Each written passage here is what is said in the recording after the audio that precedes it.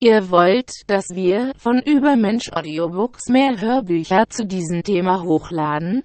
Dann lasst es uns mit einem Daumen hoch wissen. Oder interessiert ihr euch vielleicht für ein anderes Thema? Schreibt uns einen Kommentar. Jeden Samstag um 15 Uhr laden wir ein neues Hörbuch hoch, also abonniert unseren Kanal, um immer up to date zu bleiben. Jetzt aber erst einmal viel Spaß mit dem neuen Hörbuch. Multimediales Lernen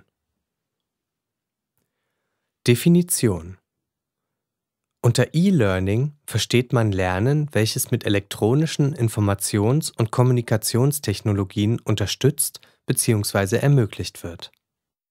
Definition Ende.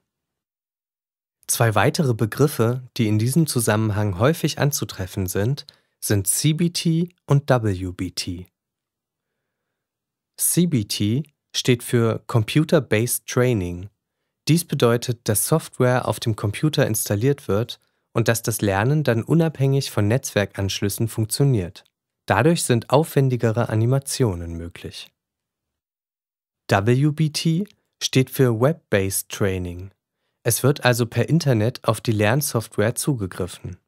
Das hat mehrere Vorteile. Zum Beispiel können Inhalte schnell aktualisiert werden und Trainer können den Kurs direkt steuern, indem sie zum Beispiel Änderungen vornehmen oder bestimmte Module freischalten, sodass auch individuell maßgeschneidertes Lernen möglich ist. Die Teilnehmer können per Chat oder E-Mail untereinander und mit den Trainern interagieren. Eine weitere Unterscheidung im Bereich des E-Learnings ist die zwischen synchroner und asynchroner Kommunikation das heißt zwischen gleichzeitiger und zeitversetzter Kommunikation. Zu den synchronen Kommunikationsmedien zählen Chats und Videokonferenzen, bei denen die Teilnehmer zwar an verschiedenen Orten, aber dennoch gleichzeitig vor dem Bildschirm sitzen. Das hat den Vorteil, dass Teilnehmer sich direkt miteinander austauschen und auf Beiträge reagieren können. Allerdings ist der Erfolg synchroner Kommunikation stark von der Moderation des Trainers abhängig, denn Teilnehmer können, anders als im persönlichen Gespräch, ohne die subtilen nonverbalen Signale nur schwer erkennen, wann der Zeitpunkt passend ist, um einen Beitrag einzubringen. Zu den asynchronen Kommunikationsmedien gehören E-Mails und Webforen, bei denen Teilnehmer einen Beitrag verfassen können, wann es ihnen gerade passt. Dadurch ist ausreichend Zeit, um Inhalte zu durchdenken, Fragen auszuformulieren oder komplexe Gedankengänge nachzuvollziehen. Der Austausch wird automatisch dokumentiert und ist dann in den E-Mails oder Postings auf Foren nachlesbar. Nachteile asynchroner Kommunikation liegen darin, dass keine direkte Reaktion auf Beiträge möglich ist und längere Wartezeiten entstehen können. Außerdem muss auch hier der Trainer immer wieder auf den roten Faden hinweisen. E-Learning sorgte anfänglich für große Begeisterung, weil es sowohl für Teilnehmer als auch für Unternehmen viele Vorteile birgt. Für die Teilnehmer ist zum Beispiel angenehm, dass das Lernen im E-Learning ganz individuell auf sie zugeschnitten werden kann. Sie können selbstgesteuert und nach eigenem Tempo lernen und es gibt kein langweiliges Warten auf langsamere Teilnehmer. Individuelles Vorwissen kann berücksichtigt und bereits Bekanntes übersprungen werden. Lücken können in aller Ruhe geschlossen werden. Das Lernen ist zeit- und ortsunabhängig. Die Teilnehmer können sowohl am Arbeitsplatz als auch zu Hause über das Internet lernen oder zu der Tageszeit, an der es ihnen am besten passt. Die Überprüfung des Lernerfolgs geschieht beim E-Learning schnell, unkompliziert und oft sogar automatisch. Die Softwaresysteme können Leistungsdaten der Teilnehmer speichern, um den wachsenden Lernerfolg festzuhalten. Automatische Leistungsauswertungen oder elektronisch verabreichte und ausgewertete Tests verursachen zudem weniger Prüfungsängste als Klassenzimmertests, bei denen eine Bloßstellung vor Trainern und Teilnehmern droht. In den Lernmodulen können zudem umfangreiche Wissensressourcen ohne einen Medienwechsel zur Verfügung gestellt werden. Die schnelle, unbegrenzte Distribution von Lehrmaterialien ohne räumliche Beschränkungen ist ein weiterer Vorteil. Für Unternehmen liegt der Hauptvorteil von E-Learning darin, dass enorme Kosten, Trainerkosten, Reisekosten, Spesen, Hotelkosten, Personalausfallkosten und viel Zeit eingespart werden können. Die Produktion einfacher E-Learning-Module ist günstig. Das E-Learning ist zudem von einer fast unbegrenzten Zahl von Mitarbeitern simultan nutzbar, sodass kein Trainingsstau entsteht. Einige Empfehlungen für den Einsatz des E-Learnings sind zum einen im folgenden Exkurs neue Trainingsmedien und zum anderen im Web-Exkurs E-Learning auf www.lehrbuch-psychologie.de zu finden. Exkurs Neue Trainingsmedien Zu den neuen Trainingsmedien gehören der MP3-Player, der Personal Digital Assistant PDA und auch das Mobiltelefon. Sie sind klein, tragbar und können bis zu mehreren Gigabyte speichern. Daher eignen sie sich perfekt für das Training unterwegs und on the job. Sie können just in time bei akutem Bedarf eingesetzt werden, zum Beispiel um vor den Kundengesprächen spezifische Kenntnisse schnell aufzufrischen, um einige Minuten Leerlauf zu füllen, im Pendlerzug oder auf der Dienstreise. Auch zur Transfersicherung im Anschluss an ein Seminar oder E-Training sind die neuen Medien einsetzbar. Zusätzlich bietet das Lernen mit diesen trendigen Geräten einen Motivationskick. Das Mobile Learning, M-Learning, bietet vielfältige Möglichkeiten. Von der Erinnerungsfunktion des Mobiltelefons, die allmorgendlich an einen bestimmten Trainingsinhalt erinnern, bis hin zum ausgefeilten M-Learning-Programm, bei dem ganze Trainingssequenzen auf dem kleinen Helfer abgespielt werden. Einige Beispiele sind in Kauffeld 2010 zusammengetragen. Die Hotelkette Hilton verwendet MP3-Player mit Videofunktion, um über 5000 Mitarbeitern den richtigen Umgang mit Speisen und Getränken nahezubringen. Diverse zweiminütige Module können nach Bedarf abgespielt werden. Der Finanzdienstleister Capital One händigt seinen Mitarbeitern MP3-Player mit Audiolernprogrammen als Ergänzung zu Seminaren aus. Der MP3-Player ist zugleich Anreiz und Lernmedium. Die Firma Tyco, Produzent von Sicherheits- und Brandschutzgeräten, bietet ihren Technikern auf dem PDA Flash-Simulationen zur Programmierung von Alarmanlagen. Amerikanische Universitäten wie Duke und Stanford bieten gratis MP3-Podcasts zu Themen wie Managementtechniken, Marketing, Frauen in Führungsrollen, Innovation und Globalisierung. Exkurs Ende. Blended Learning als Mischung aus Präsenzseminaren und E-Learning entstand als Reaktion auf enttäuschte Erwartungen an den Einsatz von reinem E-Learning. Es soll die Vorteile des E-Learnings nutzen und gleichzeitig seine Nachteile ausgleichen. Ein Blended Learning-Konzept kann zum Beispiel die folgenden drei Phasen aufweisen. Erste Phase in der ersten Phase erarbeiten sich die Teilnehmer mit der Lernsoftware selbstständig einen gemeinsamen Wissensstand. Dies ist wichtig, um zusammen effektiv lernen zu können.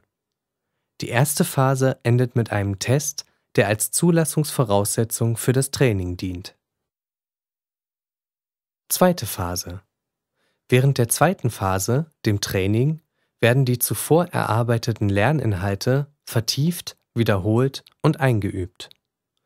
Die Teilnehmer verfügen über eine ähnliche Wissensbasis, sodass verhaltensbezogen trainiert werden kann. Auch während des Seminars kann die Lernsoftware bei der Vor- und Nachbereitung zum Einsatz kommen. Dritte Phase. In der dritten Phase findet individuelles Coaching für die Teilnehmer statt. Jeder Teilnehmer wird persönlich in seinem Arbeitsumfeld bei der Umsetzung des Gelernten unterstützt. So wird ein erfolgreicher Transfer sichergestellt. Vergleiche ausführlich Kauffeld 2010. Implementierung von Trainingsprogrammen Für die Implementierung von Trainings ist es entscheidend, dass die Unternehmensleitung und die Mitarbeiter einem Training gegenüber positiv eingestellt sind und dass sie es unterstützen und annehmen. Hierzu tragen Informationen zum Zweck, zur Vorgehensweise und zu den Zielen des Trainings bei. Unabhängig von der gewählten Methode sind bei jedem Training die Phase vor, während und nach dem Training zu berücksichtigen. Im Folgenden wird auf die Pre-Training und auf die Post-Training-Phase eingegangen. Pre-Training Vor dem Training sollte es eine Vorbereitungsphase geben, die dazu führt, dass die Teilnehmer eine Lern- und Transferabsicht entwickeln können. Für jedes Training müssen alle wichtigen Stakeholder, einschließlich der Manager, der direkten Vorgesetzten, Trainees und Trainer, ein Verständnis dafür entwickeln, warum das Training durchgeführt wird und warum genau diese Teilnehmer ausgewählt wurden. Darüber hinaus sollte Einigkeit darüber herrschen, was im Training gelernt und was transportiert werden soll, was die spezifischen arbeitsbezogenen Verhaltensergebnisse für die einzelnen Trainees sind, wie diese mit der Verbesserung der Arbeitsausführung verknüpft sind und wie die aus dem Training resultierenden Verhaltensergebnisse mit übergeordneten Ergebnissen verbunden sind. Dieses Verständnis ist wichtig, weil es die lern- und transferbezogene Motivation der Teilnehmer erhöht.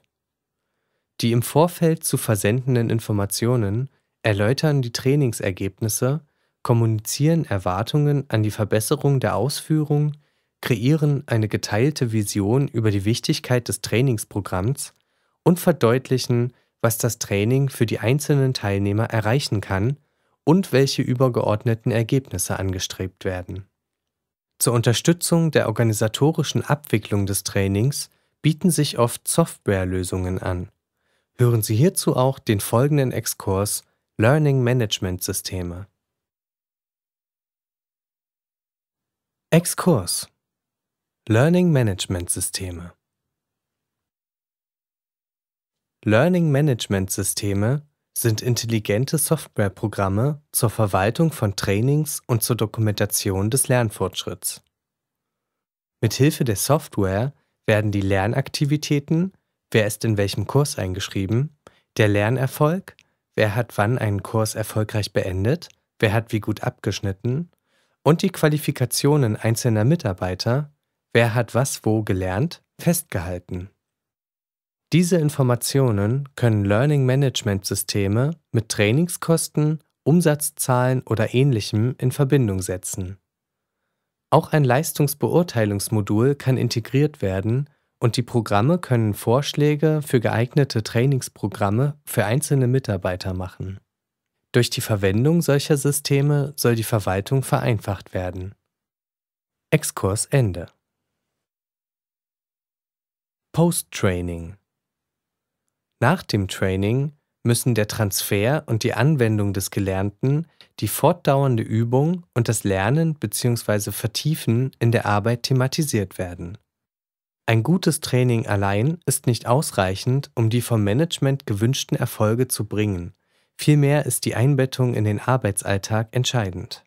Andere Teilnehmer und Kollegen können eine wertvolle Quelle für Informationen Rat und Unterstützung im Prozess des Lerntransfers sein. Eine Möglichkeit zum Networking zwischen den Teilnehmern sind Booster Sessions, Antreibersitzungen, in welchen eine Gruppe von Teilnehmern zusammenkommt, um Gelerntes zu besprechen und zu reflektieren, um Erfolge und Misserfolge zu teilen und um über erfolgreiche Transferstrategien zu sprechen. Diese Treffen sollten formalisiert werden. Strukturierte Sitzungen sollten von Trainern oder inhaltlichen Experten, die Erfahrung mit dem Lerntransfer haben, gefördert werden. Die Anzahl und Häufigkeit solcher Sitzungen ist von der Art des ersten Trainings abhängig. Sechs Wochen nach dem Training ist oft ein geeigneter Zeitpunkt, um den Transfererfolg zu reflektieren. Die Implementierung von Post-Training-Maßnahmen sollte zum Standard werden, sodass sich die Teilnehmer mit ihren Kollegen über das Thema und den Trainingstransfer vernetzen und beim Transfer voneinander profitieren können. Für die Praxis Um mit den Teilnehmern im Training effektiv arbeiten zu können, kann es sinnvoll sein, dass diese nicht nur mit klaren Erwartungen in das Seminar kommen, sondern auch formulieren können, was sie in die Veranstaltung einbringen wollen, was sie bereit sind, an Ressourcen zur Verfügung zu stellen und was sie geben wollen, damit das Seminar ein Erfolg wird. Dadurch wird die potenzielle Konsumentenhaltung der Teilnehmer aufgeweicht und die Selbstverantwortung der Teilnehmer am Trainingserfolg in den Fokus gerückt. Dafür kann es zum Beispiel hilfreich sein, dass Teilnehmer sich um ein Seminar bewerben müssen oder dass sie im Vorfeld eine E-Learning-Einheit bestehen müssen, um am Training teilnehmen zu können. Die Motivation der Teilnehmer ist ein entscheidender Prädiktor für den Erfolg einer Kompetenzentwicklungsmaßnahme. Siehe dazu Kauffeld und andere 2008. Praxisbeispiel Ende. Die Evaluation des Trainings und vor allem die Beurteilung des Lerntransfers nach dem Training sind kritisch für einen effektiven Trainingsprozess, denn sie liefern Informationen, die wichtig für die laufende und systematische Verbesserung des Trainings und des Lerntransfers sind. Evaluationen und Beurteilungen helfen außerdem dabei, Manager bzw. direkte Abteilungsleiter, Teilnehmer und Trainer für die Lernverbesserung und den Transferprozess verantwortlich zu machen. Letztendlich kommuniziert dies die Wichtigkeit des Trainings und hilft dabei, eine Kultur zu kreieren, die das Lernen und dessen Anwendung bei der Arbeit wertschätzt. Inwieweit die genannten drei Phasen Pre-Training, Training und Post-Training bei der Konzeption und Durchführung eines Trainings berücksichtigt werden, kann als Qualitätsmerkmal für die ausgearbeiteten Konzepte gelten. Abschnitt 7.4 Evaluation Evaluationsstrategien Wie können Trainingsmaßnahmen evaluiert werden? In der Praxis können Evaluationen sehr unterschiedlich aussehen. Die folgende Übersicht enthält verschiedene Aspekte von Evaluationen, die berücksichtigt werden müssen. Aspekte von Evaluationen Zielsetzung Wozu dient Evaluation? Welche Ziele werden mit der Evaluation verfolgt? Wem nützt und wem schadet die Evaluation? Wie hieb- und stichfest müssen die Ergebnisse sein? Was passiert, jetzt und später, mit den Ergebnissen und Befunden? Dieser Aspekt umfasst die Funktion sowie die weitere Verwertung der Evaluation. Auftraggeber Wer wünscht die Evaluation? Wer ist der Auftraggeber und wer nutzt die Ergebnisse der Evaluation, zum Beispiel Dozent, Personalentwickler, Unternehmensleitung, Trainingsteilnehmer und Wissenschaftler. Wer erhält die Ergebnisse der Evaluation? Auftragnehmer. Wer führt die Evaluation aus? Es macht einen Unterschied, ob Trainer, Personalabteilung oder Teilnehmer die Evaluation durchführen oder ob externe Personen, zum Beispiel Wissenschaftler, von außen kommen und neutral Daten sammeln. Gegenstand. Wer oder was wird evaluiert? Zur Auswahl stehen zum Beispiel Trainer, Trainingsmodule oder Teilkompetenzen, zum Beispiel Medieneinsatz, ebenso wie komplette Seminare oder gesamte Fortbildungsprogramme. Es werden beispielsweise die Teilnehmerzufriedenheit, der Lernerfolg, die Verhaltensänderungen am Arbeitsplatz, die Methodenvielfalt im Training, das Ausmaß der Teilnehmeraktivität, die Art und Qualität der Unterrichtsmaterialien oder die Angemessenheit der Interventionen erfragt. Methode Wie wird evaluiert? Für eine Evaluation werden Daten systematisch dokumentiert, um die Untersuchung, das Vorgehen und die Ergebnisse nachvollziehbar und überprüfbar zu machen. Erfolgsmaße Welche Messzahlen stehen zur Bewertung zur Verfügung?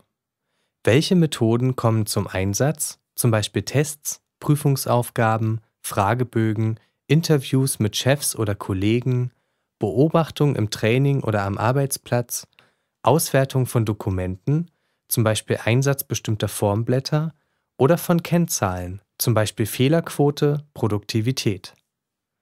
Welche Qualität haben die gesammelten Daten? Als Quellen werden interne Daten, sind Teile des evaluierten Systems, und externe Daten stehen außerhalb herangezogen. Zeitpunkte. Wann wird evaluiert? Eine Evaluation kann zu verschiedenen Zeitpunkten ansetzen. Vor der Erprobung, während der Erprobung oder nach der Durchführung des Trainings.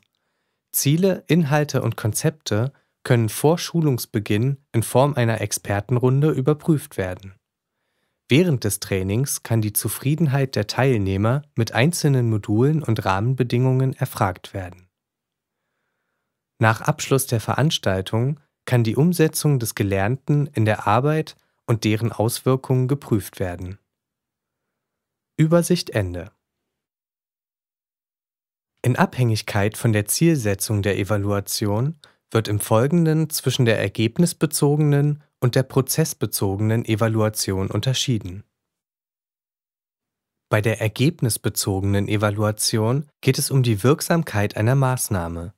Es steht eine Entscheidung über ein oder mehrere, zum Beispiel alternative Trainingsprogramme, im Vordergrund. Es geht darum, betrieblichen Entscheidungsträgern die notwendigen Informationen bereitzustellen, ob ein Trainingsprogramm durchgeführt, reduziert oder zurückgezogen werden soll. Bei der prozessbezogenen Evaluation geht es darum, förderliche und hinderliche Faktoren zu identifizieren, die dazu führen, dass ein Trainingsprogramm wirkt oder nicht wirkt.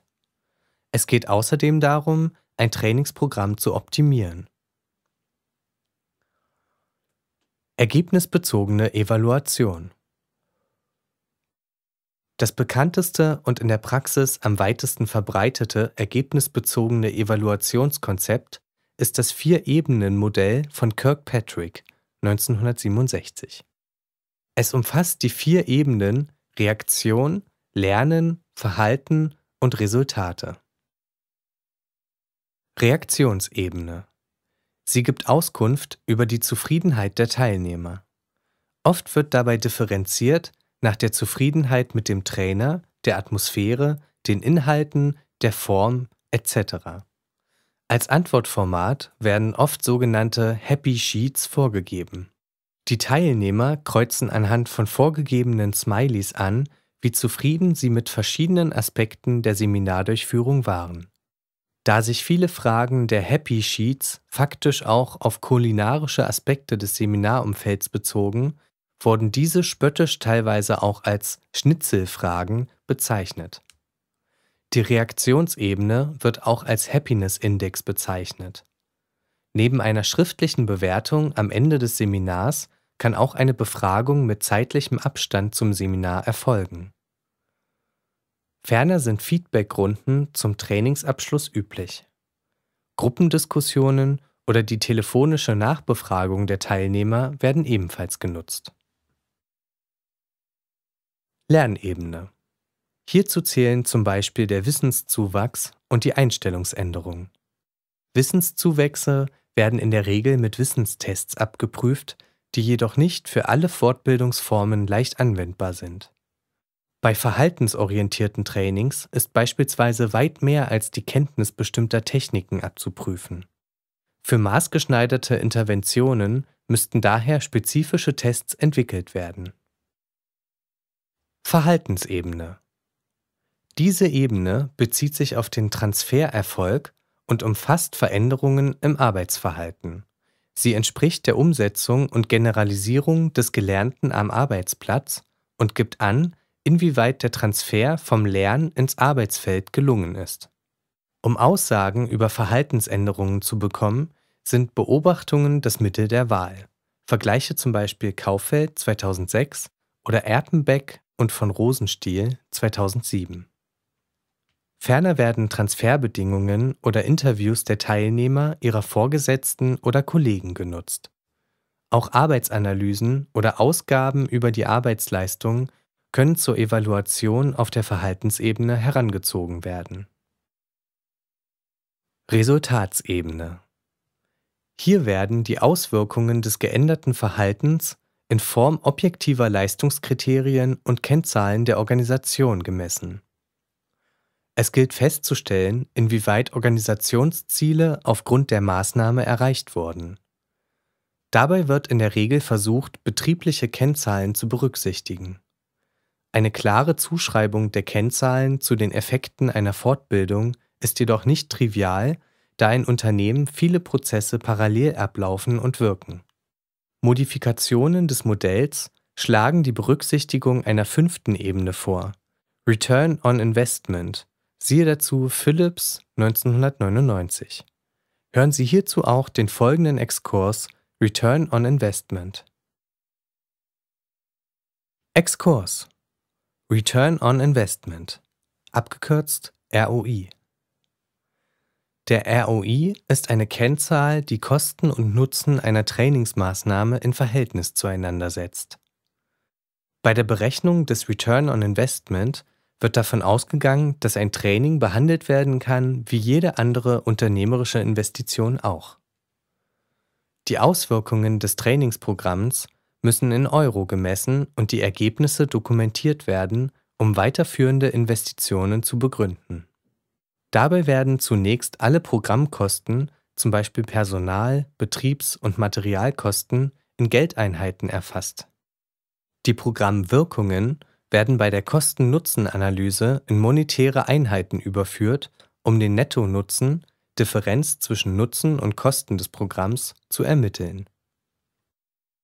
Die Formel für den Return on Investment lautet Return on Investment ist gleich monetärer Nutzen der Trainingsmaßnahme geteilt durch die Kosten der Trainingsmaßnahme.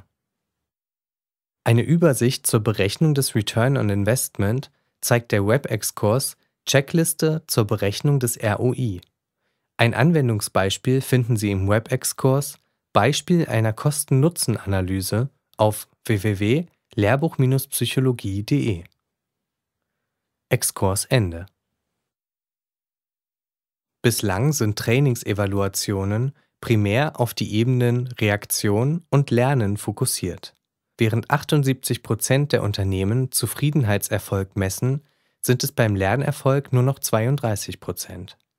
Für den Transfererfolg interessieren sich nur noch 9 Prozent und für den Unternehmenserfolg lediglich 7%. Siehe dazu Van Buren und Eskine 2002. Die Evaluation mit Happy Sheets am Seminarende ist beliebt, da der Aufwand sehr gering ist. Die Reaktionsebene, die oft als einzige Evaluationsebene betrachtet wird, hat jedoch nur geringe Aussagekraft. Zum einen zeigt die Praxis, dass es Trainern durch die Instruktion der Teilnehmer in der Regel nicht schwerfällt, traumhafte Bewertungen zu erzielen. Die Zufriedenheitsbewertungen liegen oft am oberen positiven Ende der Bewertungsskala. Zum anderen hängt Zufriedenheit mit einem Training kaum mit dem Lernerfolg und dem Transfererfolg zusammen.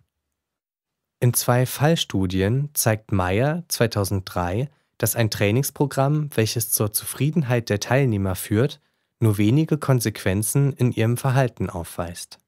Dagegen bringt ein Training, in dem die Teilnehmer an ihre Grenzen gebracht und konfrontiert werden, diese dazu, das Training nicht hochzufrieden zu verlassen, langfristig aber ihr Verhalten zu ändern. Die hierarchische Anlage des Vier-Ebenen-Modells von Kirkpatrick 1994 muss daher in Frage gestellt werden. Die implizierten kausalen Bedingungen zwischen den Ebenen konnten in Forschungsarbeiten zudem nicht nachgewiesen werden. Siehe dazu Alliger und Janak 1989 und Alliger und andere 1997. Beim Einsatz von Happy Sheets bleibt die Frage, ob der Transfer durchgeführter Schulungs- bzw. Trainingsmaßnahmen gelungen ist, unbeantwortet. So kann erst von Transfer gesprochen werden, wenn die Anwendung und Generalisierung neuen Wissens, neuer Fähigkeiten oder Fertigkeiten in der Arbeit geglückt ist. Ein Instrument zur ökonomischen Messung des Fortbildungserfolgs stellt das Maßnahmenerfolgsinventar dar, abgekürzt MEI. Für eine Weiterentwicklung siehe auch Grohmann und Kauffeld 2013. Beim Maßnahmen-Erfolgsinventar fungieren die vier Ebenen von Kirkpatrick 1994 als Rahmenmodell. Unverzichtbar ist dabei die Festlegung von Sollgrößen, um im Nachhinein bewerten zu können, ob die Ziele erreicht wurden. Welche Ausprägung des Zufriedenheitswertes wird als Erfolg verbucht? Wie muss der Wissenstest ausfallen, um von einem positiven Lernergebnis sprechen zu können? Eine Reduzierung der Durchlaufzeit um welchen Wert wird als Erfolg definiert?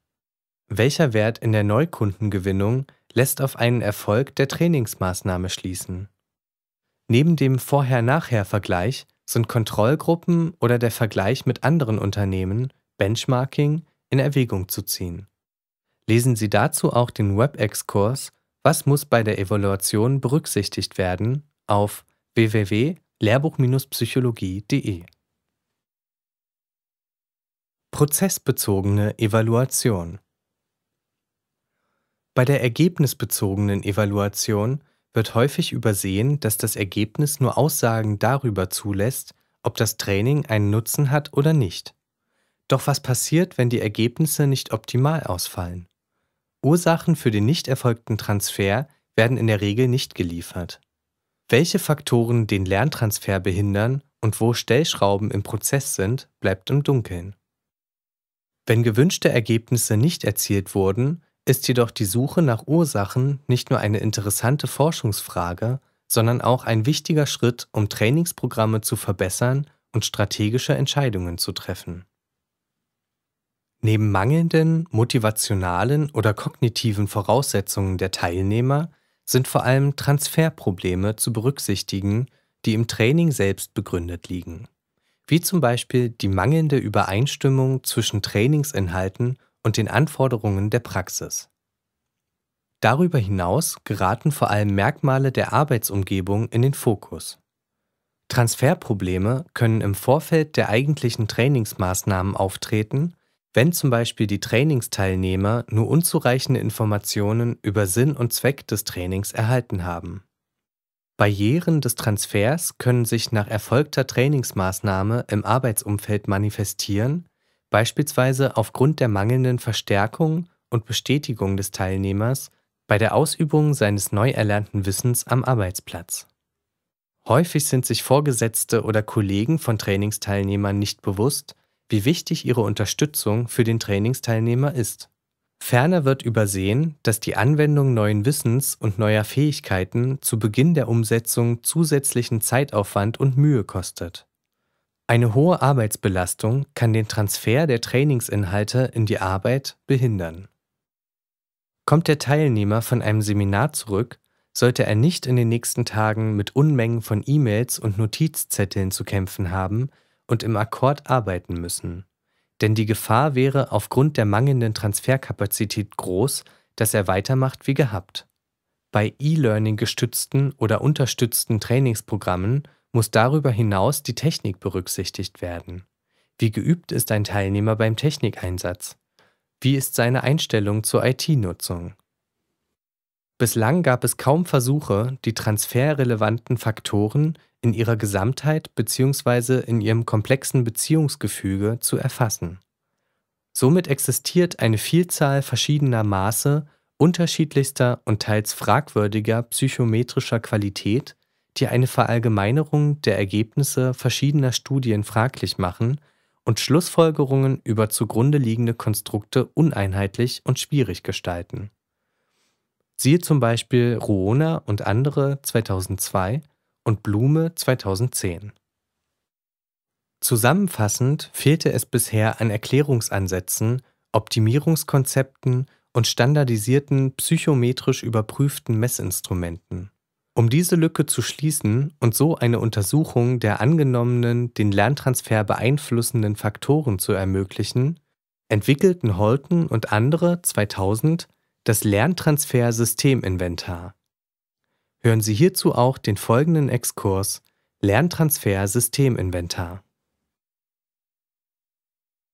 Exkurs LTSI Das Lerntransfer Systeminventar Beim Lerntransfer Systeminventar handelt es sich um ein global validiertes Messinstrument zum Lerntransfer.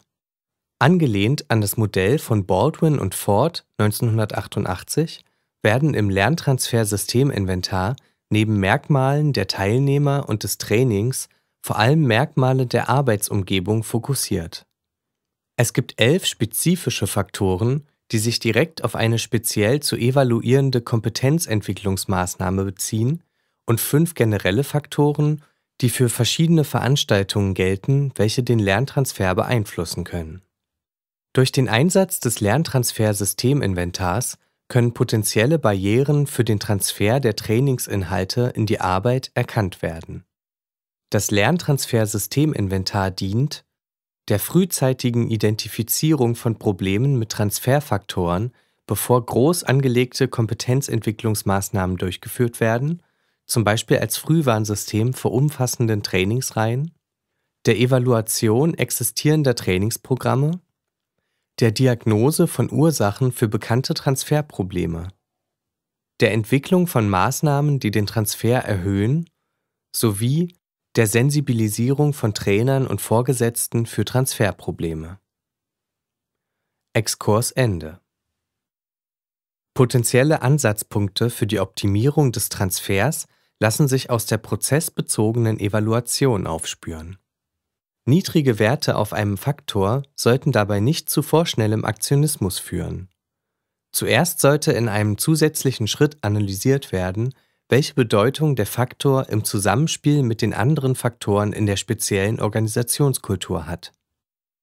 Erst wenn klar ist, dass der betreffende Faktor für das Transfersystem der speziellen Organisation von Bedeutung ist, kann mit der Planung von Veränderungen vorangeschritten werden.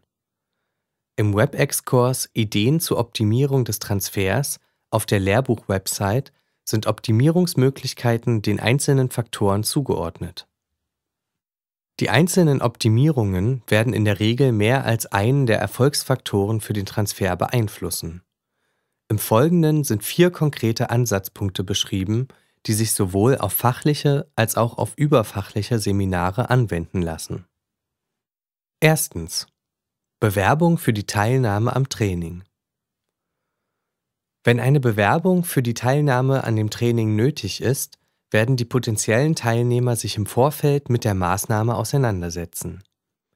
Denn Lernen funktioniert besser, wenn jemand ein Ziel verfolgt und sich dafür Wissen und Fähigkeiten aneignet.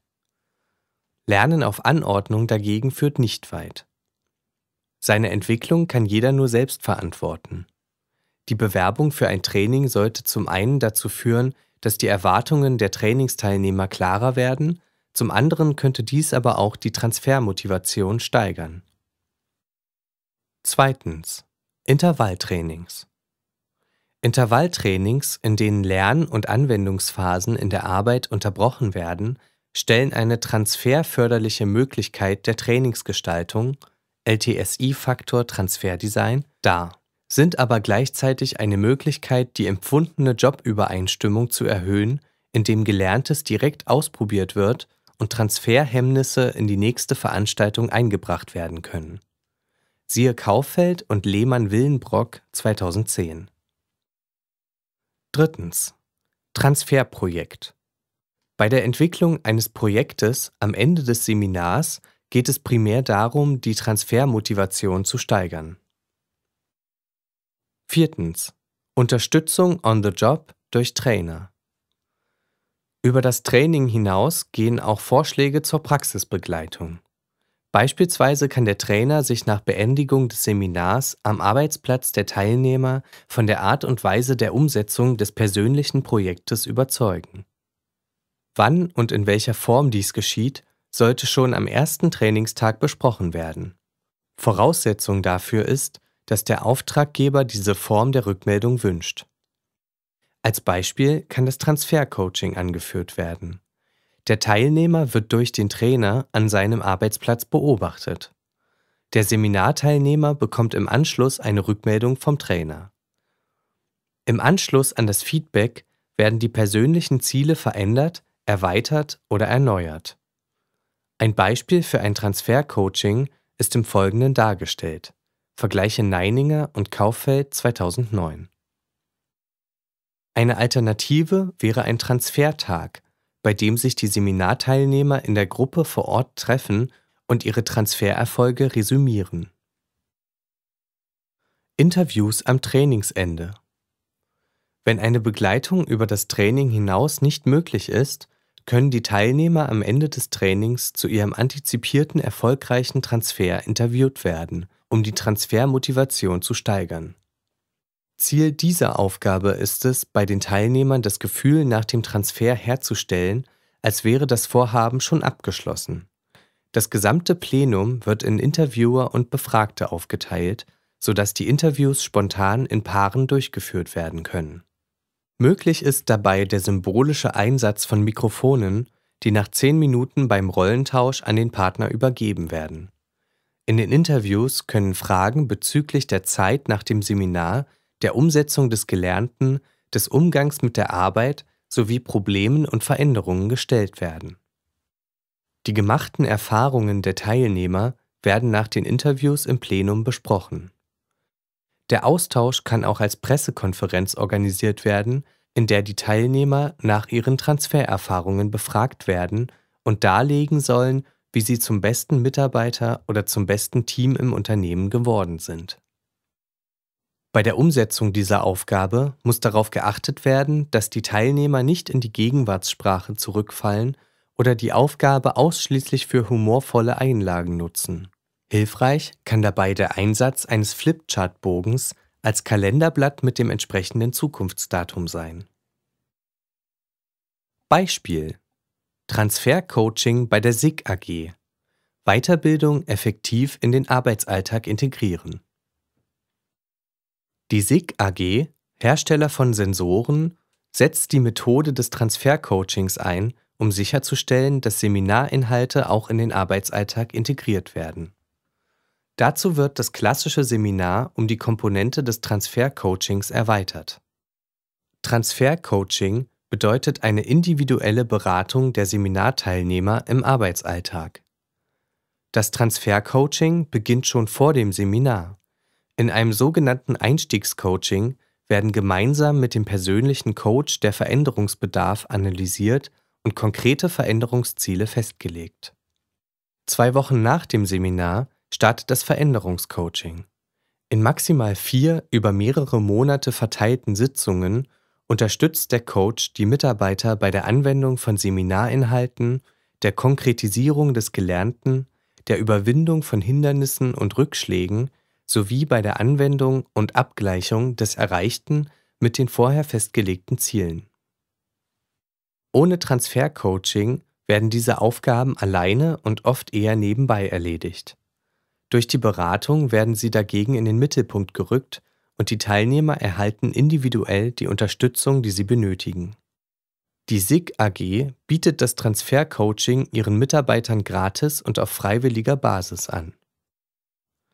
Worauf könnte die Wirksamkeit des Transfercoachings zurückzuführen sein? Vermutlich spielen dabei folgende Faktoren eine Rolle. Die Teilnehmer entkommen ihrer Rolle als passive Stoffdurchkauer. Sie bekommen die Gelegenheit, selbst aktiv mit dem Lernstoff umzugehen. Die Teilnehmer bekommen eine intensive Beratung und Feedback zum Anwendungserfolg und sind nicht mehr auf sich alleine gestellt. Die Unterstützung ist ganz auf die individuelle Situation zugeschnitten. Abstraktes kann so konkret umgesetzt werden. Die langfristige Betreuung führt dazu, dass die Teilnehmer über einen langen Zeitraum lernen und üben, statt nur in wenigen Tagen komprimiert etwas einzupauken. Das Lernen geschieht anhand praktischer Probleme, die für die Teilnehmer von Bedeutung sind. Die Bedeutung des Lernens und der Anwendung von Inhalten wird den Teilnehmern immer wieder ins Bewusstsein gerufen. Durch die Unterstützung des Transfercoachings seitens der Firmenleitung wird eine veränderungs- und lernunterstützende Atmosphäre geschaffen. Vergleiche Behrendt und andere 2007. Beispiel Ende. Darüber hinaus wurde die Führungskraft in verschiedenen Studien immer wieder als wesentlicher Erfolgsfaktor identifiziert. In Tabelle 7.4 des gedruckten Lehrbuches sind verschiedene Handlungsempfehlungen für Führungskräfte zusammengetragen, die förderlich auf den Lerntransfer wirken, Vergleiche auch Machin 2002 sowie Johannes und Kaufeld 2009. Es werden Empfehlungen für die Zeiträume vor, während und nach dem Training gegeben. Besonders vor und nach dem Training hat die Führungskraft Ansatzpunkte, um zum Lerntransfer ihrer Mitarbeiter beizutragen. Die Empfehlungen während des Trainings kommen vor allem dann zum Tragen, wenn die Führungskraft selbst als Trainer seiner Mitarbeiter fungiert. Darüber hinaus kann die Führungskraft optimalerweise bei der Bedarfsanalyse Einfluss auf Inhalte und Form des Trainings nehmen. Dies ist auch bei Orientierungsgesprächen, in die sie bei größeren Trainings- oder Teamentwicklungsmaßnahmen eingebunden sein sollte, möglich. Vergleiche zum Beispiel Kauffeld und andere 2009. Die Rolle von Führungskräften wird an dieser Stelle erweitert. Neben der Personalentwicklung ist es die Aufgabe von Führungskräften, ihren Mitarbeitern als Lernberater zur Verfügung zu stehen. Mitarbeiter brauchen jemanden, der mit ihnen diskutiert, wie sie am besten vorgehen. Für die Führungskraft bedeutet dies, Fragen zu stellen und dem Mitarbeiter zu helfen, sich eigener Lernmethoden bewusst zu werden. Die Führungskraft muss davon überzeugt sein, dass sein Mitarbeiter entwicklungsfähig ist und ihm dies signalisieren. Vor allem gilt dies auch für ältere Mitarbeiter. Wer häufig hört, dass er kaum entwicklungsfähig sei, hört auf, sich anzustrengen. Darüber hinaus ist die Führungskraft verpflichtet, mit dem Mitarbeiter Standortbestimmungen vorzunehmen, Lernfortschritte zu bewerten und Unterstützung beim Transfer zu leisten. Um ergebnis- und prozessbezogene Evaluationsansätze zu koppeln, wurde das Adaptive Evaluation System for Training entwickelt, siehe Kaufeld 2009. Mithilfe der zugehörigen Software werden maßgeschneiderte Befragungen generiert. Die Evaluationsergebnisse helfen zum einen zu entscheiden, ob eine Maßnahme fortgeführt oder eingestellt werden sollte, zum anderen erlaubt dieses Wissen, Trainingsmaßnahmen mit den geeigneten Stellschrauben zu verbessern. Evaluation und Mikropolitik Studien zeigen, dass Führungskräfte Informationen über finanzielle Ergebnisse der Trainings gegenüber anekdotenhaften bevorzugen, und zwar unabhängig von den berichteten Effekten des Programms. Siehe dazu Madsen 2003. Nichtsdestotrotz müssen Impulse für die Steuerung des Geschehens gewollt sein. Nicht selten laufen groß angelegte Evaluationen ins Leere, weil mikropolitisch längst andere Entscheidungen getroffen wurden. Neben den beiden Hauptfunktionen Qualitätsmessung und Optimierung haben Evaluationen oft verdeckte weitere Funktionen. Damit befinden sich Trainingsevaluationen in guter Gesellschaft mit anderen Beratungsdienstleistungen. Vergleiche Jonas und andere 2007. Ein Überblick. Verdeckte Funktionen von Evaluationen. Personen kontrollieren und disziplinieren. Evaluationen kontrollieren und disziplinieren Abteilungen, Dozenten und Kursteilnehmer. Aus der Schulzeit kennt man die Tests mit Strafcharakter. Auch machen sie oft Machtverhältnisse deutlich. Dokumentation und Rechtfertigung. Mit glänzenden Ergebnissen einer Evaluation lässt sich die Arbeit einer Schulungsmaßnahme besonders gut herausstellen. Das hilft, bisherigen oder künftigen Aufwand besser zu legitimieren. Bei dieser Evaluationsfunktion kommt der Formulierung und Gestaltung sowie der Präsentation der Befunde besondere Bedeutung zu. Hochglanz- und Festschriftcharakter. Didaktische Verstärkung. Indem im Abschluss bzw. Umsetzungsfeedback noch bestimmte inhaltliche Aspekte der Lehrveranstaltung abgefragt werden, werden das Erinnern unterstützt und der Transfer gestärkt. Von heißen Eisen ablenken Cooling Out. Gelegentlich erfüllt eine groß- und langfristig angelegte Evaluation den Zweck, Zeit zu gewinnen. Anstehende, aber unerwünschte Entscheidungen lassen sich leichter aufschieben, wenn man auf wissenschaftlich fundierte Ergebnisse wartet, und bis dahin verliert das brisante Thema hoffentlich an Brisanz. Evaluationsbefunde werden vieldeutig interpretiert, da man vermieden hat, sich auf eindeutige Zielgrößen und Cut-off-Werte festzulegen. Fast jede Entscheidung ist zu rechtfertigen. Diese Strategie hofft auf den Cooling-out-Effekt. Aus systematischer Sicht stößt die Evaluation im Unternehmen einen Prozess an. Diesen gilt es für die Befragung und die Rückspiegelung von Ergebnissen zu nutzen.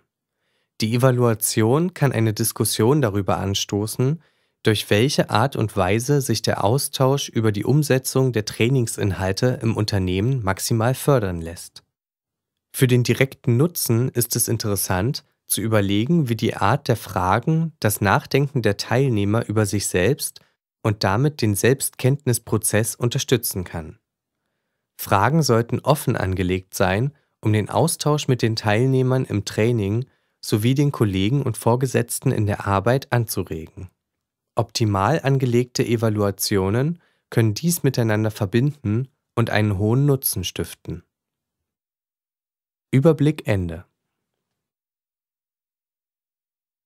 Abschnitt 7.5 Stärken und Schwächen der Personalentwicklung Abschließend sollen mit Hilfe einer SWOT-Analyse aus dem Englischen für Strength, Stärken, Weakness, Schwächen Opportunities, Chancen und Threats, Gefahren, sowohl innerbetriebliche Stärken und Schwächen als auch externe Chancen und Gefahren der Personalentwicklung betrachtet werden. Vergleiche auch MAIFA 2010 sowie Tabelle 7.5 des gedruckten Lehrbuches.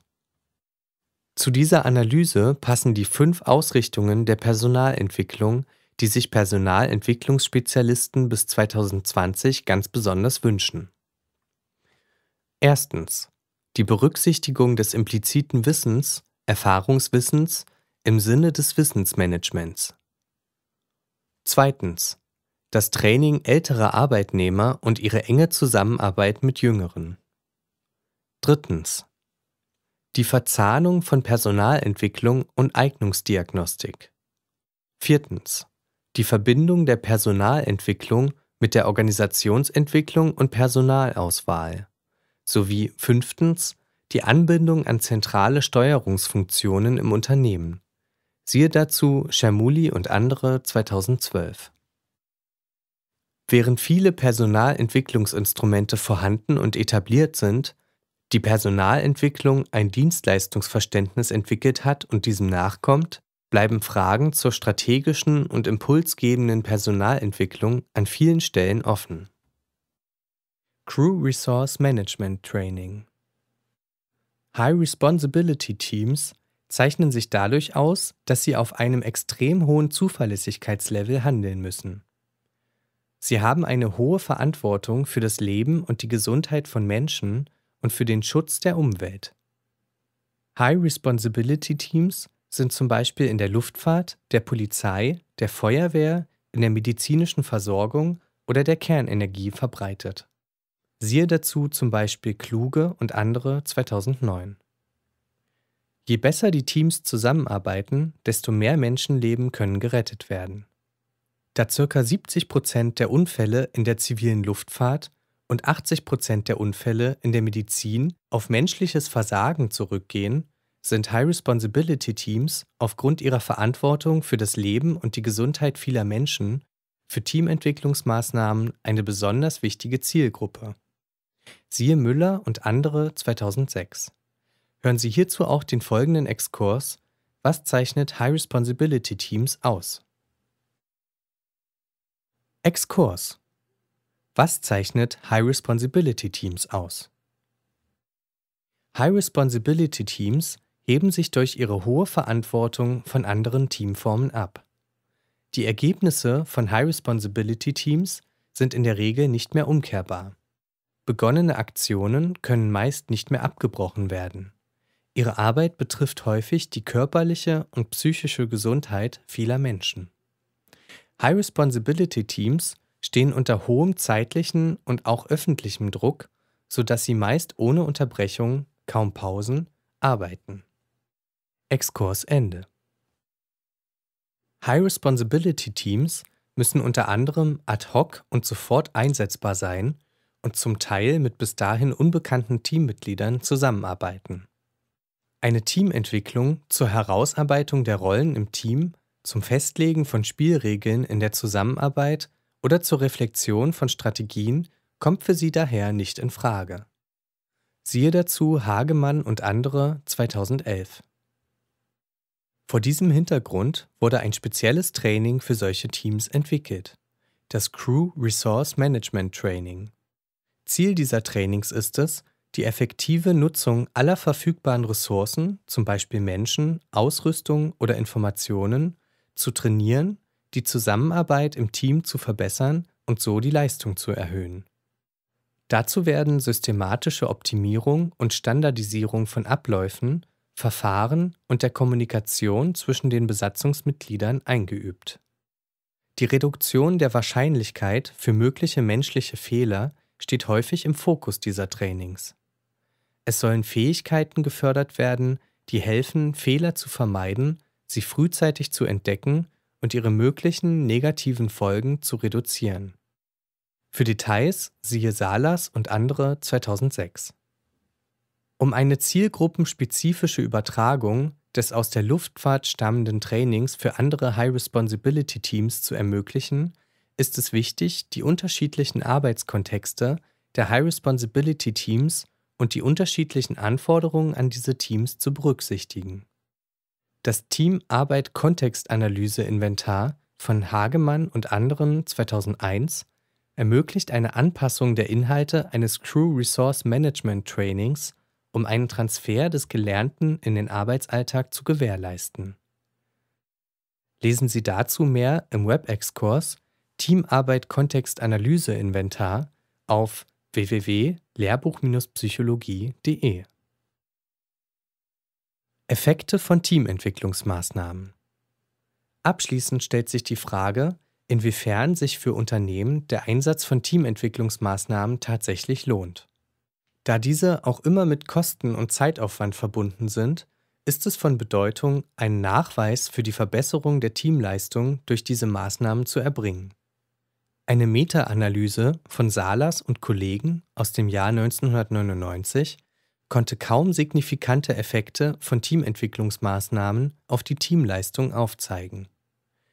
Die Effekte variierten mit der Art und Weise, wie die Leistung operationalisiert wurde. Objektive Leistungsmessungen zeigten keine signifikanten Leistungseffekte, während das subjektive Leistungsempfinden durch Teamentwicklungsmaßnahmen tendenziell, wenn auch gering, gesteigert werden konnte. Deutlich positivere Ergebnisse zeigen hingegen neuere Studien. In einer aktuellen Meta-Analyse von Klein und anderen 2009 korrelieren alle Teamentwicklungsmaßnahmen, Foki auf Zielsetzung, interpersonelle Beziehungen, Problemlösung und Rollenklärung, signifikant positiv mit den Output-Variablen. Dieser Zusammenhang beträgt R ist gleich 0,31. Insbesondere affektive Gruppenmerkmale, zum Beispiel Vertrauen oder Team Potency, und prozessbezogene Veränderungen, zum Beispiel in den Bereichen Koordination und Kommunikation, wurden laut Korrelationen von 0,44 von Teamentwicklungsmaßnahmen beeinflusst. Die Maßnahmen zur Zielsetzung erreichen mit R ist gleich 0,37 die höchste Korrelation der Teamentwicklungsmaßnahmen mit allen Output-Variablen gefolgt von der Rollenklärung im Team mit R ist gleich 0,35. Eine Studie von Hemmelmann und van Dick 2013 bestätigt die positiven Effekte von Teamentwicklungsmaßnahmen. Die Identifikation, die soziale Unterstützung und die kollektive Selbstwirksamkeit konnten durch die Maßnahmen verbessert werden, während sich in einer Kontrollgruppe über denselben Zeitraum keine Änderungen zeigten. Die unterschiedlich starken Zusammenhänge zwischen bestimmten Maßnahmen und Ergebnissen legen nahe, dass nicht alle Teams von denselben Teamentwicklungsmaßnahmen gleichermaßen profitieren, sondern dass eine gezielte Auswahl der Intervention notwendig ist. Dies zeigt die Bedeutung des Einsatzes eines geeigneten Instruments der Teamdiagnose auf. Vergleiche Kaufwelt 2001. Kapitel 9 Interkulturelle Kommunikation und Kooperation von Simone Kauffeld und Ramona Thomas. Fallbeispiel Stellen Sie sich vor, Sie sind Teil eines Beraterteams. Sie wurden beauftragt, dem Senior Management des Hydropolis Unterwasserhotels in Dubai zu helfen, die Unternehmensexpansion voranzutreiben und dabei weitere Herausforderungen, denen das Unternehmen gerade gegenübersteht, zu lösen. Ihnen stehen folgende Informationen zur Verfügung.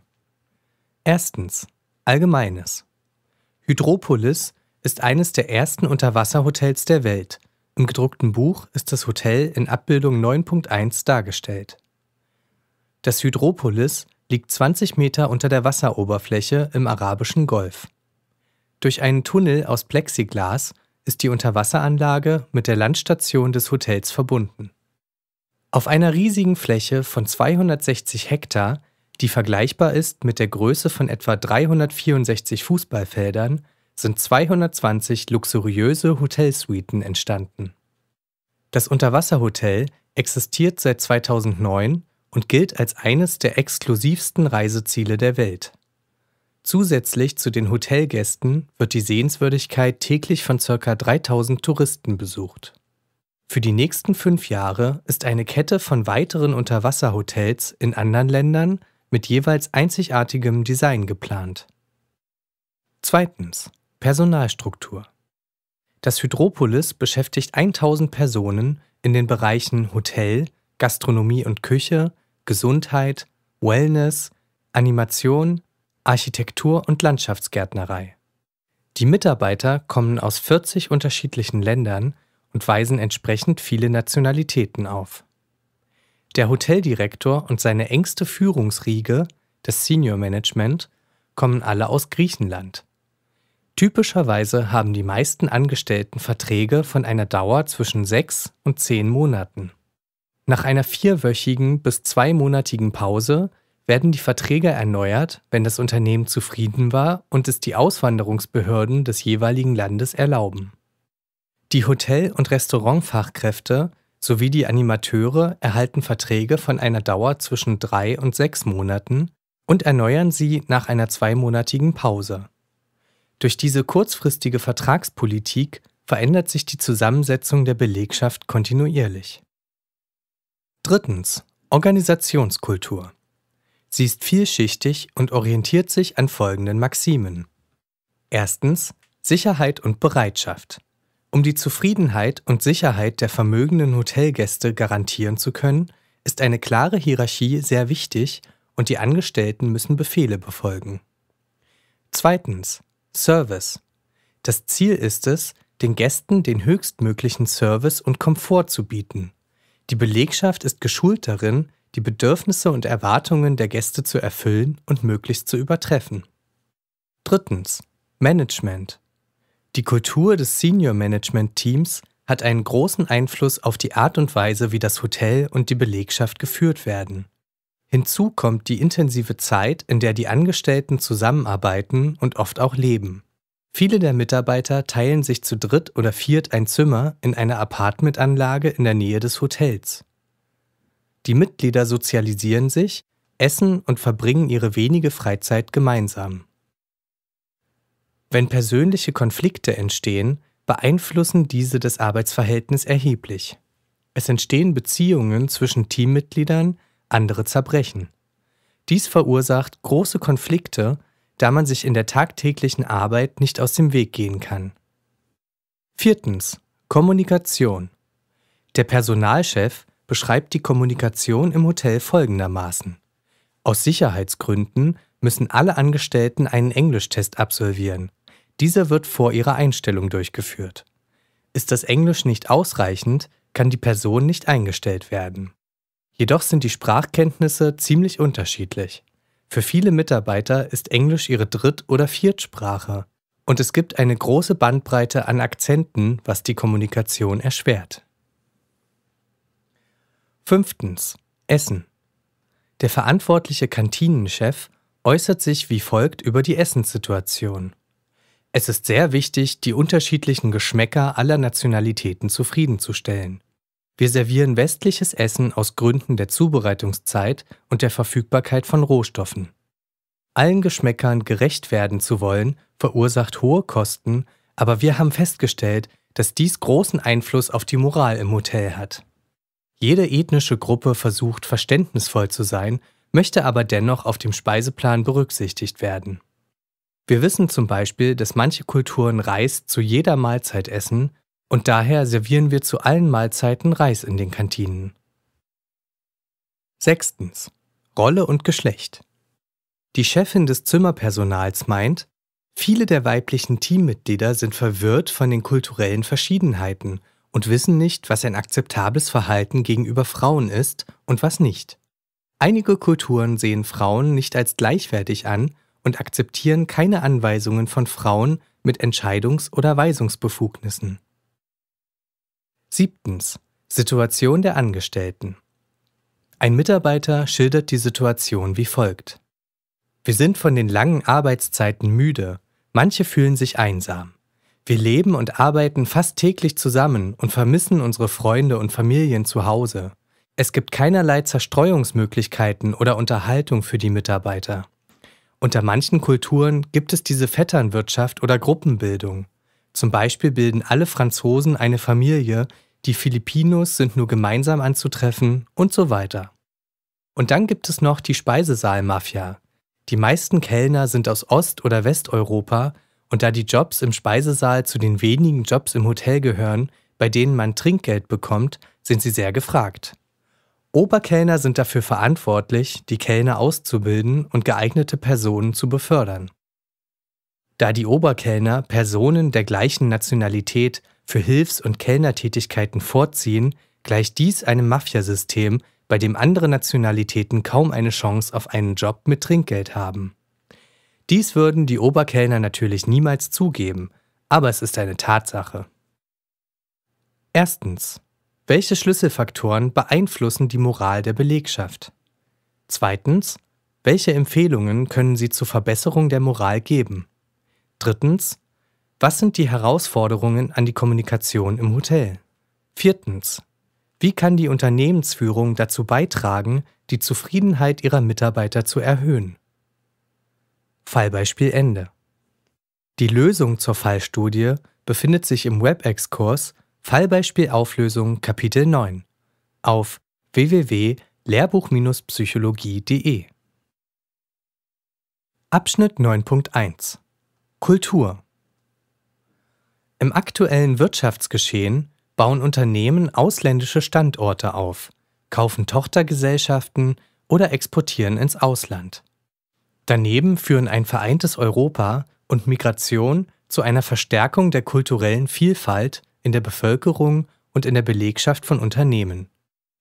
In Europa, wie in anderen Regionen der Welt, wächst das Bewusstsein für die Konfliktpotenziale und Chancen eines von kultureller Vielfalt geprägten beruflichen und privaten Umfelds. Es zeichnet sich deshalb ab, dass der konstruktive Umgang mit unterschiedlichen kulturellen Werthaltungen auf der zwischenmenschlichen Ebene in den kommenden Jahren zu einer Schlüsselqualifikation von Managern in transnationalen Unternehmen gehören und sich diese Kompetenz zu einem allgemeinen Bildungsziel in der Persönlichkeitsentwicklung herausbilden wird. Begriffsannäherung und Eingrenzung Definition Kultur ist die Gesamtheit menschlichen Verhaltens, einschließlich der Normen, Werte und Lebensweisen, und beeinflusst damit jeden Lebensbereich. Kulturen umfassen Gruppen von Menschen an bestimmten Orten zu bestimmten Zeiten mit bestimmten Lebensformen, Wissensbeständen und Sprachen. Sie entstehen im Austausch mit anderen Kulturen und grenzen sich von diesen ab. Interkulturelle Kompetenzen sind Kompetenzen, die eine erfolgreiche Zusammenarbeit mit unterschiedlichen Kulturen wahrscheinlich machen, wie zum Beispiel Empathiefähigkeit oder Ambiguitätstoleranz. Definition Ende. Kulturen können sich über ganz verschieden große Zeitspannen und geografische Räume erstrecken. Sie mögen einige wenige oder viele Millionen Menschen inkludieren und exkludieren. Sie sind offene und dynamische, an bestimmte explizite und implizite Wissensbestände, Sprachformen und Praktiken gekoppelte Lebensformen, die sich durch gewisse Merkmale charakterisieren lassen, aber keineswegs homogen sein müssen. Sie sind zudem in ihrer Entstehung und Entwicklung von kulturellem Austausch abhängig. Laut Notnagel und anderen 2010 gibt es keine Kultur ohne andere Kulturen. Kultur zu erforschen kann mit der Erforschung eines Ozeans verglichen werden. Auf der Oberfläche kann man Artefakte, Rituale und Verhalten sehen. Die darunterliegenden Normen und Werte kann man durch Umfragen oder Interviews herausfinden. Die grundlegenden Annahmen können jedoch nur durch Interpretation erschlossen werden. Siehe dazu auch Abbildung 9.2 des gedruckten Buches. Mit Kultur wird auf drei Ebenen operiert. Erste Ebene. Auf dieser Ebene ist Kultur beobachtbar und gestaltlich erfassbar. Dies ist die sichtbare Oberfläche des Ozeans, auf dem sich Dinge, die mit den fünf Sinnen wahrnehmbar sind, befinden. Perzepta und Praktika.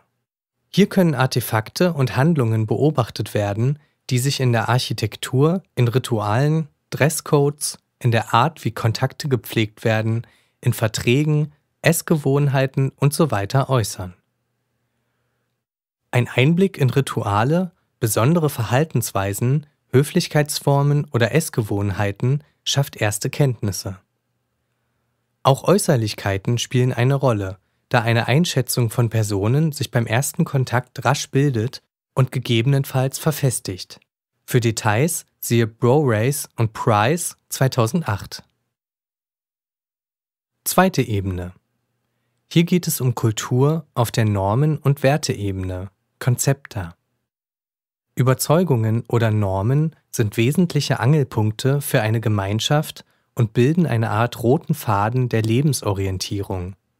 Man findet kulturelle Regeln, die erklären, was auf der ersten Ebene passiert und was richtig bzw. falsch ist.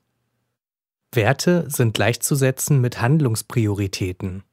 Sie werden von der Gemeinschaft respektiert was jedoch nicht heißt, dass allgemein und ständig daran festgehalten wird. Die wichtigsten Werte der Deutschen sind laut einer Umfrage von Kochanek 2007 Ehrlichkeit, Familie und Gerechtigkeit. Durch Interviews und Studien gewinnen Forscher wertvolle Einblicke in die Wertestruktur unterschiedlicher Kulturen. Beispiel entnommen aus Ferraro 2006 unterschiedliche Werte. Robert Schubert, ein internationaler Vertriebsmann mit beachtlicher Erfahrung im Mittleren Osten, wurde von einem großen Automobilkonzern als Repräsentant für einige Länder im Persischen Golf eingestellt. Nachdem er von einem gemeinsamen Bekannten in die Geschäfte eingeführt worden war, hat Robert ein Treffen mit Mr. Badran, einem wohlhabenden libanesischen Industriellen, um die Chancen auf ein Joint Venture zwischen den beiden Unternehmen zu besprechen. Da er viele Jahre im Mittleren Osten verbracht hatte, wusste er, dass zuerst ein umfangreicher Smalltalk zu halten war, bevor sie zum Geschäft kommen konnten. Sie sprachen über das Wetter, Roberts Flug und über das Golfspiel. Dann fragte Badran nach der Gesundheit von Roberts Vater. Robert antwortete, dass es seinem Vater ganz gut ginge, dass er jedoch, als er ihn das letzte Mal vor drei Monaten im Altenheim besucht hatte, an Gewicht verloren hatte. Ab diesem Zeitpunkt veränderte sich Badrans Verhalten schlagartig von warm nach kühl und distanziert. Der Ton blieb zwar herzlich, aber das Treffen dauerte nur noch zwei Stunden und Robert wurde nicht wieder eingeladen, um die Idee eines Joint Ventures weiter zu diskutieren. Obwohl Robert dachte, er hätte eine direkte Antwort auf eine eher oberflächliche Frage gegeben, machte seine Antwort ihn für Badran zu einem unangenehmen Geschäftspartner, da er gegen fundamentale Werte seiner Kultur verstieß. Da Badran aus einer Gesellschaft kommt, in der ein enges Verhältnis zur Familie sehr wichtig ist, empfand er die Idee, seinen alternden Vater bei völlig fremden Personen in einem Heim zu lassen, als unmenschlich. Er dachte wohl, wenn Robert nicht einmal seinen wichtigsten Verpflichtungen gegenüber Familienmitgliedern nachkam, wie kann man ihm dann zutrauen, seine Verpflichtungen gegenüber Geschäftspartnern zu erfüllen? Beispiel Ende. Dritte Ebene. Die dritte und tiefste Ebene besteht aus grundlegenden Annahmen und Standardisierungen.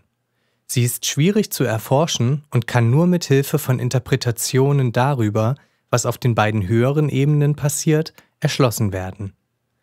Interpretation beinhaltet einen Erklärungsversuch darüber, warum wir nach bestimmten Regeln oder im Einklang mit bestimmten Werten handeln. Siehe Bro-Race und Price 2008. Nur über die Verknüpfung der drei Ebenen kann Kultur von einer Generation an die nächste weitergegeben werden. Junge Menschen werden im Rahmen ihrer Sozialisation mit den Werten ihrer Gemeinschaft vertraut gemacht, indem die Denkweisen artikuliert, in Handlungen veranschaulicht und in den Medien dargestellt werden. Definition Kulturstandards sind Arten des Wahrnehmens, Denkens, Wertens und Handelns, die von der Mehrzahl der Mitglieder einer bestimmten Kultur für sich und andere als normal, typisch und verbindlich angesehen werden. Eigenes und fremdes Verhalten wird auf Basis dieser Kulturstandards beurteilt und reguliert. Definition Ende. Thomas 2005 versteht unter Kulturstandards ein für die Angehörigen einer Kultur gültiges und sinnstiftendes Orientierungssystem. Einen Vergleich deutscher, chinesischer und US-amerikanischer Kulturstandards in verschiedenen Bereichen bietet Tabelle 9.1 im gedruckten Buch. Funktion Auf der zweiten und dritten Ebene des Ozeanmodells übernimmt Kultur die Funktion Identitätsstiftung und Sozialisation neuer Mitglieder. Identitätsstiftung Die Identität jedes Individuums ist zu einem beträchtlichen Grad durch dessen kulturelle Herkunft geprägt. Wenngleich jedes Individuum die kulturellen Einflüsse in eigener Weise verarbeitet, so stiftet Kultur Sinn, da sie den Handlungsweisen von Individuen eine tiefere Bedeutung zuweist. Bei der Identitätsentwicklung handelt es sich um einen lebenslangen Prozess, da Identität das Individuum erst interaktionsfähig macht, in jeder Interaktion die Identität jedoch neu ausgehandelt wird. Kultur vermittelt hier eine Einheit nach innen und schafft eine Grenze gegenüber anderen sozialen Gruppierungen. Die kulturelle Prägung ist dem Individuum so lange nicht bewusst, bis es auf Angehörige fremder Kulturen trifft. Kulturelle Standardisierung Kultur umfasst Standardisierungen, die in Gemeinschaften gelten. Sie dienen der Komplexitätsreduktion, da Handlungen, die komplexe Ursachen und Wirkungen haben, durch einen kulturellen Filter leichter verständlich und kanalisiert werden. Siehe dazu Kutschka und Schmid 2006. Folgende Bereiche der kulturellen Standardisierung können unterschieden werden. Erstens. Standardisierung der Kommunikation. Dies bezieht sich sowohl auf die nonverbale Kommunikation, das heißt Körpersprache, als auch auf die gesprochene Sprache. So bilden sich kulturelle Codes heraus, die je nach Wichtigkeit des Subjektes eine Ausdifferenzierung der Bezeichnungen ermöglichen. Nomaden haben beispielsweise über 200 Worte für Sand. Für sie ist es lebenswichtig, zum Beispiel zwischen Sandsturm, Treibsand oder feinem Sand zu unterscheiden. Für uns sind dies hingegen lediglich Synonyme für Sand. Siehe dazu Finkenzeller 2002. Zweitens. Standardisierung des Denkens. Wirklichkeitsdeutungen, Urteile sowie Ansichten über alltägliche Dinge sind kulturell vorgeprägt. Sie reduzieren Komplexität, damit wir die vielfältigen, auf uns einströmenden Eindrücke einordnen und verarbeiten können. So existieren über jede Kultur sogenannte Nationalstereotype, die das Verhalten der fremden Kultur ausgehend von den eigenkulturellen Normen bewertet. Die fünf meistgenannten Assoziationen von Mitgliedern anderer Nationen zu Deutschland nach Bolton 2006 sind Bier, Hitler, Autos, Fußball, Berlin. Zudem gelten Deutsche als pünktlich und ordentlich. Drittens. Standardisierung des Empfindens. Gefühle werden erst im Prozess der Sozialisierung herausgebildet. So ist etwa Lächeln nicht in jeder Kultur nur ein Reflex des körperlichen Wohlbefindens. In Japan ist es zum Beispiel ein Gesetz der Etikette. Wenn eine japanische Haushälterin ihre Chefin lächelnd fragt, ob sie zum Begräbnis ihres Mannes gehen könne, zurückkommt und wiederum lächelnd die Urne ihres eingeäscherten Mannes zeigt, dann mag dieses Lächeln westlichen Kulturen leicht paradox erscheinen. Für Japaner, die Wut oder Schmerz selten öffentlich zeigen, bedeutet es, ich behalte meinen Schmerz für mich. Ich möchte niemanden verpflichten, daran teilzuhaben. Viertens. Standardisierung des Verhaltens und Handelns. Ritualisierte Verhaltensweisen zum Beispiel wie man sich begrüßt oder verabschiedet, sind in hohem Maße kulturabhängig. Hier eine kleine Anekdote von Finkenzeller 2002. Oliver Kahn wollte einfach nur nett sein. Passend zu seinem neuen freundlichen Image erwiderte der Torwart der deutschen Nationalelf die Begrüßung einer Japanerin bei der Ankunft in Miyazaki mit zwei Küsschen auf deren Wangen. Doch die junge Frau erstarrte vor Schreck und Scham. Übertragen auf die Konventionen der japanischen Gesellschaft, in der zwischenmenschlicher Körperkontakt in der Öffentlichkeit praktisch nicht vorkommt und sogar Händeschütteln Gänsehaut verursacht, hatte sie gerade auf offener Straße Sex mit einem Fremden gehabt. Durch die kulturell definierten und gelebten Verhaltensmaßstäbe wird die Interaktion unter Mitgliedern einer Gemeinschaft enorm erleichtert, da die Aushandlung von Verhaltensregeln entfällt. Diese Tatsache unterstützt die Stabilität des Systems, da sich alle Mitglieder auf einen bestimmten Kodex berufen können. Kultur und Wahrnehmung Nahezu alle Erwartungen der Interaktionspartner basieren nach heutigem Forschungsstand auf ihrem kulturellen Konditionierungsprozess. Siehe Martin und Nakayama 2010. Die Interaktionspartner filtern ihre Wahrnehmungen entsprechend und gehen davon aus, dass der Gesprächspartner eine ähnliche Wahrnehmung sowie ähnliche Denk- und Handlungsmuster wie sie selbst hat. Einige Tipps für Gespräche zwischen Angehörigen verschiedener Kulturen sind im WebEx-Kurs Merkmale eines guten Geschäftsgesprächs auf www.lehrbuch-psychologie.de zu finden.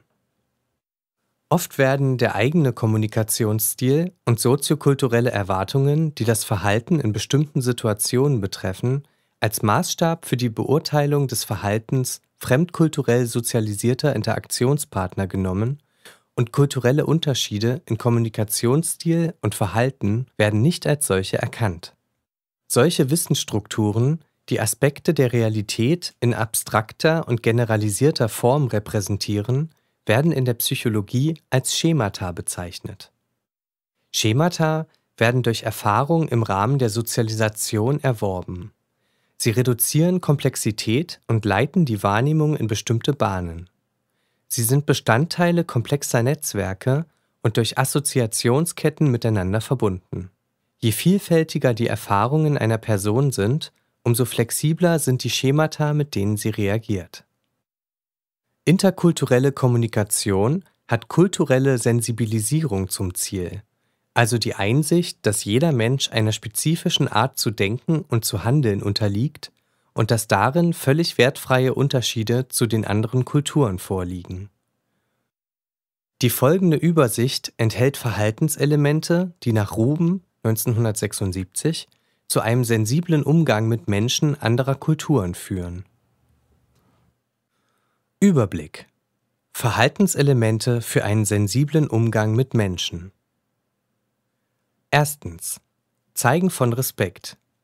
Die Fähigkeit, Respekt und positive Beachtung auszudrücken, überträgt dem Gesprächspartner Status und fördert umgekehrt positive Austauschbeziehungen. Zweitens. Interaktionshaltung. Die Fähigkeit, anderen auf eine verständnisvolle, nicht wertende Art und Weise zu begegnen, führt zu gegenseitiger Unterstützung, da sie Fürsorge für den Interaktionspartner signalisiert.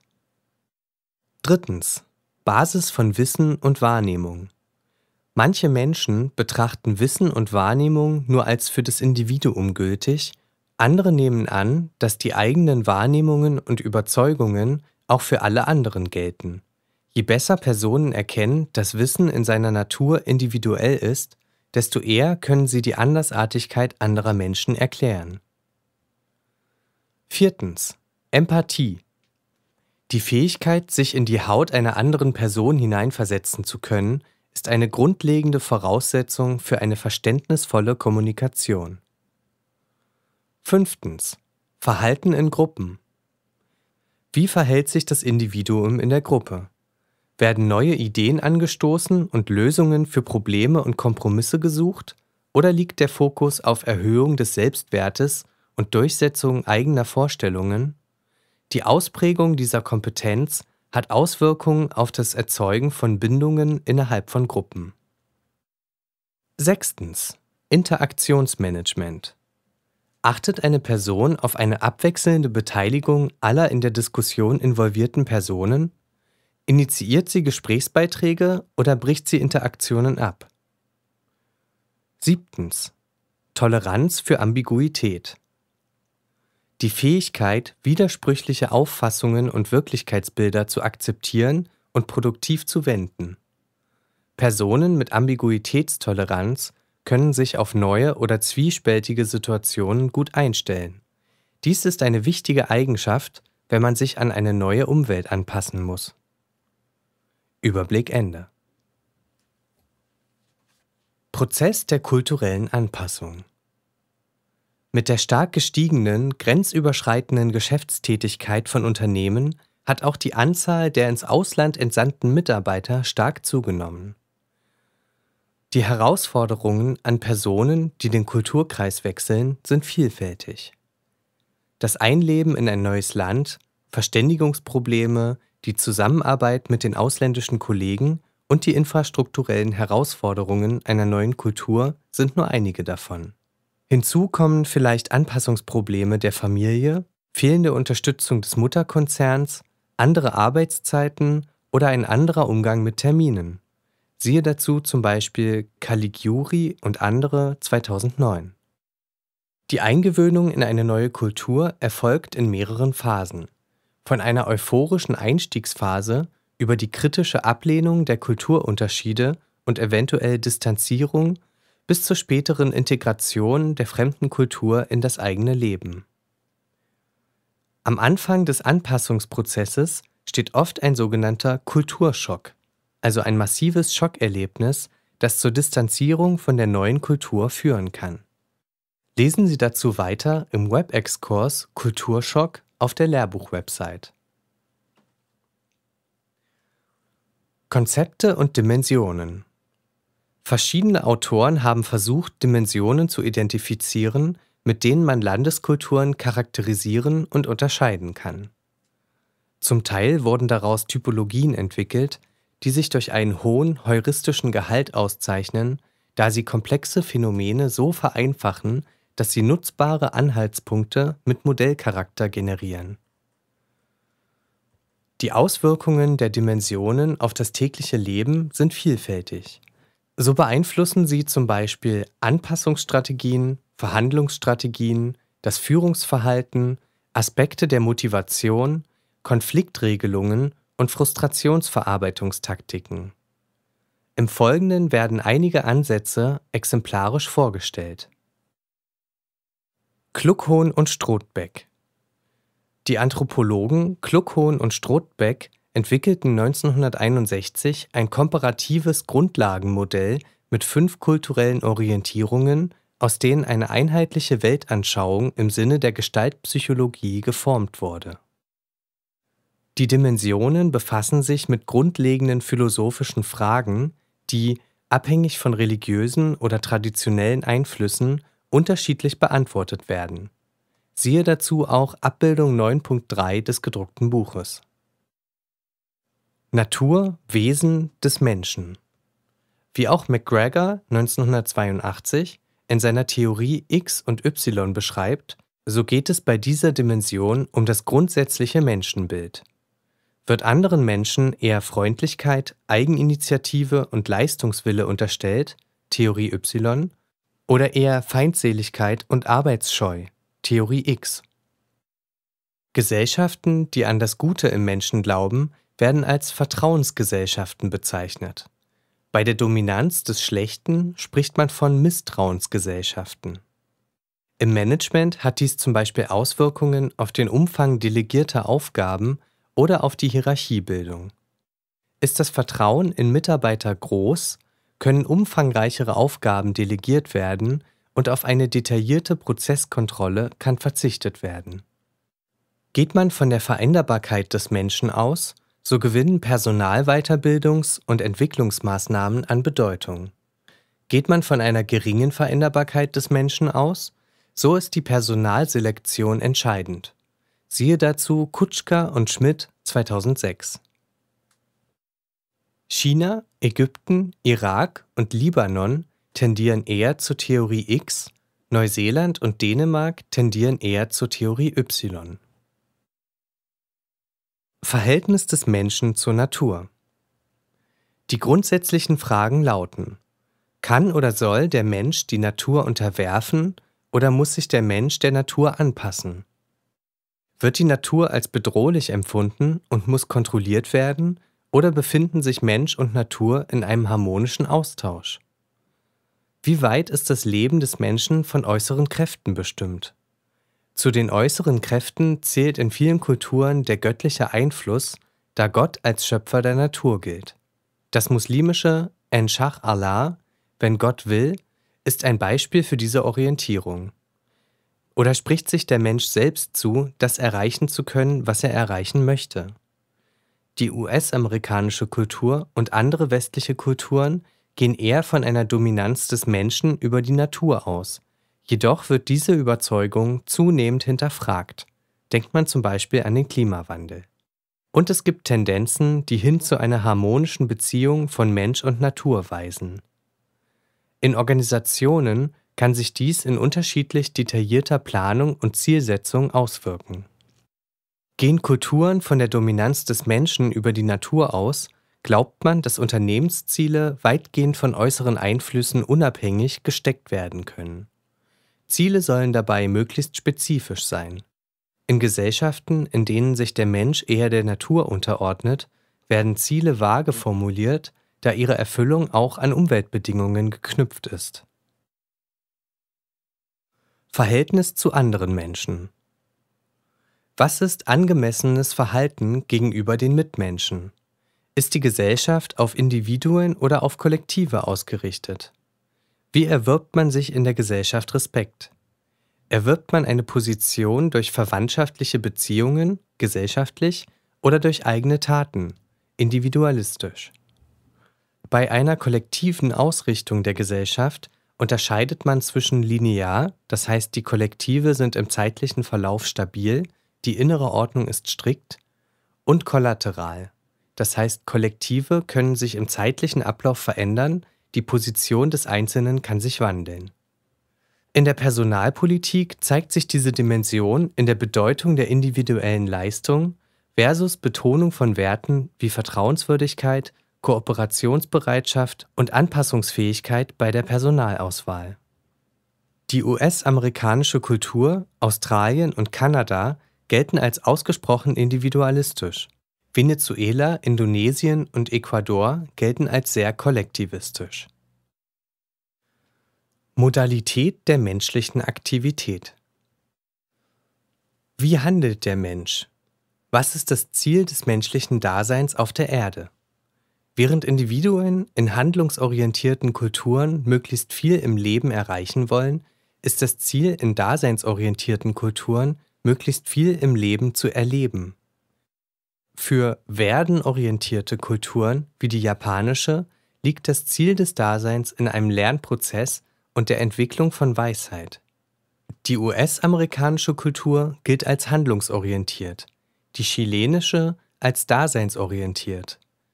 Trompenaas 2004 hat die Pole dieser Grundorientierung Statuszuschreibung, zum Beispiel durch Geburt, oder Statuserreichung, Erarbeiten, genannt und verweist damit auf den Hintergrund der Statuserreichung als Motivation leistungs- bzw. handlungsorientierter Gesellschaften.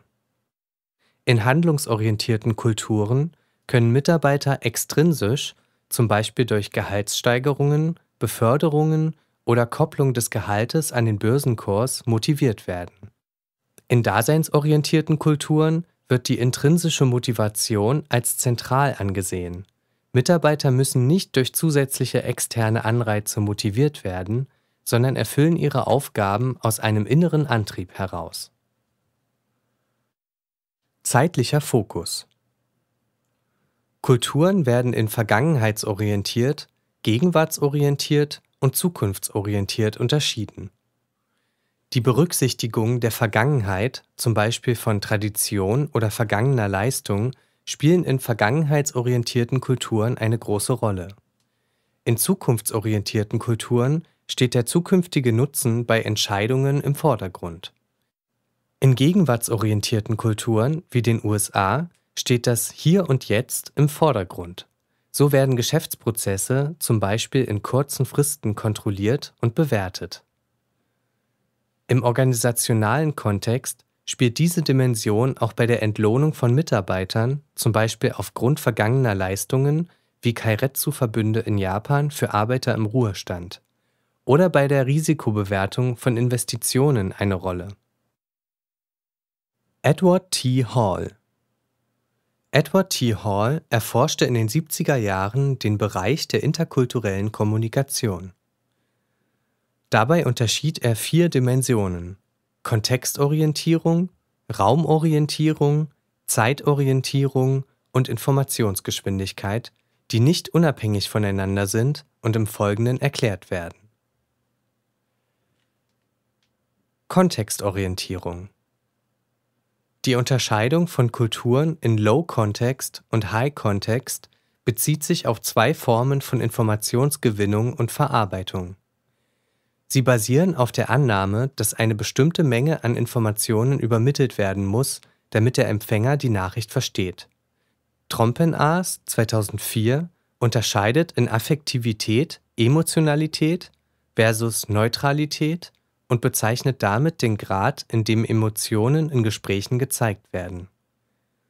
High-Kontext-Kulturen verschlüsseln die Emotionen eher, wohingegen Low-Kontext-Kulturen sie unverschlüsselt transportieren.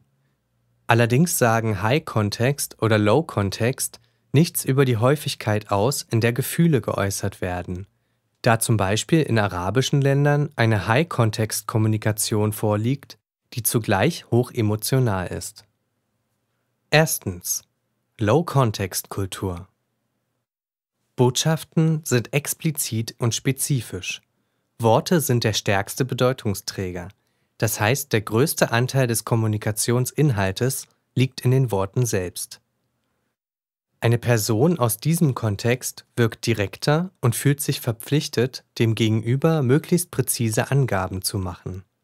Was gesagt wird, ist entscheidend. Beispielländer Nordeuropa, USA. Zweitens. High-Kontext-Kultur. Der verbale Teil der Botschaft enthält nicht den Hauptanteil des Kommunikationsinhaltes.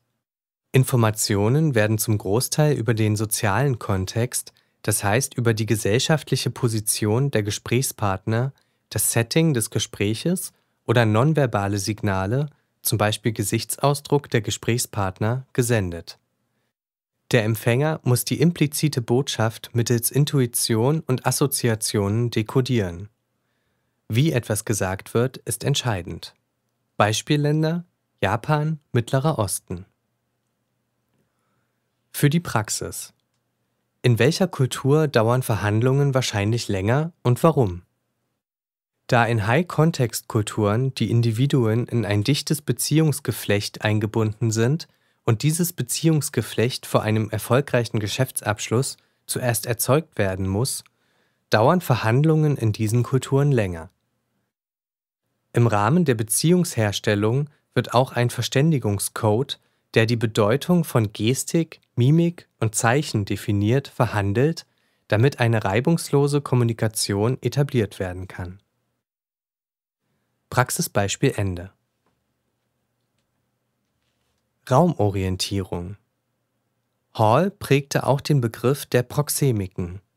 Damit sind die räumlichen Abstände zwischen Individuen gemeint, auch Distanzzonen genannt, die in einem persönlichen Gespräch als angenehm empfunden werden. Man unterscheidet die intime, die persönliche und die öffentliche Distanzzone, die sich je nach Vertrautheit zwischen den Personen auch verändern kann. Diese Abstände unterscheiden sich stark zwischen Personen unterschiedlicher Kulturen. Nordeuropäer beispielsweise bevorzugen eine weitere Körperdistanz als Südeuropäer, das heißt die private Distanzzone der Nordeuropäer beginnt früher. Eine falsche Distanz wird oft missverstanden. Ist sie zu groß, unterstellt man eher mangelndes Vertrauen, ist sie zu klein, empfindet man dies als Aufdringlichkeit. Zeitorientierung Hall bezeichnet die beiden Pole der Zeitorientierung als monochrone bzw. polychrone Zeitauffassung. Monochrone Kulturen sehen Zeit als linearen Strahl, auf dem Vergangenheit, Gegenwart und Zukunft angeordnet sind und Ereignisse nacheinander abfolgen.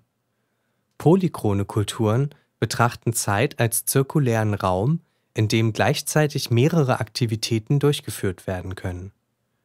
Häufig fällt eine High-Context-Orientierung mit einer polychronen Zeitauffassung und eine Low-Context-Orientierung mit einer monochronen Zeitauffassung zusammen.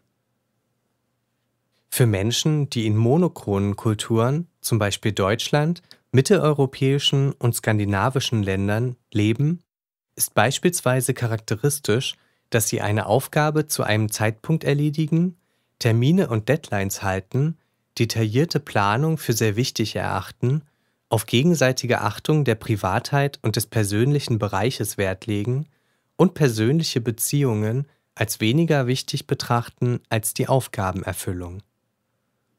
Menschen in polychronen Kulturen, zum Beispiel lateinamerikanische, arabische und mediterrane Länder, dagegen erledigen eher mehrere Aufgaben gleichzeitig, lassen sich schnell ablenken sehen Termine und Pläne eher als soll denn als muss, legen Wert auf langfristige Beziehungen und menschliche Verbindungen und verändern Pläne häufig. Informationsgeschwindigkeit Je nach Kultur werden Informationen unterschiedlich schnell kodiert und dekodiert, und es werden unterschiedlich schnell zu verarbeitende Informationen bevorzugt. In Kulturen mit einer hohen Informationsverarbeitungsgeschwindigkeit wird Wert auf einen schnellen Überblick gelegt. Daher werden Stichpunkte, Übersichtsgrafiken sowie kurze, prägnante Überschriften, die den Kern der Sache erfassen, jedoch eventuell Details vernachlässigen, bevorzugt.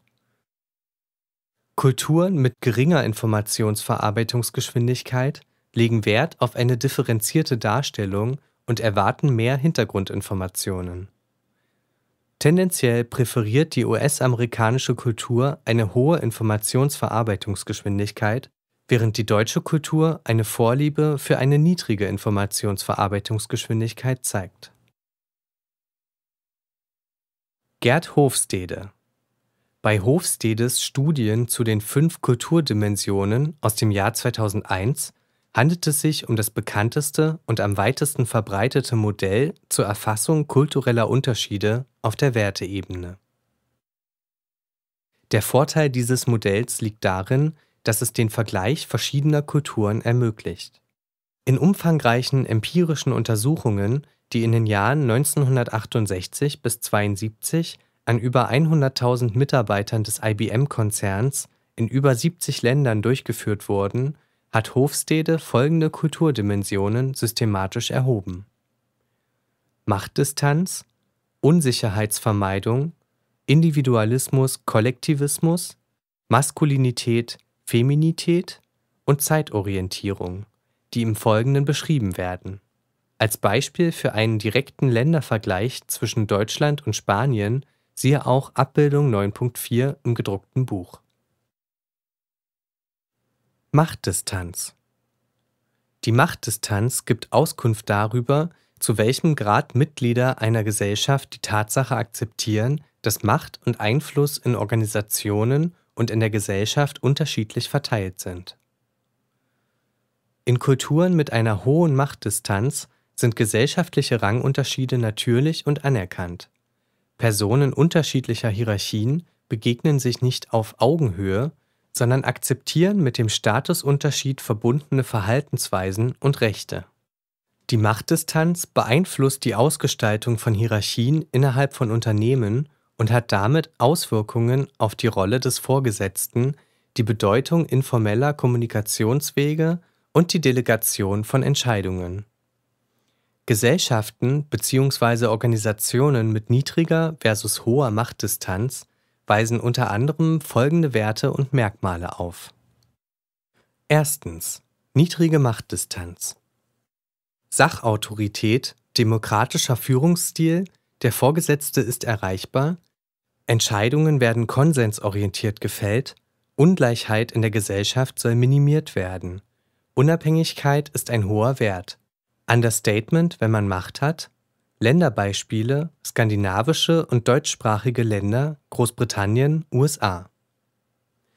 Zweitens. Hohe Machtdistanz.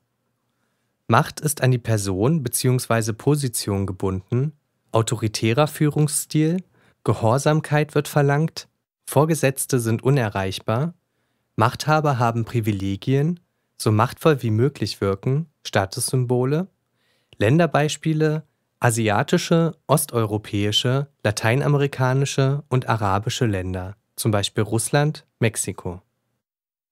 Unsicherheitsvermeidung.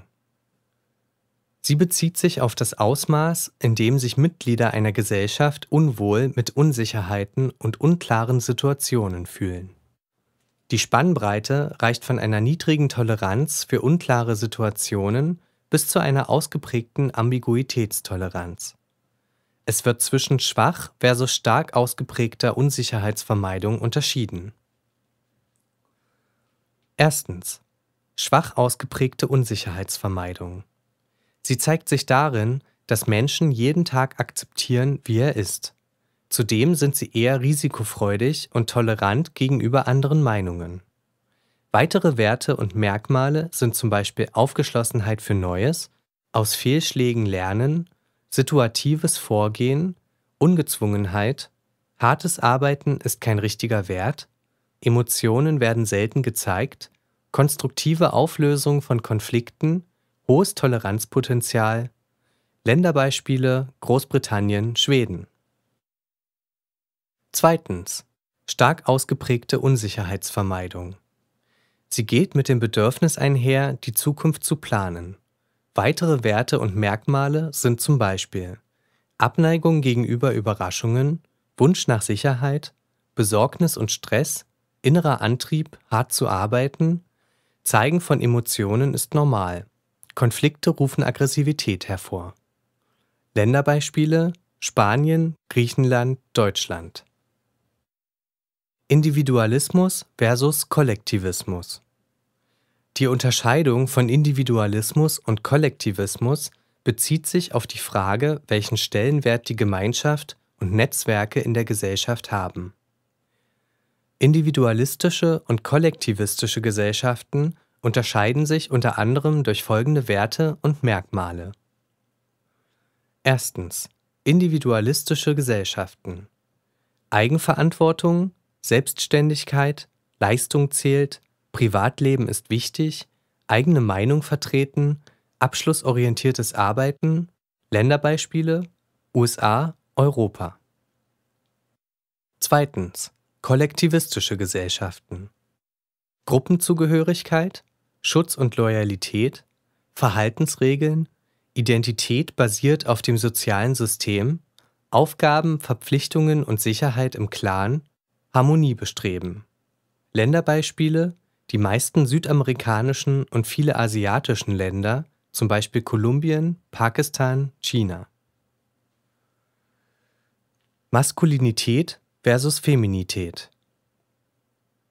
Die beiden Dimensionen beziehen sich auf die Abgrenzung der Geschlechterrollen. Bei einer deutlichen Abgrenzung wird erwartet, dass Männer durchsetzungsstark und dominant und Frauen sensibel und zurückhaltend sind. Gesellschaften und Kulturen mit deutlicher Abgrenzung gelten als maskulin und karriereorientiert. In femininen, lebensqualitätsorientierten Kulturen unterscheiden sich hingegen Rollen von Männern und Frauen weniger, zudem sind beide Geschlechter insgesamt kooperativer. Charakteristisch für maskuline Kulturen ist unter anderem Leben, um zu arbeiten, Leistung zählt, Ehrgeiz als Motivation, Männer dominieren in der Gesellschaft, Geld und Sachwerte sind wichtig. Länderbeispiele Japan, Österreich, Mexiko. Charakteristisch für feminine Kulturen ist unter anderem Arbeiten um zu leben, Interdependenz und Verflechtungen, genussorientiert, Gleichberechtigung ist ein Ziel, laissez-faire, sozialer Aspekt von Meetings. Länderbeispiele Spanien, Taiwan, Holland, skandinavische Länder.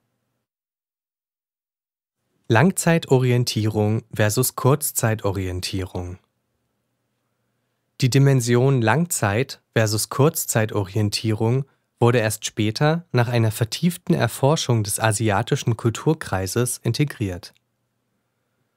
Charakteristische Merkmale und Werte in Kulturen und Organisationen sind unter anderem Erstens Langzeitorientierung Aktivitäten und Tugenden, die darauf ausgerichtet sind, den Erfolg in der Zukunft sicherzustellen, zum Beispiel Beharrlichkeit, Sparsamkeit, Ehrlichkeit, Anpassungsfähigkeit, Selbstdisziplin und Respekt für Mitmenschen, um Gesichtsverlust zu vermeiden.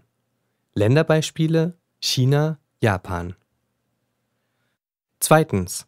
Kurzzeitorientierung. Freiheit, Leistung, selbstständiges Denken. Länderbeispiele Afrika, Pakistan, tendenziell auch Europa, USA. Beispiel Entnommen aus Ferraro 2006 Verstoß gegen hohe Unsicherheitsvermeidung und kollektivistische Werte. Ein US-amerikanischer Sportzubehörhersteller wollte die Möglichkeiten eines Joint Venture mit einer japanischen Firma besprechen. Abgesandte beider Firmen trafen sich in San Francisco, um die Details der möglichen Kooperation zu klären. Man nahm am Konferenztisch Platz, wobei die amerikanischen Repräsentanten ihre Jacketts auszogen, die Hemdärmel hochkrempelten und einer sagte, da wir nun für mehrere Tage zusammenarbeiten werden, sollten wir uns besser kennenlernen. Mein Name ist Harry. Und wie heißen Sie? Die Kooperation fand niemals statt. Warum? Den Amerikanern unterliefen bei ihrem Versuch, ihr Geschäftsinteresse zu verdeutlichen, zwei kulturelle Fehler. Erstens wurde die Geste, das Hochkrempeln der Hemdärmel, der Amerikaner, dass sie zu harter Zusammenarbeit bereit sind, missverstanden. Denn Japaner sind wesentlich formeller in ihrer Art, sich bei Geschäftsangelegenheiten zu kleiden und verstanden daher das Ablegen der Jacketts als unprofessionellen Bruch mit der Etikette. Dass es so viele Regeln und Etikette gibt, ist unter anderem auf die hohe Unsicherheitsvermeidung der japanischen Kultur zurückzuführen. Der zweite Fauxpas basierte auf Harrys Einladung, das Du einzuführen. Obwohl Harry lediglich daran interessiert war, die Arbeitsbeziehung zu verbessern, vergaß er, dass japanische Geschäftsbeziehungen auf einer strikten Hierarchieordnung beruhen. Hierarchie und Kollektivismus hängen so zusammen, dass in kollektivistischen Kulturen eine geringe Distanz zur In-Group, jedoch eine große Distanz zur Out-Group, in diesem Beispiel Harry, besteht. In den Augen der Japaner war sein Angebot inakzeptabel hinsichtlich Formalität und Respekt gegenüber der Stellung der Verhandlungspartner. Abschnitt 9.2 Anwendungsfelder im organisationalen Kontext um im interkulturellen Umfeld agieren zu können, gilt interkulturelle Kompetenz als Grundvoraussetzung oder zu schaffende Bedingung. Der Begriff interkulturell impliziert die Bezugnahme von Kulturen aufeinander, wobei Gemeinsamkeiten und Unterschiede der Ursprungskulturen berücksichtigt und neue Elemente integriert werden. Interkulturalität beinhaltet laut Prechtel 2009 somit einen Verständigungswillen, der die prinzipielle Gleichberechtigung der Kulturen voraussetzt. Exkurs Interkulturelle Kompetenz Interkulturelle Kompetenz umfasst Wissen, Wollen und Können, mit Menschen aus anderen Kulturen erfolgreich zu kommunizieren und zu interagieren. Nach Erl und Gimnich 2007 lässt sich interkulturelle Kompetenz in drei Teilkomponenten aufteilen. Erstens affektive Kompetenz. Interesse und Aufgeschlossenheit gegenüber anderen Kulturen, Empathie, die Fähigkeit des Fremdverstehens, Ambiguitätstoleranz, Frustrationstoleranz und Vorurteilsfreiheit. Zweitens. Kognitive Kompetenz.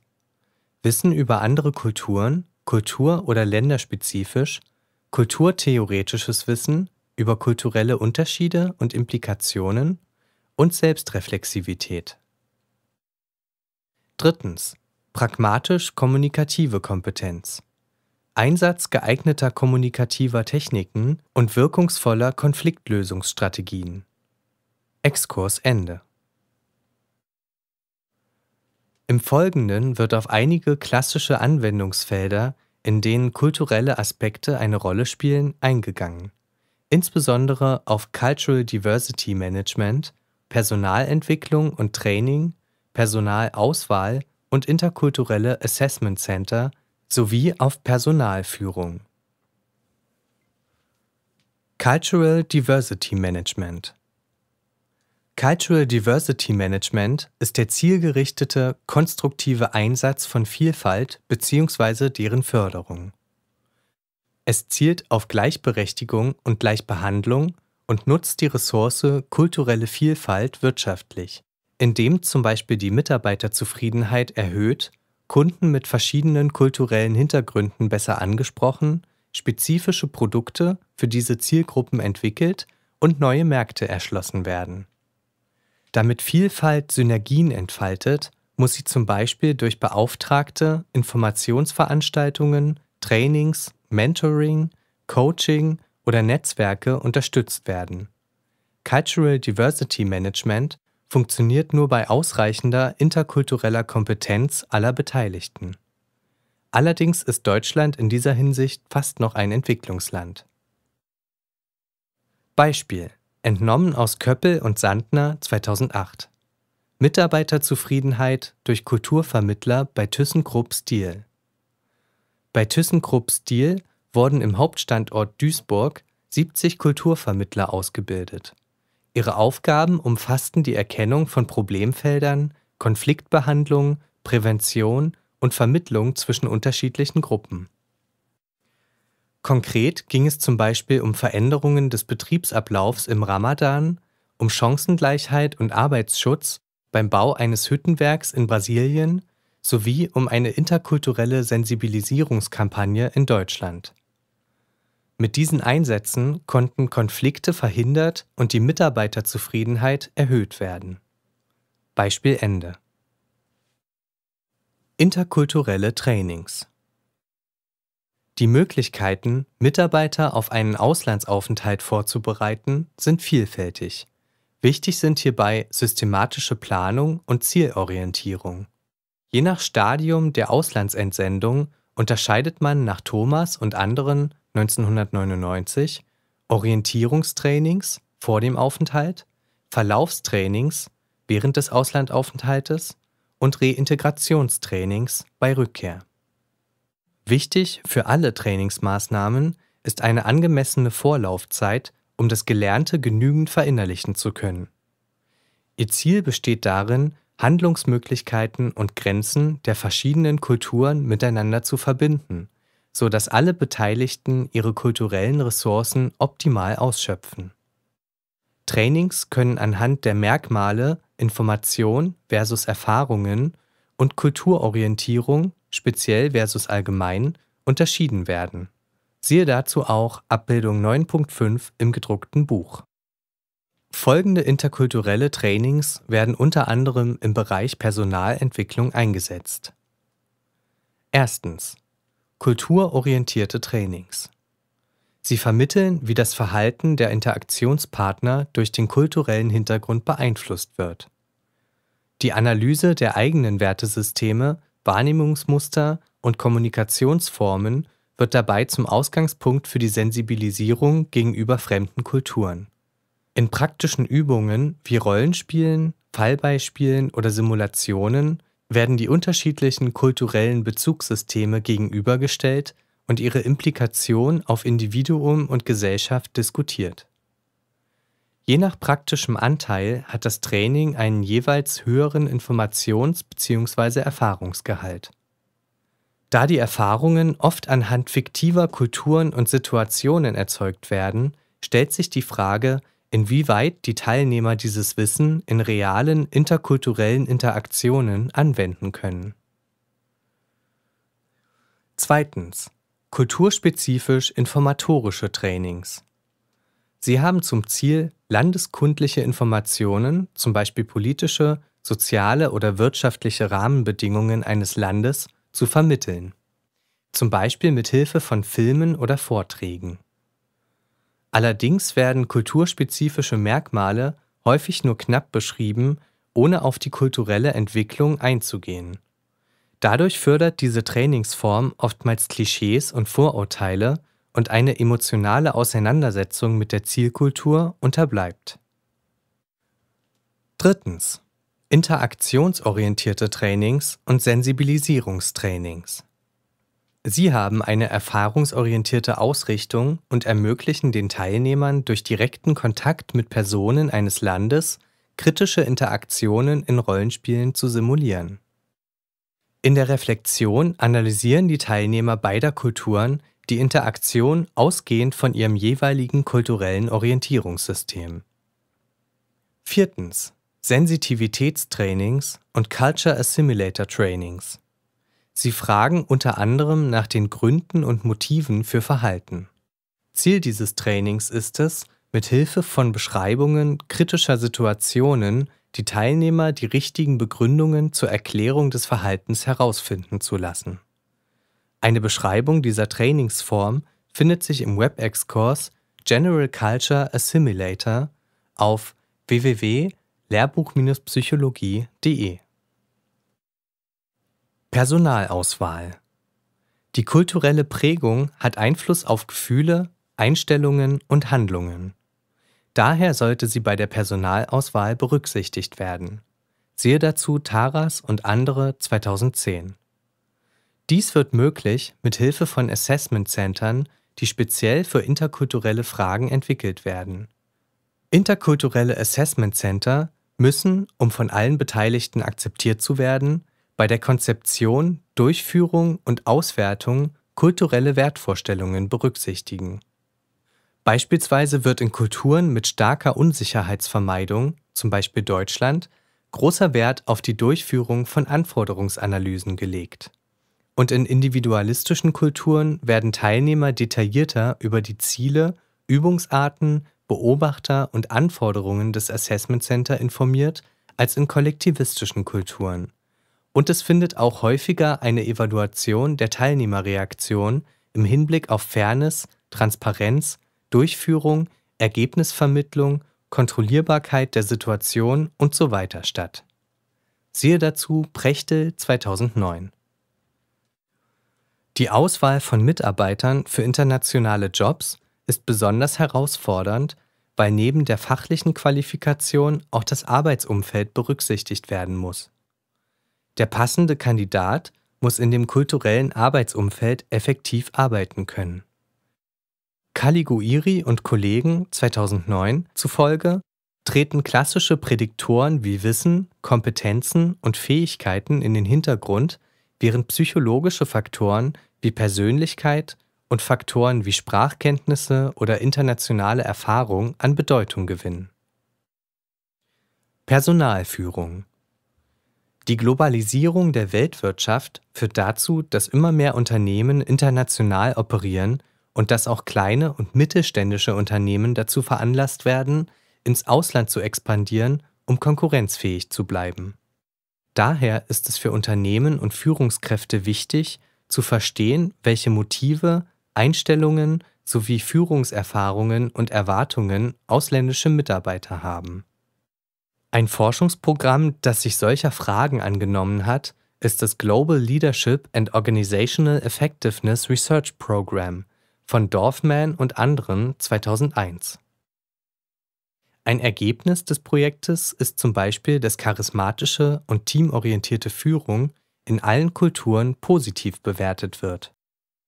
Kapitel 10 Arbeitszufriedenheit und Arbeitsmotivation von Simone Kauffeld und Carsten C. Schermuli Fallbeispiel Marianne Kopf arbeitet seit drei Jahren in einer großen Werbeagentur in Berlin.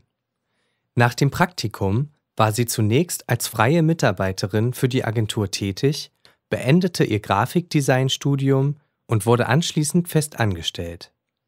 Da sie bereits auf mehrere Jahre Erfahrung in der Agentur zurückblicken konnte, erhoffte sie sich, schon bald in Projekten mit größerem Verantwortungsbereich eingesetzt zu werden.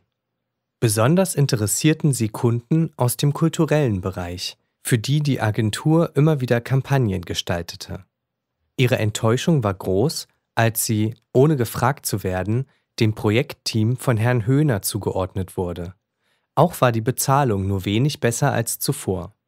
Das Team von Herrn Höhner begleitete ein Werbeprojekt für einen amerikanischen Motorenölhersteller, der sich auf dem deutschen Markt bekannt machen wollte. Herr Höhner ist in der Agentur als harter Hund bekannt. Aufträge müssen termingerecht bei ihm eintreffen und jede Änderung eines Entwurfs muss von ihm genehmigt werden. Zudem nimmt er sich heraus, ohne Absprache mit seinen Mitarbeitern Änderungen an den Entwürfen vorzunehmen und an die Kunden zu schicken. Zunächst redete sich Frau Kopf ein, dass Herr Höhner nur bei diesem sehr wichtigen Projekt das besagte Verhalten zeigen würde. Auch war sie sich sicher, dass ihr nächstes Projekt kulturell geprägt sei, denn sie langweilte sich bei der Bearbeitung ihrer Aufträge sehr. Die Wünsche von Frau Kopf gingen nicht in Erfüllung. Sie musste erneut mit Herrn Höhner zusammenarbeiten und machte ähnliche Erfahrungen. Sie versuchte daraufhin mit Herrn Höhner zu reden und nachdem dies fehlschlug, versuchte sie in ein anderes Projekt zu wechseln. Auch dies scheiterte, und daher muss sich Frau Kopf seit einigen Wochen überwinden, zur Arbeit zu gehen. Als sie letzte Woche die Nachricht erhielt, dass sie erneut mit Herrn Höhner in einem Projekt für einen österreichischen Düngemittelhersteller eingeteilt wurde, meldete sie sich erst einmal krank. Nach dem Arztbesuch sucht sie auf verschiedenen Internetseiten nach neuen Jobs. Fallbeispiel Ende. Abschnitt 10.1 Arbeitszufriedenheit Konstrukt der Arbeitszufriedenheit Die Arbeitszufriedenheit ist das Konstrukt der Arbeits- und Organisationspsychologie, welches womöglich die intensivste Erforschung erfahren hat. Siehe dazu Nerdinger und andere 2011. Für die Untersuchung und das Anstreben von Arbeitszufriedenheit gibt es verschiedene Gründe. Da Arbeit einen großen Teil des Tages und somit der gesamten Lebenszeit einnimmt, scheint es aus ethischen und humanitären Gründen erstrebenswert, dass Beschäftigte Zufriedenheit bei ihren beruflichen Tätigkeiten erleben. Arbeitszufriedenheit kann somit als eigenständiges humanitäres Ziel zur Steigerung der Lebensqualität aufgefasst werden. Weiterhin kann Arbeitszufriedenheit als Mittel für die Erreichung anderer Organisationsziele verstanden werden. So kann Arbeitszufriedenheit in Organisationen angestrebt werden, um Fehlzeiten oder die Fluktuation zu begrenzen oder die Arbeitsleistung zu steigern. Drittens kann Arbeitszufriedenheit als gesellschaftliches Ziel begriffen werden, um über Arbeitszufriedenheit auch Akzeptanz für das vorherrschende Wirtschafts- und Gesellschaftssystem zu schaffen. Bei vielen Aufständen in unterschiedlichen Ländern und Zeiten tritt die Unzufriedenheit mit den Arbeitsbedingungen als wichtiger auslösender Faktor hervor. Zum Beispiel die Unzufriedenheit der Arbeitnehmer über die Erhöhung der Arbeitsnormen am 17. Juni 1953 in der DDR.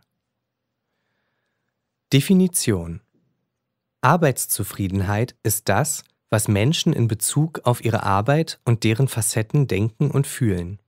Es ist das Ausmaß, in dem Menschen ihre Arbeit mögen, Zufriedenheit, oder nicht mögen, Unzufriedenheit. Definition Ende. Dabei wird zumeist zwischen einer globalen Arbeitszufriedenheit und verschiedenen Facetten der Arbeitszufriedenheit unterschieden. Siehe zum Beispiel von Rosenstiel 2003. Die Aufteilung in Facetten wird damit begründet, dass auch die Arbeitssituation von Arbeitnehmern vielschichtig und komplex ist. Wenn wir uns das Beispiel von Frau Kopf vergegenwärtigen, so war diese unzufrieden mit den Inhalten ihrer Tätigkeit. Gerne hätte sie Werbung für Kultureinrichtungen statt für Düngemittel gemacht. Darüber hinaus war sie unzufrieden mit ihrem Vorgesetzten. Weitere Facetten der Arbeitszufriedenheit sind unter anderem die Bezahlung, die Kollegen oder die Aufstiegsmöglichkeiten. Ein Mitarbeiter kann beispielsweise mit seiner Bezahlung zufrieden sein und gleichzeitig mit seinen Arbeitsinhalten unzufrieden. Untersucht man, welchen Einfluss die einzelnen Facetten auf die allgemeine Arbeitszufriedenheit besitzen, so zeigt sich, dass die Zufriedenheit mit der Bezahlung sowie die Zufriedenheit mit dem Arbeitsinhalt und den Vorgesetzten den Gesamteindruck am stärksten beeinflussen. Siehe Felfe 2009. Messung der Arbeitszufriedenheit Untersucht man die Arbeitszufriedenheit in Organisationen, so wird sie entweder als globales Maß, zum Beispiel mit einem einzelnen Item wie wie zufrieden sind sie mit ihrer Arbeit im Allgemeinen oder in Facetten gemessen. Englischsprachige Instrumente sind zum Beispiel der Job Descriptive Index von Smith und anderen 1969 oder das Job Satisfaction Survey von Spector 1985. In deutscher Sprache können zum Beispiel die Skala zur Messung der allgemeinen Zufriedenheit von Fischer und Lück 1972 oder der Arbeitsbeschreibungsbogen von Neuberger und Allerbeck 1978 genutzt werden. Der Arbeitsbeschreibungsbogen ist eine deutschsprachige Version des Job Descriptive Index.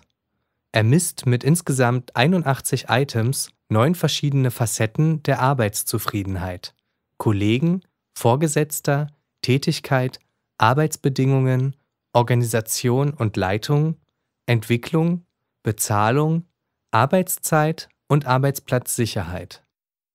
Dabei werden die Mitarbeiter gebeten, auf einer vierstufigen Skala zum Beispiel ihre Kollegen bezüglich folgender Adjektive einzuschätzen: stur, hilfsbereit, zerstritten, sympathisch, unfähig, guter Zusammenhalt, faul und angenehm. Die Variablen Arbeitszeit und Arbeitssicherheit werden mit jeweils nur einem Item gemessen. Bin mit der Einteilung der Arbeitszeit zufrieden, beziehungsweise die Gefahr, meinen Arbeitsplatz zu verlieren, ist hoch. Der Arbeitsbeschreibungsbogen hat sich in einer Vielzahl von Untersuchungen als reliables und valides Instrument erwiesen. Dennoch bestehen laut Kirchler und Hölzel 2011 verschiedene Probleme bei der Messung des Arbeitszufriedenheitskonstrukts. Das Problem der Selektion. Entscheidet man sich dafür, die Arbeitszufriedenheit in Facetten zu messen, dann müssen bestimmte Aspekte der Arbeitszufriedenheit ausgesucht werden.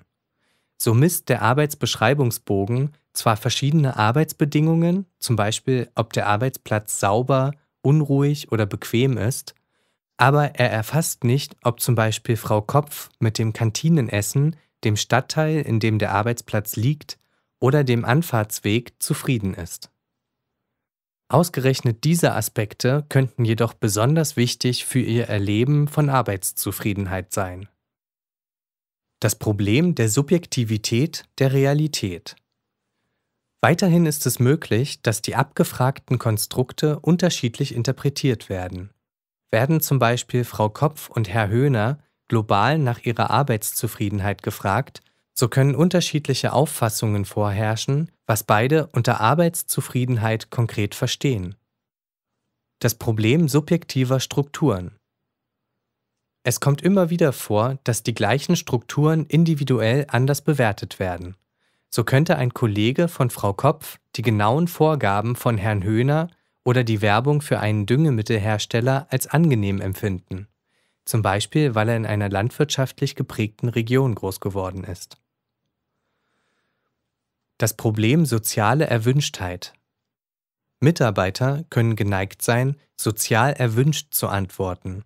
So kann Frau Kopf überzeugt sein, hohe Arbeitszufriedenheitswerte angeben zu müssen, da sie glaubt, dass ihre Agentur das von ihr wünscht.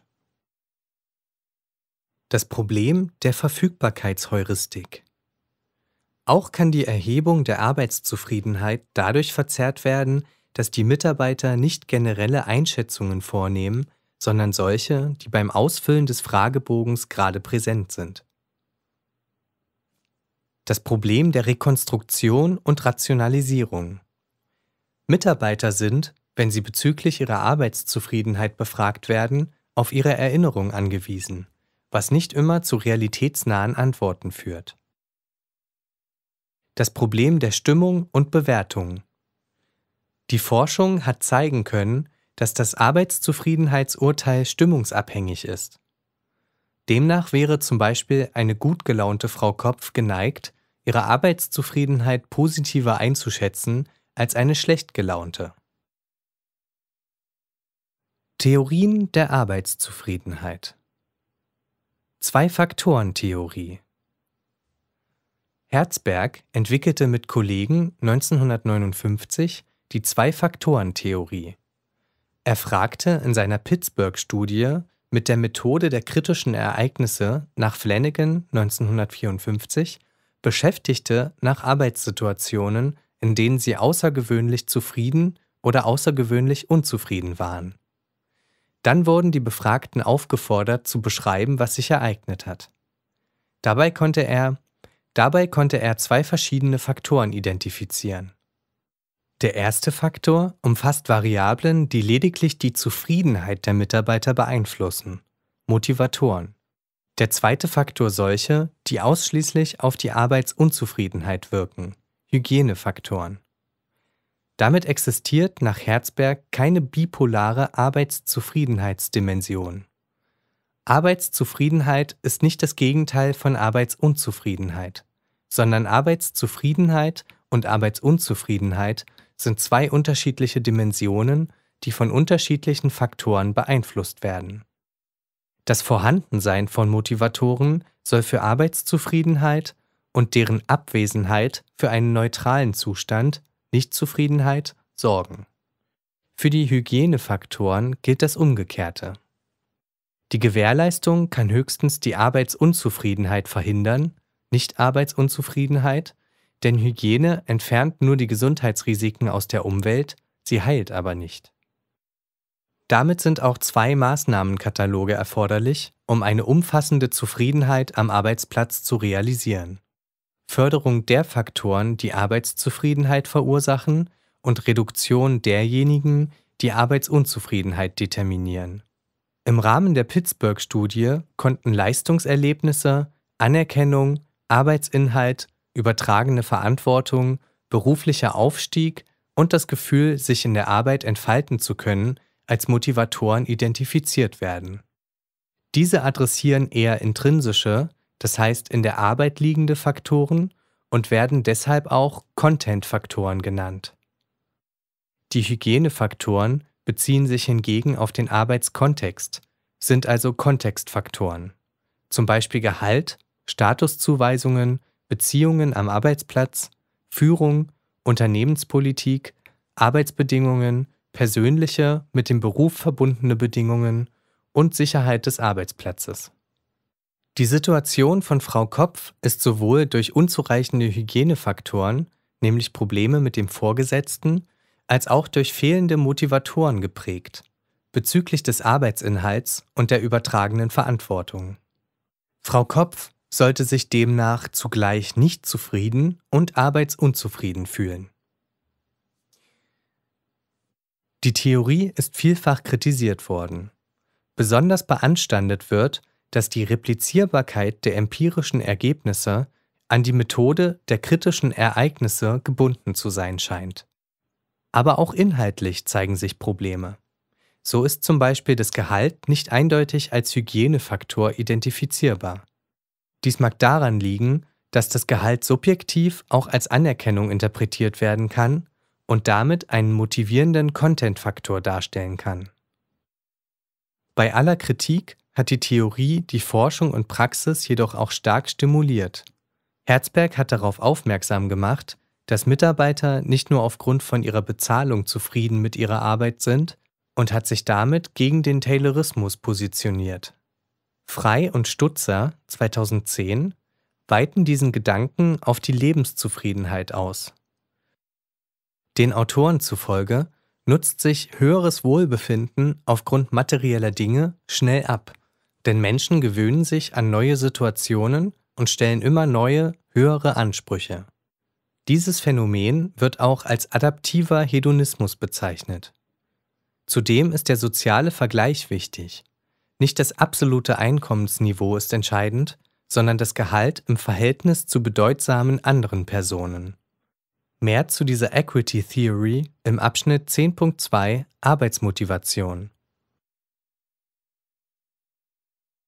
Züricher Modell der Arbeitszufriedenheit. Vergegenwärtigen wir uns noch einmal die Situation von Frau Kopf. Zunächst redete sie sich ein, dass Herr Höhner sich wahrscheinlich nur in diesem einen Projekt kontrollierend und rücksichtslos verhalten würde und dass ihr nächstes Projekt ein kulturelles sein wird. Als ihre Hoffnungen nicht erfüllt werden, versucht sie mit Herrn Höhner zu reden. Als bei der Einteilung der nächsten Projektgruppe erneut ihre Präferenzen keine Berücksichtigung erfahren, meldet sie sich krank und beginnt nach einem neuen Job zu suchen. An dem Fallbeispiel kann man deutlich erkennen, dass das Entstehen und der Umgang mit Arbeitszufriedenheit bzw. Unzufriedenheit nicht statisch, sondern dynamisch ist. Dies wird im Züricher Modell nach Bruggemann 1976 berücksichtigt. Siehe dazu auch Abbildung 10.1 des gedruckten Lehrbuches. Das Züricher Modell der Arbeitszufriedenheit postuliert verschiedene Formen von Arbeitszufriedenheit. Ausgangspunkt des Modells ist ein Vergleich zwischen den eigenen Bedürfnissen und Erwartungen, dem Soll, und deren tatsächlichen Realisierung in der Arbeitssituation, dem Ist. Kommt es zu einem negativen Ergebnis, besitzt der Mitarbeiter verschiedene Strategien, um diesen unangenehmen Zustand zu bewältigen. Diese werden Coping-Strategien genannt. Senkt er seine Ansprüche, so entsteht eine Art resignative Arbeitszufriedenheit. Nach dem Motto, im Großen und Ganzen bin ich zufrieden, es könnte ja noch schlimmer kommen. Behält er aber sein Anspruchsniveau bei, kann der Mitarbeiter entweder die Situationswahrnehmung verfälschen, indem er denkt, Herr Höhner ist gar nicht so schlimm, oder gar nichts tun und so in seinen Problemen stecken bleiben oder versuchen, die Situation zu ändern. Zum Beispiel, ich rede mit Herrn Höhner. Daraus resultieren jeweils weitere Formen der Arbeitszufriedenheit. Pseudo-Arbeitszufriedenheit, fixierte Arbeitsunzufriedenheit Konstruktive Arbeitsunzufriedenheit. Fällt der Soll-Ist-Vergleich positiv aus, so kann der Mitarbeiter sein Anspruchsniveau erhöhen oder beibehalten. Aus der Beibehaltung erfolgt eine stabilisierte Arbeitszufriedenheit und aus der Erhöhung eine progressive Arbeitszufriedenheit. Während bei der stabilisierten Arbeitszufriedenheit der Status quo erhalten werden soll, entstehen bei der progressiven Arbeitszufriedenheit neue Zielvorstellungen, die langfristig auch in einem negativen Ist-Soll-Vergleich resultieren können. Dieses primär kognitiv ausgerichtete Modell hat die Forschung vielfältig angeregt. Dass neben einer allgemeinen Zufriedenheit ein zweiter Faktor Resignation existiert, konnte von Semmer und Udris 2007 empirisch bestätigt werden. Die resignative Arbeitszufriedenheit kann potenziell helfen, widersprüchliche Forschungsergebnisse aufzuklären. So gibt zum Beispiel ein hoher Prozentsatz an Arbeitnehmern bei Befragungen an, zumindest ziemlich zufrieden zu sein. Zugleich geben jedoch viele dieser Personen an, ihren Beruf nicht noch einmal ergreifen zu wollen, wenn sie die Wahl hätten.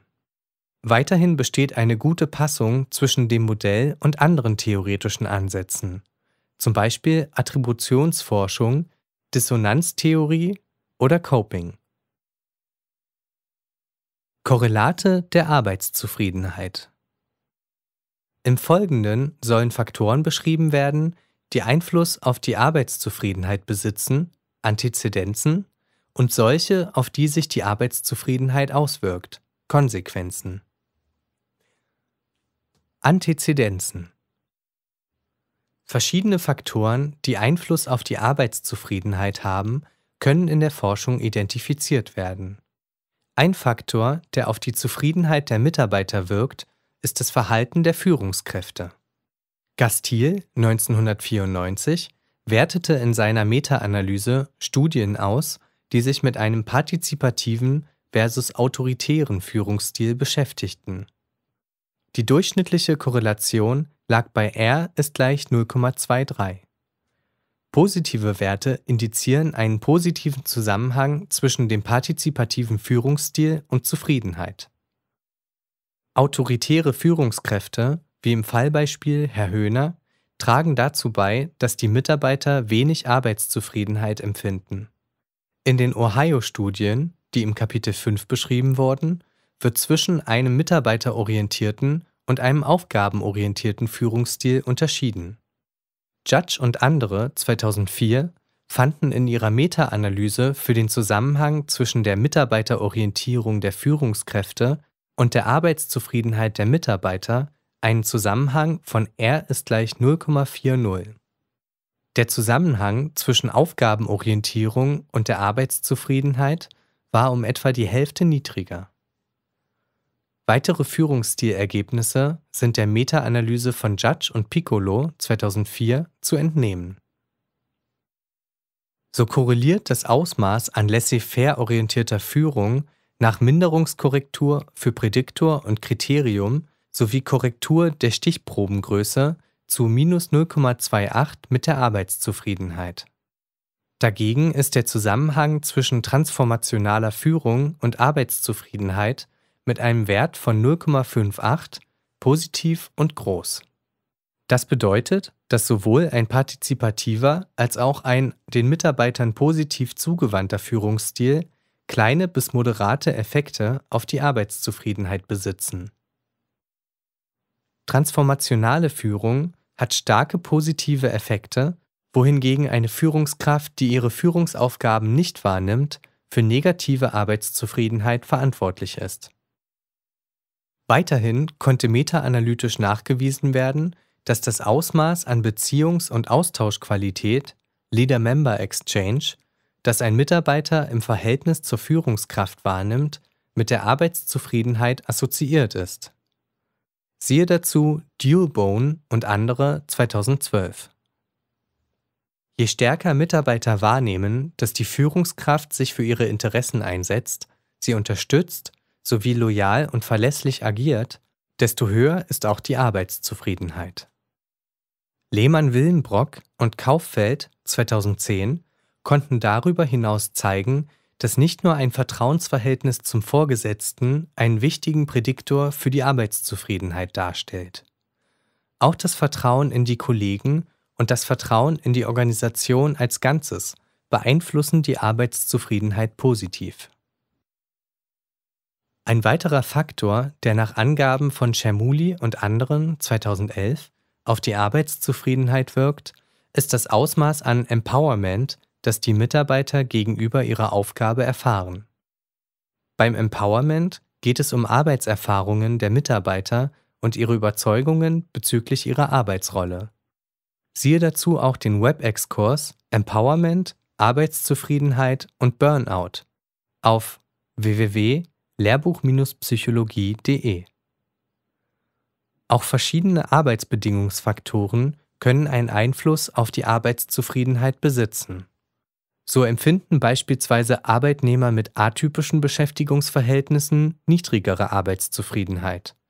Arbeitnehmer, die für eine Zeitarbeitsfirma arbeiten, sind laut der Ergebnisse einer Meta-Analyse besonders arbeitsunzufrieden.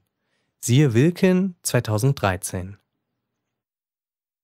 Auch konnten in mehreren Studien positive Zusammenhänge zwischen dem Alter und der Arbeitszufriedenheit festgestellt werden. Ältere Mitarbeiter scheinen mehr Zufriedenheit zu erleben, wobei es in einer Studie von Clark und anderen 1996 auch Belege für einen U-förmigen Zusammenhang gibt. Neben den Älteren empfinden auch besonders junge Mitarbeiter hohe Arbeitszufriedenheit. Verschiedene Gründe können für den positiven Zusammenhang zwischen Alter und Arbeitszufriedenheit verantwortlich sein. Erstens haben Berufsstationen, die in späteren Lebensabschnitten erreicht werden, mehr angenehme Charakteristiken, zum Beispiel mehr Gehalt oder höheren Status. Kontrolliert man diese Faktoren statistisch, bleibt der positive Zusammenhang zwischen Arbeitszufriedenheit und Alter weiter signifikant.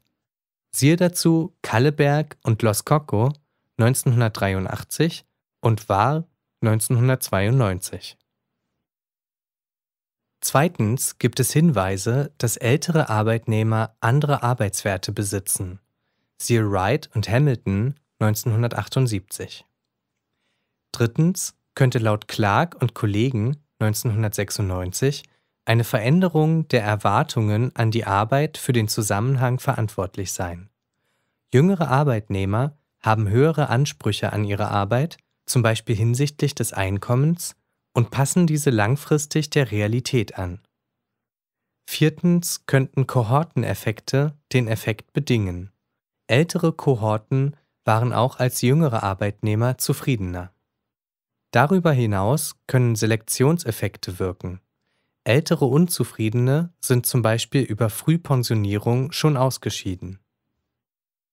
Auch gibt es Hinweise, dass Arbeitszufriedenheit mit Persönlichkeitsfaktoren assoziiert ist. So konnte nachgewiesen werden, dass die Arbeitszufriedenheit über einen Messzeitraum von drei Jahren stabil bleibt. Auch wenn ein Arbeitsplatzwechsel stattgefunden hat, ist ein statistisch bedeutsamer Zusammenhang zwischen den Messzeitpunkten nachweisbar. Siehe Dormann und Zapf 2001. Judge und Bono 2001 fanden metaanalytisch signifikant positive Zusammenhänge der generellen Selbstwirksamkeit, der internen Kontrollüberzeugung, dem Selbstwertgefühl sowie der emotionalen Stabilität mit der Arbeitszufriedenheit der Beschäftigten. Die Werte lagen zwischen 0,24 und 0,45. Diese als Core Self-Evaluations bezeichneten Persönlichkeitsfaktoren können die Arbeitszufriedenheit langfristig beeinflussen. Werden die Persönlichkeitsfaktoren in der Kindheit gemessen, so korrelieren diese sogar noch 30 Jahre später mit der Arbeitszufriedenheit als Mitarbeiter. Siehe Judge und andere 2000. Auch scheint die aktuelle Stimmung, in der sich der Beschäftigte befindet, Einfluss auf dessen Arbeitszufriedenheit zu haben. Konsequenzen Arbeitszufriedenheit besitzt verschiedene Auswirkungen. So bestehen nach Weinert 2004 Zusammenhänge mit der physischen und psychischen Gesundheit. Wie Schermuli und andere 2011 nachweisen konnten, korreliert Arbeitszufriedenheit mit Burnout was wiederum mit den krankheitsbedingten Fehltagen assoziiert ist. Somit kann mangelnde Arbeitszufriedenheit mit erheblichen persönlichen Kosten der Arbeitnehmer einhergehen.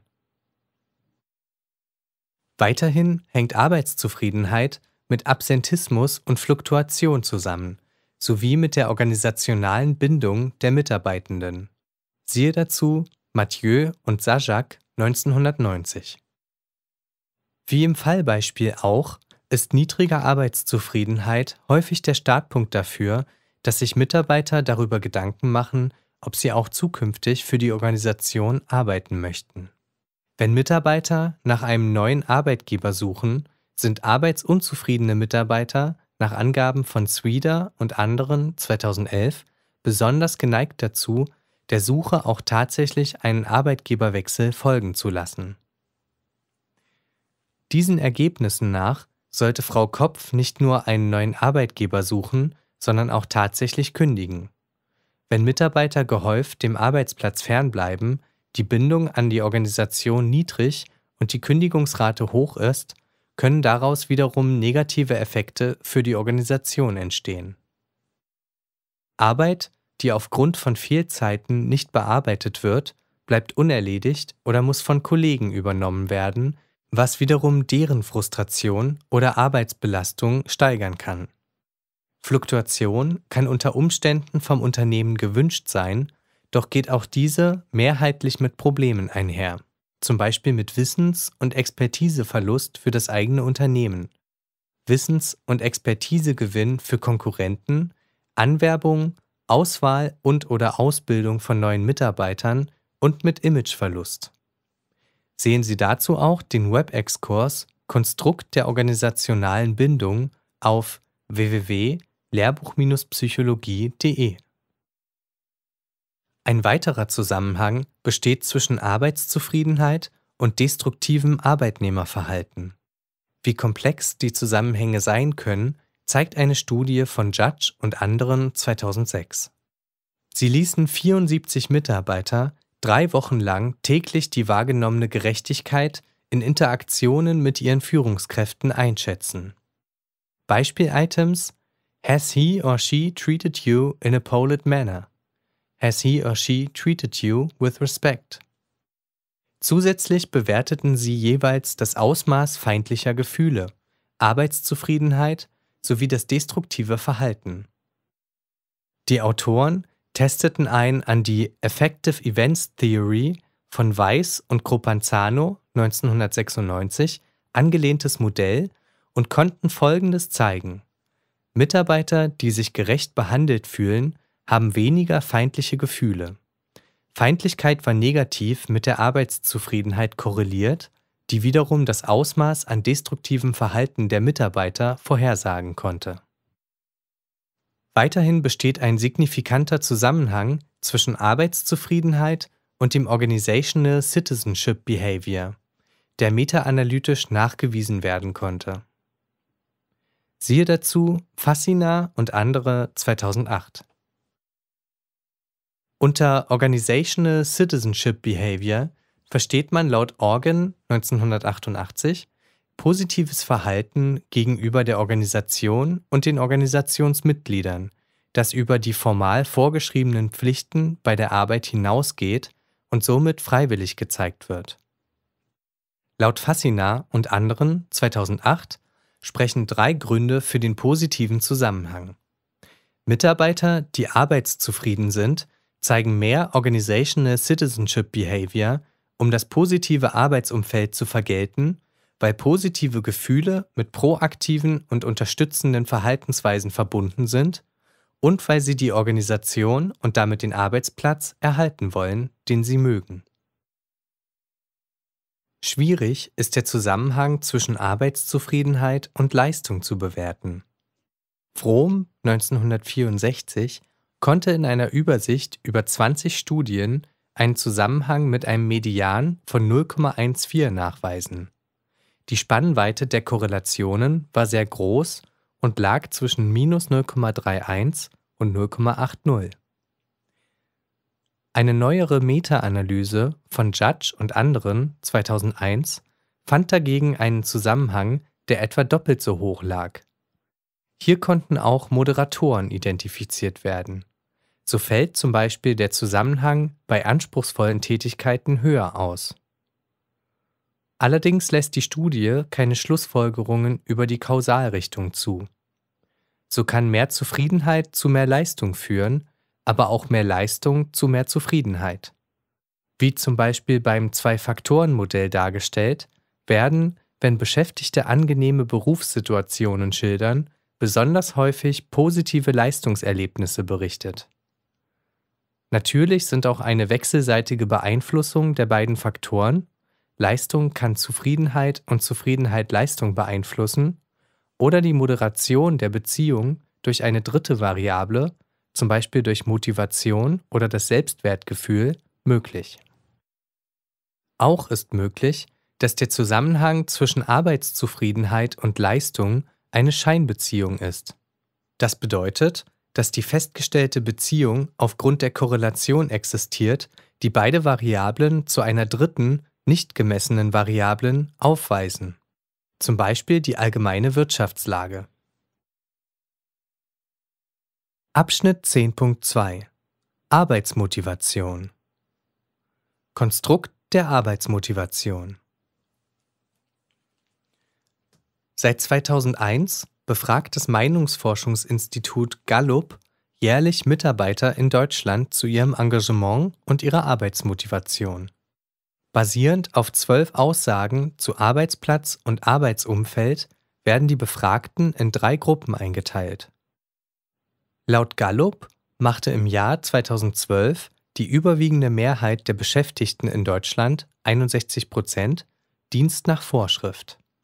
Sie arbeitete also gerade so viel wie unbedingt notwendig.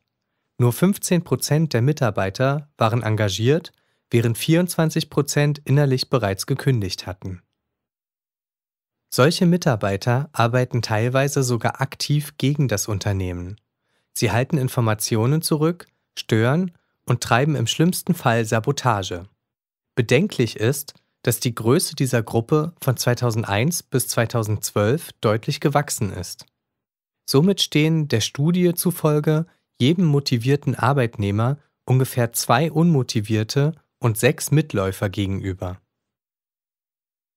Zur Begriffsunterscheidung ist zu sagen, dass sich die Arbeitszufriedenheit darauf bezieht, wie ein Mitarbeiter seine Arbeit wahrnimmt und empfindet, wohingegen sich die Arbeitsmotivation stärker auf Verhaltensdispositionen in Hinblick auf Art, Auswahl, Stärke und Intensität des Verhaltens bezieht. Während Arbeitszufriedenheit eine eher retrospektive Ausrichtung besitzt, hat die Arbeitsmotivation eine stärker prospektive Orientierung. Das heißt, sie hat konkrete Auswirkungen darauf, wie gut oder engagiert jemand seine Arbeit erledigt. Wichtig ist daher das Verständnis vom Zusammenspiel zwischen Motiv, Anreiz und Motivation. Siehe dazu auch die Abbildung 10.2 im gedruckten Buch. Für die aktuelle Motivation sind neben den Motiven, das heißt den zeitlich stabilen Wertungsdispositionen, auch die Situation und deren Anreizcharakter wichtig. Frau Kopf kann zum Beispiel ein hohes Affiliationsmotiv besitzen – das heißt, ihr ist es wichtig, Anschluss an andere zu finden und sich freundlich gegenüber diesen zu verhalten. Wenn ein neuer Kollege in die Abteilung versetzt wird, so kann dies als Anreiz wirken und Frau Kopf ist motiviert, Kontakt mit dem neuen Kollegen aufzunehmen und ihm bei der Einarbeitung zu helfen. Theorien der Arbeitsmotivation Theorien der Arbeitsmotivation lassen sich grob in zwei Klassen einteilen. Die sogenannten Inhaltstheorien fokussieren die zentralen Inhalte der Motive und damit die Motivquellen. Die Leitfrage ist, was? Beispiele dafür sind das Modell der Bedürfnishierarchie von Maslow 1954, die ERG-Theorie von Alderfer 1972 oder die Theorie der gelernten Bedürfnisse von McClelland 1984. Die sogenannten Prozesstheorien konzentrieren sich hingegen auf die psychologischen Prozesse, die dazu führen, dass und wie eine Handlung durchgeführt wird. Die Leitfrage ist, wie? Beispiele dafür sind das Job Characteristic Model von Heckman und Oldham 1980, das VIE-Modell von Vroom 1964 die Zielsetzungstheorie von Locke und Latham 1990 und die Equity Theory von Adams 1965. Modell der Bedürfnishierarchie Das Modell der Bedürfnishierarchie von Maslow 1954 wurde zwar ursprünglich nicht für den Arbeitskontext formuliert, hat aber in der Arbeits- und Organisationspsychologie große Beachtung gefunden. Es ist stark von der humanistischen Schule geprägt. Maslow unterscheidet keine Einzelbedürfnisse, sondern fünf Bedürfnisklassen. Physiologisches Bedürfnis, Sicherheitsbedürfnis, soziales Bedürfnis, Individual- und das Wachstumsbedürfnis. Zu den physiologischen Bedürfnissen gehören zum Beispiel Essen, Trinken und Schlafen also alles, was zum unmittelbaren Überleben des Individuums notwendig ist. Das Sicherheitsbedürfnis zielt auf den Wunsch des Individuums, frei von Bedrohung und Existenznot zu leben. Gewissermaßen geht es um die Sicherung der physiologischen Bedürfnisse in der Zukunft. Soziale Bedürfnisse beziehen sich auf den Wunsch nach Freundschaft, Anschluss und Austausch mit anderen Individuen, während die Individualbedürfnisse auf Macht, Status, Geltung und Selbstwertschätzung zielen. Die ersten vier Bedürfnisklassen gelten als Defizit- bzw. Mangelbedürfnisse, während die Selbstverwirklichung von Maslow als Wachstumsbedürfnis klassifiziert wird. Mangelbedürfnisse sind niedere Bedürfnisse. Sobald ein solches befriedigt wurde, soll das nächsthöhere wirksam werden. Nur wenn zum Beispiel die physiologischen und die Sicherheitsbedürfnisse eines Mitarbeiters ausreichend berücksichtigt wurden, sollen die sozialen Bedürfnisse wichtig für ihn werden. Maslow geht also davon aus, dass ein Bedürfnis umso dringlicher erlebt wird, je weiter unten es steht. Dies wird als Präpotenzannahme bezeichnet. Das einzige Bedürfnis, das unbegrenzt wirksam bleiben soll, ist das Bedürfnis nach Selbstverwirklichung. Deshalb wird es als einziges als Wachstumsbedürfnis bezeichnet. Das Modell ist vielfach kritisiert worden. So wird gefordert, dass die formulierten Bedürfnisse universell für alle Menschen gelten sollen, und es wird bemängelt, dass die Klassen nicht empirisch wissenschaftlich fundiert werden konnten.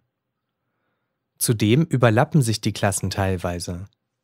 So kann ein hohes Einkommen sowohl in die Klasse der physiologischen Bedürfnisse im Sinne von Essen kaufen oder einer besseren Krankenversicherung, als auch in die Klasse der Achtung und Wertschätzung eingeordnet werden. Auch die Präpotenzannahme wurde immer wieder Gegenstand von Kritik und ist empirisch kaum haltbar. Dennoch können aus dem Modell Implikatoren für die Praxis abgeleitet werden. Siehe dazu Tabelle 10.1 des gedruckten Lehrbuches. Job Characteristics Model Hackman und Oldham 1980 postulieren in ihrem Job Characteristics Model Hypothesen über motivationsfördernde Merkmale der Arbeitssituation und deren Auswirkungen auf das Erleben und Verhalten der Beschäftigten. Grundlage ihrer Überlegungen ist das Grundbedürfnis des Menschen nach optimaler Stimulation und der Wunsch eines Individuums, sich selbst als Verursacher von Umweltveränderungen wahrzunehmen. Siehe Brandstätter 1999.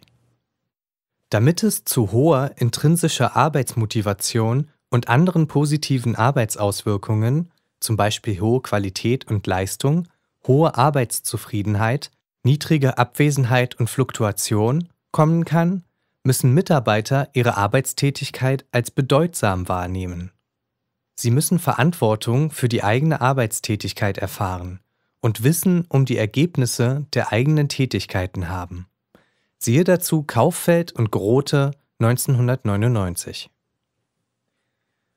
Die Ausprägungen dieser kritischen Erlebniszustände werden durch fünf Merkmale der Tätigkeit, Core Job Characteristics, bestimmt. Erstens. Anforderungsvielfalt. Skill Variety. Ausmaß, in dem eine Tätigkeit eine Vielzahl verschiedener Aktivitäten beinhaltet, welche verschiedene Fähigkeiten und Fertigkeiten des Mitarbeiters erfordern. Zweitens. Ganzheitlichkeit der Aufgabe. Task Identity. Ausmaß, in dem eine Tätigkeit die Fertigstellung eines ganzen identifizierbaren Produktes oder einer Dienstleistung erfordert. Drittens. Bedeutung der Aufgabe. Task Significance. Ausmaß, in dem die Tätigkeit einen beträchtlichen Einfluss auf das Leben anderer hat. Viertens. Autonomie. Autonomy.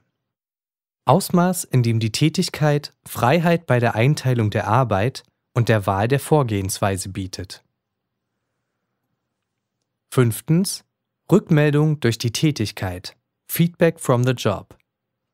Ausmaß, in dem die Ausführung der Tätigkeit selbst direkte und klare Informationen über die Leistung des Mitarbeiters dabei gibt. Die ersten drei Tätigkeitsmerkmale wirken auf die Bedeutsamkeit der Aufgabe, während die Autonomie die Verantwortung und die Rückmeldungen das Wissen um die Ergebnisse der eigenen Tätigkeit beeinflussen. Die drei kritischen Erlebniszustände fungieren somit als Mediatoren zwischen den Aufgabenmerkmalen und den Auswirkungen der Arbeit. Siehe dazu auch Abbildung 10.3 des gedruckten Lehrbuches. Für die Bestimmung des Motivationspotenzials geben Heckman und Oldham folgende Berechnungsformel an. Die drei Faktoren Vielfalt, Ganzheitlichkeit und Bedeutung, die auf die Bedeutsamkeit wirken, werden addiert und durch drei geteilt. Aus der Multiplikation dieses Terms mit Autonomie und Rückmeldung ergibt sich das Motivationspotenzial. Die multiplikative Verknüpfung impliziert, dass die komplette Gleichung Null wird, sobald ein Bestandteil Null ist. Besteht zum Beispiel überhaupt keine Autonomie für die Mitarbeiter, bleibt das Motivationspotenzial der Arbeit Null, unabhängig davon, wie viele Rückmeldungen die Mitarbeiter erhalten.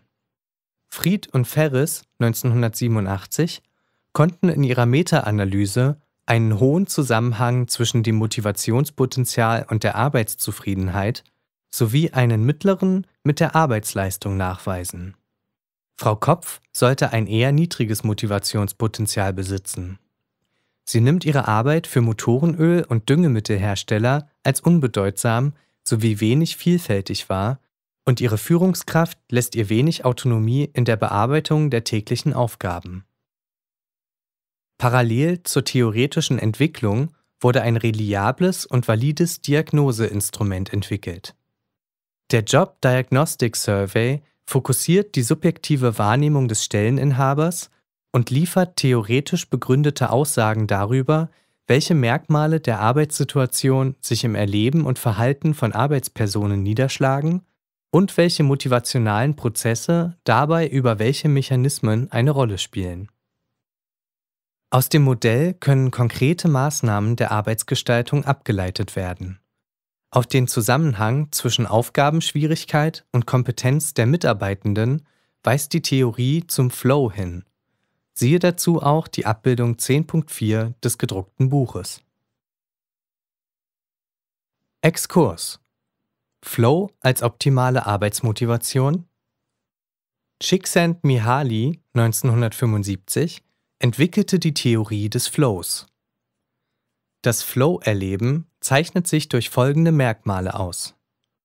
Umfassendes Gefühl, in eine Aufgabe involviert zu sein, eine Verschmelzung von Handlung und Aufmerksamkeit, eine Aufmerksamkeitsfokussierung auf Aufgaben und tätigkeitsbezogene Stimuli, das Gefühl, vollständige Kontrolle über Handlungen und die Handlungswelt zu haben. Besonders wichtig für das Flow-Erleben ist die Passung zwischen der Aufgabenschwierigkeit und den Fähigkeiten des Mitarbeiters. Flow-Erleben kann sich nur einstellen, wenn die Aufgabenschwierigkeit den Kompetenzen entspricht. Ist die Aufgabenschwierigkeit höher als die Fähigkeiten, führt das zur Überforderung und damit zu Angst und Kontrollverlust. Ist die Aufgabe dagegen zu einfach, dann resultiert daraus Unterforderung und damit Langeweile.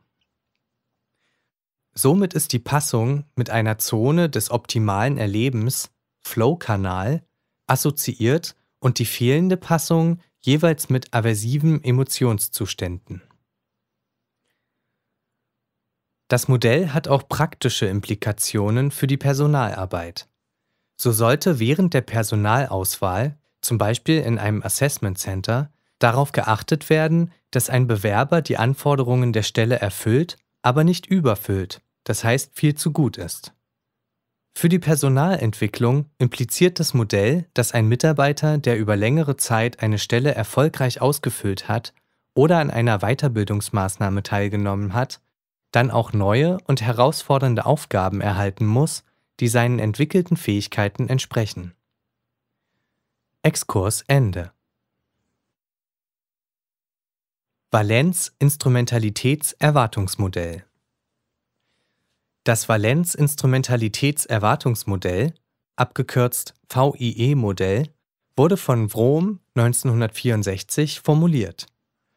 Es geht davon aus, dass Menschen, bevor sie eine Entscheidung für eine Handlung treffen, die Kosten und den Nutzen abwägen. Wie motiviert eine Person am Arbeitsplatz ist, hängt laut Rom von drei Variablen ab. E wie Erwartung. Wird meine Bemühung dazu führen, dass ich das konkrete Arbeitsziel auch erreichen kann? I wie Instrumentalität.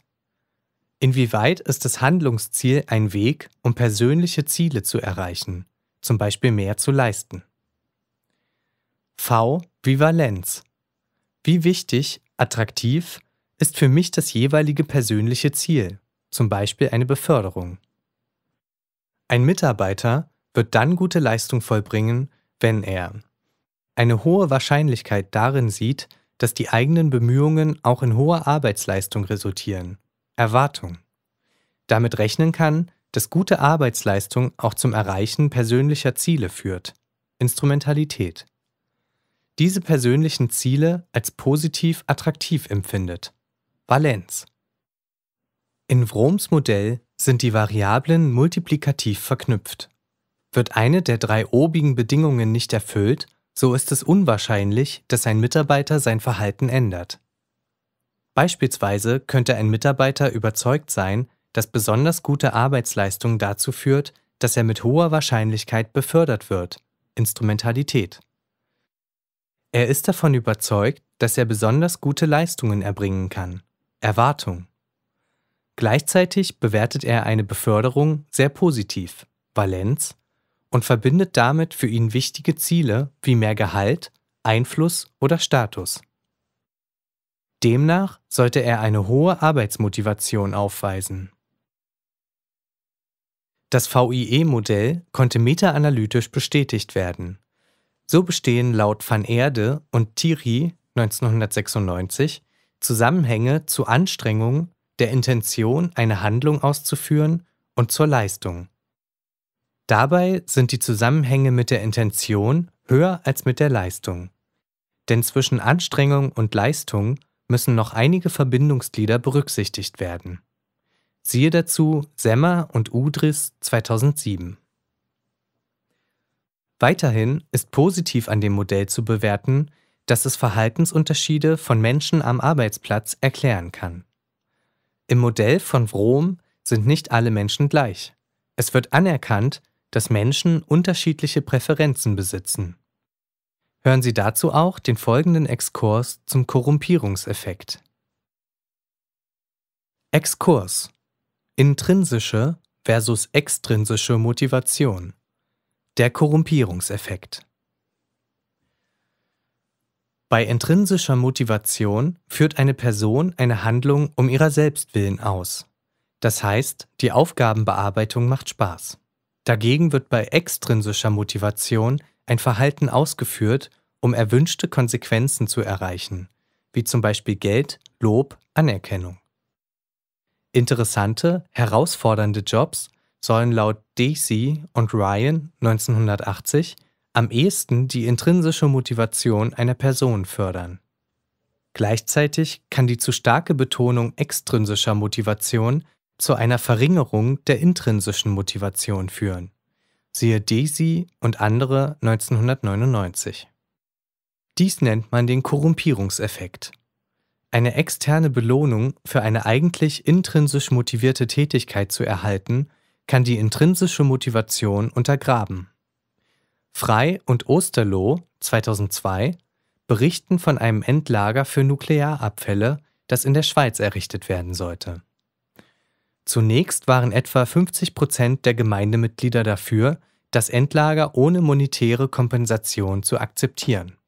Nachdem unter sonst gleichen Bedingungen eine erhebliche Kompensation für die Akzeptanz des Endlagers angeboten wurde, waren nur noch etwa 25 Prozent der Befragten zur Akzeptanz bereit. Der Effekt tritt aber nicht nur bei Belohnungen, sondern auch bei Bestrafungen auf. So wurden in einem israelischen Kinderhort die Kinder regelmäßig zu spät abgeholt, sodass die Angestellten über die offizielle Schließzeit anwesend sein mussten. Um dem zu entgegnen, wurden empfindliche Geldstrafen für Eltern verhängt, die ihre Kinder zu spät abholen. Daraufhin stieg die Zahl der zu spät Abholer erheblich. Disi und Kollegen konnten meta-analytisch zeigen, dass erwartete materielle Belohnungen die intrinsische Motivation verringern. Dagegen hatten nicht erwartete sowie nicht kontingente Belohnungen keinen Effekt. Verbale Belohnungen, Lob, hatten hingegen, wenn sie nicht kontrollierend eingesetzt wurden, einen positiven Effekt auf die intrinsische Motivation. Daher sollten sich Führungskräfte und andere Personalverantwortliche weniger auf Belohnungssysteme und stattdessen mehr darauf konzentrieren, wie man die Arbeit stärker intrinsisch motivierend gestalten kann. Dafür ist es wichtig, die Bedürfnisse der Mitarbeiter zu erkunden und ihnen entsprechende Aufgaben zukommen zu lassen. Darüber hinaus sollten Job Enrichment und Job Enlargement betrieben werden. Mehr dazu in Kapitel 11. Zudem sollten Führungskräfte verstärkt verbale statt materielle Belohnungen einsetzen und dabei vermeiden, kontrollierend zu werden. Equity Theory Die Equity bzw. Gerechtigkeitstheorie wurde von Adams 1965 entwickelt. Kern der Theorie ist die These, dass Menschen nur dann Beziehungen eingehen und aufrechterhalten, wenn Verteilungsgerechtigkeit besteht, wenn sie also eine faire Gegenleistung für ihren Einsatz bekommen. Menschen führen am Arbeitsplatz Vergleiche im Hinblick auf Gerechtigkeit durch. Diese finden in einem sozialen Kontext statt. Dabei ist entscheidend, welchen Einsatz, Input, zum Beispiel Anstrengung, Wissen, Können, Loyalität, Zeit und welchen Ertrag, Outcome, zum Beispiel Gehalt, Sozialaufwendungen, Lob, Verantwortung, berufliche Perspektive, Mitarbeiter bei sich und bei bedeutsamen anderen Personen wahrnehmen. Letztere können eine konkrete Person, eine Gruppe konkreter Personen, zum Beispiel die Kollegen in der Abteilung, oder die Abstraktion einer größeren Menge von Personen sein, zum Beispiel die Arbeitnehmer in einem bestimmten Tarifgebiet. Die Vergleichspersonen besitzen aber zumeist einen ähnlichen Rang wie die Person, die den Vergleich durchführt. Frau Kopf aus dem Fallbeispiel könnte sich zum Beispiel mit anderen ehemaligen Praktikanten der Agentur vergleichen. Was als relevanter Input oder Outcome angesehen wird, hängt von der spezifischen Vergleichssituation ab. Es können zwei Formen der Unausgeglichenheit entstehen. Wenn der Outcome der Person im Verhältnis zu ihrem Input kleiner ist als bei anderen, so besteht eine Unterbezahlung. Ist das Verhältnis der Person größer als bei anderen, dann herrscht eine Überbelohnung. Kommt es zu einem der beiden Ungleichgewichte, so kann die Person verschiedene Strategien einsetzen, um dieses zu beseitigen. Erstens kann sie ihren Input verändern. So könnte Frau Kopf zum Beispiel weniger lang oder engagiert arbeiten. Zweitens kann eine kognitive Umbewertung vorgenommen werden. Frau Kopf könnte die Einschätzung des eigenen oder des fremden Inputs bzw. Outcomes verändern. Auch ist es möglich, dass die Vergleichspersonen gewechselt werden. Statt mit den Kollegen, die in der Projektgruppe mit den kulturellen Kunden arbeiten, könnte sich Frau Kopf mit den Personen vergleichen, die ebenfalls für Kunden aus der Wirtschaft tätig sind. Viertens kann versucht werden, dass die Vergleichspersonen ihren Input oder ihr Outcome verändern. Frau Kopf könnte der Geschäftsleitung vorschlagen, dass für Kulturprojekte weniger Bonus ausgeschüttet wird. Fünftens kann Frau Kopf das Feld und damit die Vergleichssituation verlassen und zum Beispiel zu einer anderen Agentur wechseln. An der Gerechtigkeitstheorie sind verschiedene Punkte zu kritisieren. Sie geht zum Beispiel davon aus, dass sich Menschen rational verhalten, was nicht immer der Fall ist.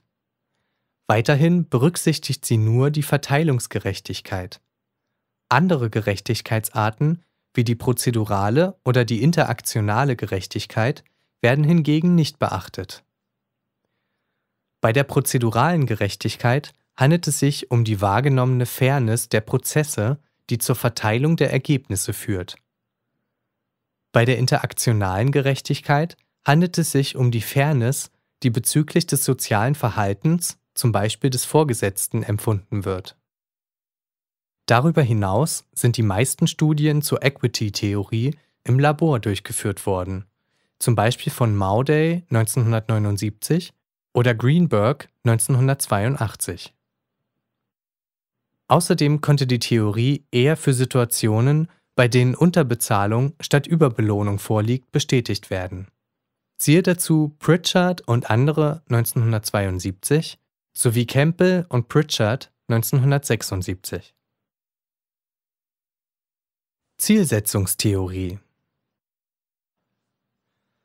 Die Zielsetzungstheorie von Locke und Latham 1990 geht davon aus, dass Ziele zu höherer Leistung führen können.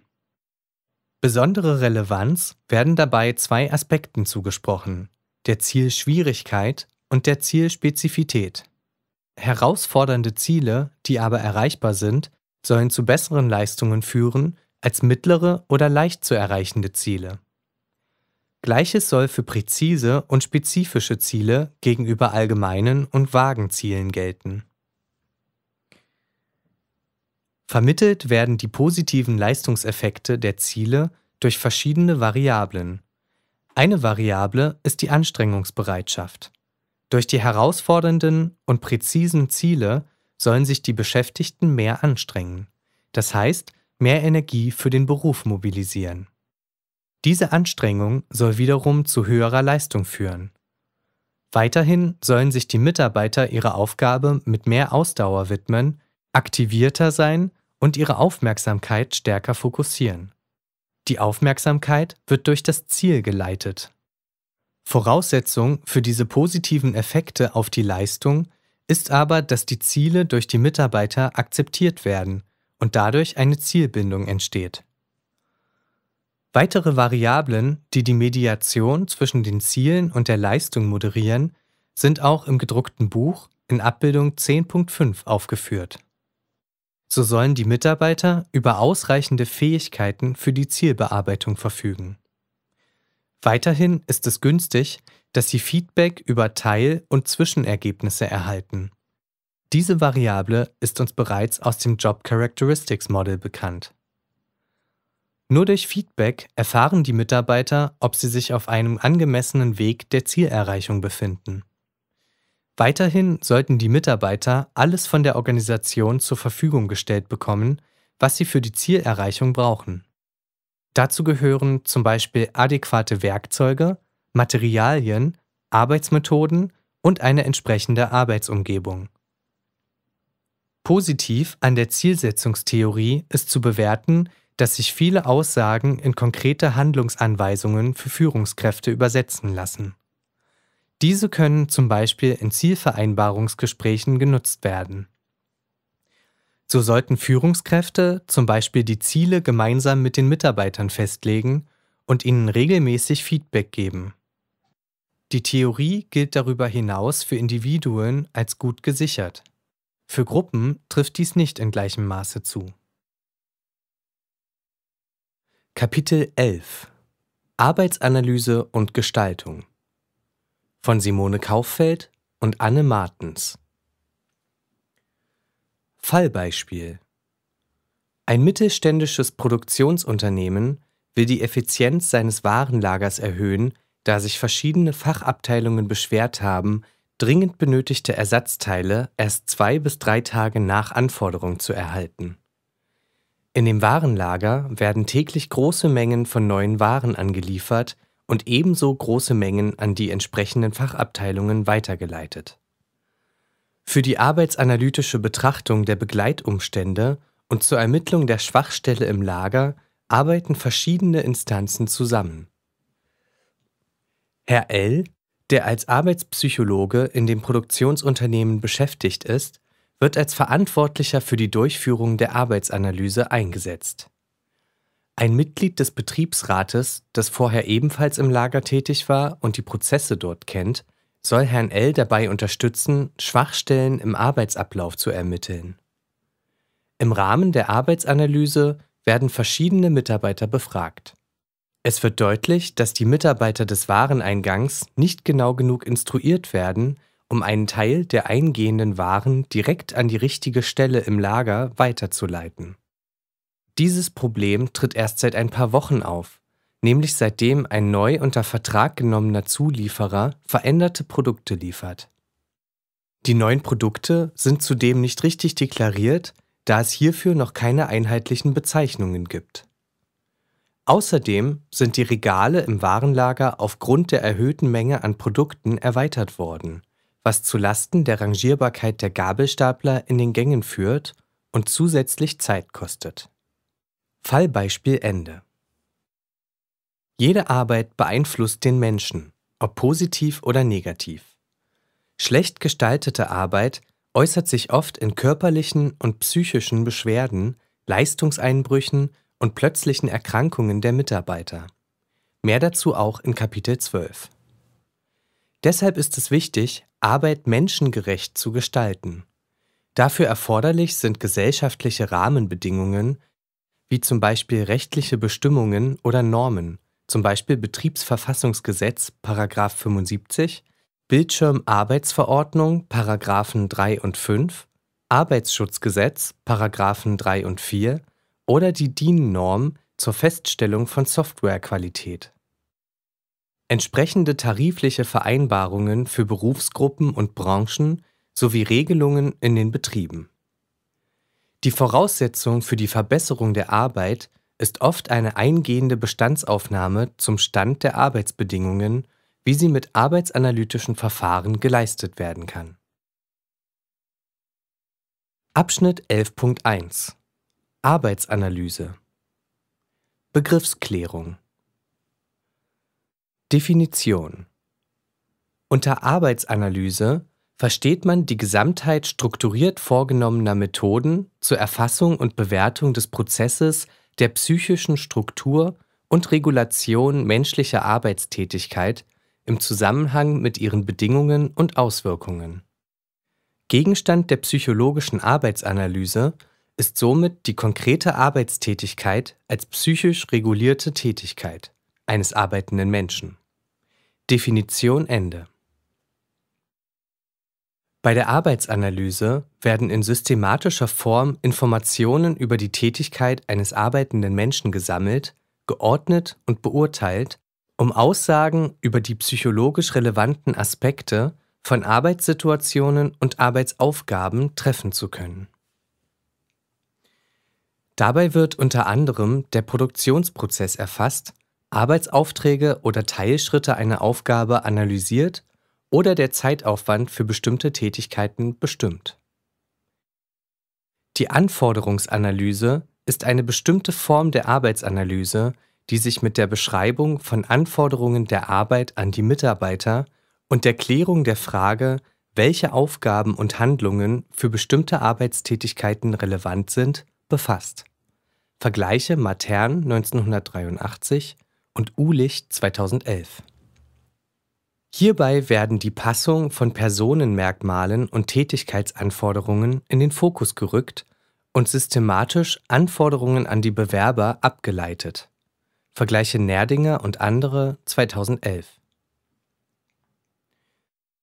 Ziele und Einsatzgebiete von Arbeitsanalysen Die Einsatzgebiete von Arbeitsanalysen können abhängig vom Kontext und der betrachteten Organisation, Tätigkeit und des Individuums stark variieren. Sie können nach der Einführung von neuen Technologien ebenso zum Einsatz kommen wie im Vorfeld der Besetzung einer neu geschaffenen Stelle oder zum Zwecke der Überprüfung wissenschaftlicher Theorien. Zu den am häufigsten von einer Arbeitsanalyse betroffenen Kontexten zählen erstens Maßnahmen zur Arbeitsplatz- und Organisationsgestaltung sowie Ermittlung von Schwachstellen im Arbeitsablauf. Zweitens. Ermittlung von Qualifikationsanforderungen und Inhalten, zum Beispiel zur Entwicklung von Trainings, Schulungs- und Ausbildungsinhalten. Drittens. Bestimmung von Eignungsanforderungen, zum Beispiel Anforderungsanalyse für Assessment Center, Arbeitsplatzbewertung, Personalauswahl. Viertens. Vergleich verschiedener Arbeitstätigkeiten, zum Beispiel zur Klassifikation von Berufen, Berufsberatung, Vergleich von Positionen. Fünftens. Lohn- und Gehaltsfindung. Sechstens. Leistungsbeurteilung. Siebtens. Abschätzung von Technikfolgen. Achtens. Arbeits- und Gesundheitsschutz, zum Beispiel Unfallverhütung, Vermeidung von berufsbedingten Erkrankungen oder psychischen Belastungen. 9. Entwicklung von Anreizsystemen und zehntens Überprüfung wissenschaftlicher Theorien. Siehe dazu auch Ash 1988, Brannick und Levine 2002 oder Dunkel und Resch 2010. Ausführlichere Informationen finden Sie im WebEx-Kurs Kontexte einer Arbeitsanalyse auf www.lehrbuch-psychologie.de.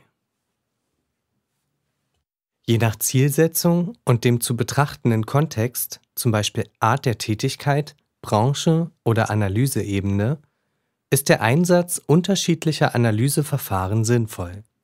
Siehe dazu Frieling und Buch 2007. Während viele Arbeitsanalyseverfahren im deutschsprachigen Raum im Rahmen der staatlich geförderten Programme zur Humanisierung des Arbeitslebens in den 70er Jahren für die industrielle Produktion entwickelt wurden, werden neuerdings entsprechende Verfahren für den Dienstleistungsbereich entwickelt. Durch die vermehrte Einführung von gruppenorientierten Arbeitsverfahren in der Industrie oder die Gesundheitsförderung in Industrie und Verwaltung sowie die Einführung von gesetzlichen Rahmenbedingungen erhöht sich laut Schüppbach und Zölch 2007 die Nachfrage nach neuen Arbeitsanalyseverfahren. Dabei ist der Arbeitsanalyse oft eine Analyse der Prozesse voranzuschalten. Ablauf einer Arbeitsanalyse Eine Arbeitsanalyse ist idealtypisch in acht aufeinanderfolgende Schritte gegliedert. Erstens Festlegung der Untersuchungsziele. Erstens Klärung von Untersuchungsanliegen und Zielen mit dem jeweiligen Auftraggeber. Zweitens Überblick über die Gesamtorganisation und Untersuchungseinheit verschaffen, zum Beispiel Abteilung oder Produktionseinheit. Drittens Überblick über Arbeitstätigkeiten im zu untersuchenden Bereich verschaffen. Zweitens Auswahl und Anpassung der Erhebungsinstrumente. Erstens Bestimmung ausgewählter Analysemethoden und Instrumente zur Arbeitsanalyse, zum Beispiel Fragebogen oder Beobachtungsverfahren. Zweitens Anpassung des Analyseinstruments an Untersuchungskontext bzw. Schulung der Untersucher. Drittens Durchführung der Arbeitsanalyse. Erstens Durchführung einer psychologischen Aufgaben- und Tätigkeitsanalyse, zum Beispiel zur Ermittlung des Material- oder Informationsflusses, Behinderungen im Arbeitsprozess, Aufdeckung von Schwachstellen etc. Viertens. Auswertung der gewonnenen Daten. Erstens. Erhobene Daten werden ausgewertet, die Ergebnisse werden dokumentiert und grafisch aufbereitet. Fünftens. Rückmeldung der Ergebnisse an die Organisation. Erstens Rückmeldung der Ergebnisse an die Auftraggeber bzw. an betroffene Mitarbeiter, eventuell unter Einbezug der Verantwortlichen, zum Beispiel Management. Zweitens Diskussion der Ergebnisse. Sechstens Ableitung von Gestaltungsmaßnahmen für die Organisation. Erstens Entwicklung von betrieblichen Gestaltungsmaßnahmen auf Grundlage der gewonnenen Ergebnisse und idealerweise Zusammenarbeit mit den betrieblichen Instanzen, die diese später umsetzen sollen.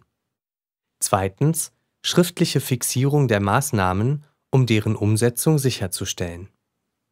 Siebtens Einführung und Umsetzung der Gestaltungsmaßnahmen in die Organisation. Erstens Entwickelte Gestaltungsmaßnahmen werden in die Organisationseinheit oder Einheiten eingeführt und umgesetzt. Achtens. Evaluation der Gestaltungsmaßnahmen. Erstens. Evaluation der Arbeitsgestaltungsmaßnahmen nach deren Einführung. Dies kann durch eine erneute Arbeitsanalyse geschehen. Arbeitsanalyseverfahren liegt in der Regel ein theoretisches Konzept zugrunde. Die theoretische Ausrichtung des Konzeptes bestimmt den Blickwinkel auf die zu analysierende Arbeitstätigkeit, Arbeitsbedingungen und die arbeitende Person. Als die vier bedeutendsten Ansätze des Arbeitshandelns gelten verhaltensorientierte, kognitionsorientierte, tätigkeitsorientierte und handlungsorientierte Ansätze. Mehr dazu finden Sie im WebEx-Kurs Modelle des Arbeitshandelns auf www.lehrbuch-psychologie.de. Analysemethoden Betrachtet man Arbeitsanalysemethoden, kann generell zwischen aufgabenbezogenen und personenbezogenen Analysemethoden unterschieden werden. Erstens. Aufgabenbezogene Analysemethoden haben zum Ziel, Anforderungen und Ausführungsbedingungen der Arbeitstätigkeit unabhängig von der konkreten Person mittels Beobachtungen und Befragungen zu erfassen. Regulationserfordernisse, Motivationspotenziale und Bewältigungsmöglichkeiten bei der Arbeit werden unabhängig von dem arbeitenden Individuum betrachtet. Hierbei werden überwiegend Beobachtungsinterviews eingesetzt, die von geschulten Personen durchgeführt werden. Die Ergebnisse dieser auch als situationsdiagnostisch bezeichneten Analysemethoden Vergleiche Österreich und Wolpert 1987 dienen als Grundlage zur Bewertung der Arbeitsaufgaben und Bedingungen und der sich daraus ergebenden Tätigkeits- und Handlungserfordernisse. Zweitens. Personenbezogene Analysemethoden stellen die subjektive Wahrnehmung und Einschätzung der Arbeitenden über die Arbeitstätigkeit und ihre Ausführungsbedingungen in den Fokus. Den größten Teil dieser Verfahren stellen standardisierte Fragebögen dar. Bei der Befragung mittels personenbezogener Verfahren geht es um die Einschätzung spezifischer Arbeitsmerkmale, Aufgaben und Bedingungen. Grundsätzlich können die in der Arbeitsanalyse eingesetzten Methoden fünf verschiedenen Grundtypen zugeordnet werden: Befragung, Beobachtung, physiologische Messungen, physikalisch-chemische Messverfahren und Laborforschung.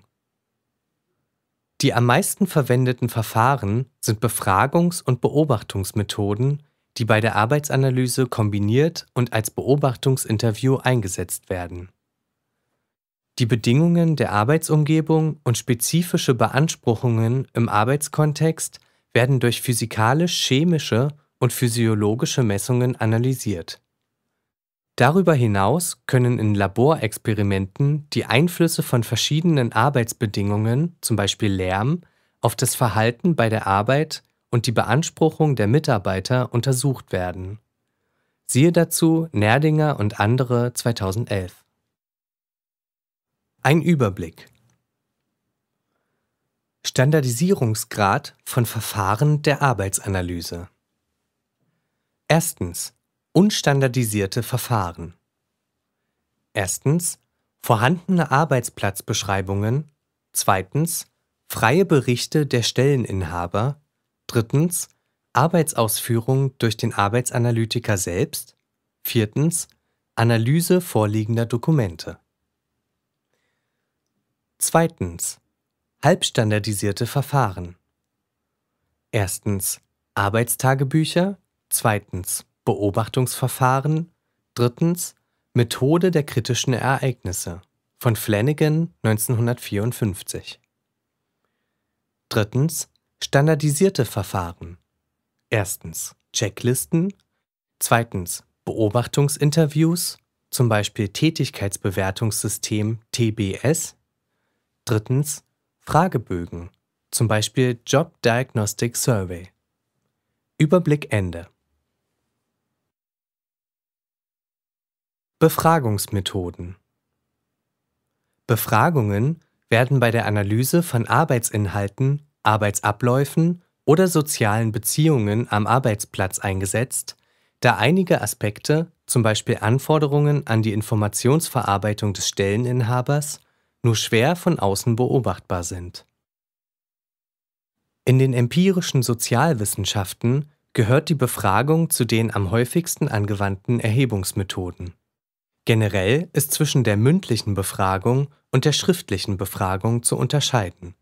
Siehe dazu Borz und Döring 2006. Erstens. Mündliche Befragungen werden in Form von Interviews durchgeführt und können in den verschiedensten Kontexten zum Einsatz kommen. Generell wird nach dem Ausmaß der Standardisierung, dem Autoritätsanspruch des Interviewers, der Art des Kontakts, der Anzahl der befragten Personen, der Anzahl der Interviewer und der Funktion des Interviews unterschieden. Zweitens. Schriftliche Befragungen werden in Form von selbstständig auszufüllenden Fragebögen durchgeführt. Der Einsatz von Fragebögen wird bei der Arbeitsanalyse oft bevorzugt, da diese Methode sowohl in der Entwicklung als auch in der Anwendung sehr kostengünstig und zeitsparend ist. Zudem kann eine größere Anzahl von Mitarbeitern gleichzeitig befragt werden.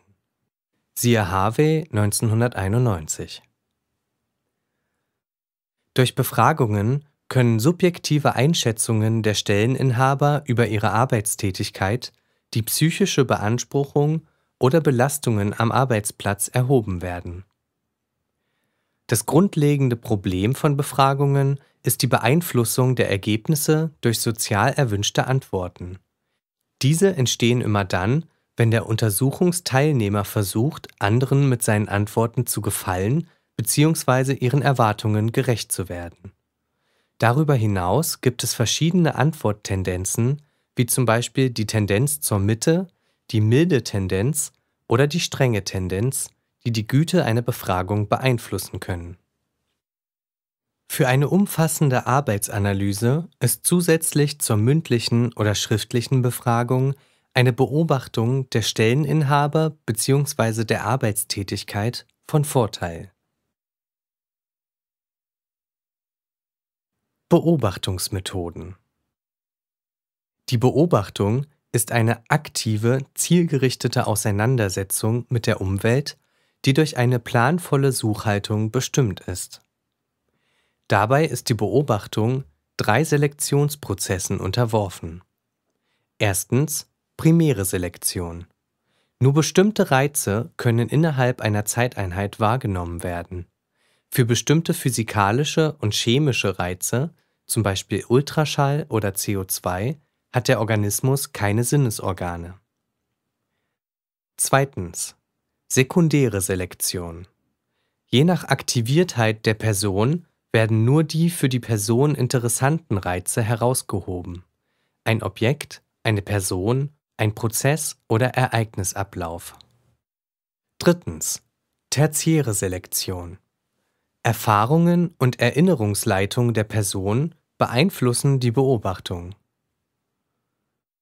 Beobachtungen werden beispielsweise bei der Bewertung der ergonomischen Gestaltungsgüte, bei Analysen des Arbeitsablaufes und des Produktionsprozesses, der Aufdeckung von Unfallursachen, der Arbeitsanforderungen, der Kommunikationsstruktur und der Auswirkung neuer Technologien auf die Arbeit der Stelleninhaber eingesetzt ein Überblick. Beobachtungen können direkt, indirekt oder vermittelt erfolgen. Vergleiche dazu Frieling und andere 2012. Direkte Beobachtung. Die direkte Beobachtung kann teilnehmend oder nicht teilnehmend und offen oder verdeckt erfolgen. Einige Beispiele. Erstens. Teilnehmend offen. Eine Betriebspsychologin beteiligt sich zur Erkundung von Problemen im Betrieb, am Produktionsprozess und arbeitet mit. Zweitens. Teilnehmend verdeckt. Ein Testkäufer beobachtet als Kunde das Verhalten eines Vertriebsmitarbeiters, auch Mystery Shopping genannt. Drittens. Nicht teilnehmend offen. Der Manager eines Fußballclubs beobachtet am Rande des Fußballplatzes die Einsatzbereitschaft der Spieler. Viertens. Nicht teilnehmend, verdeckt. Eine Forscherin beobachtet hinter einer Einwegscheibe die Gruppeninteraktion einer Studierendengruppe. Indirekte Beobachtung. Das zu beobachtende Verhalten wird über eine Kamera festgehalten und anschließend ausgewertet. Dies ist ethisch nur vertretbar, wenn die Teilnehmer freiwillig einer Aufzeichnung zustimmen und über den Sinn der Untersuchung aufgeklärt werden. Der Vorteil ist, dass die Sequenz beliebig oft wiederholt werden kann und eine differenzierte Auswertung möglich ist. Die Beobachter können gut geschult werden und die Inter-Rater-Übereinstimmung ist leicht zu testen.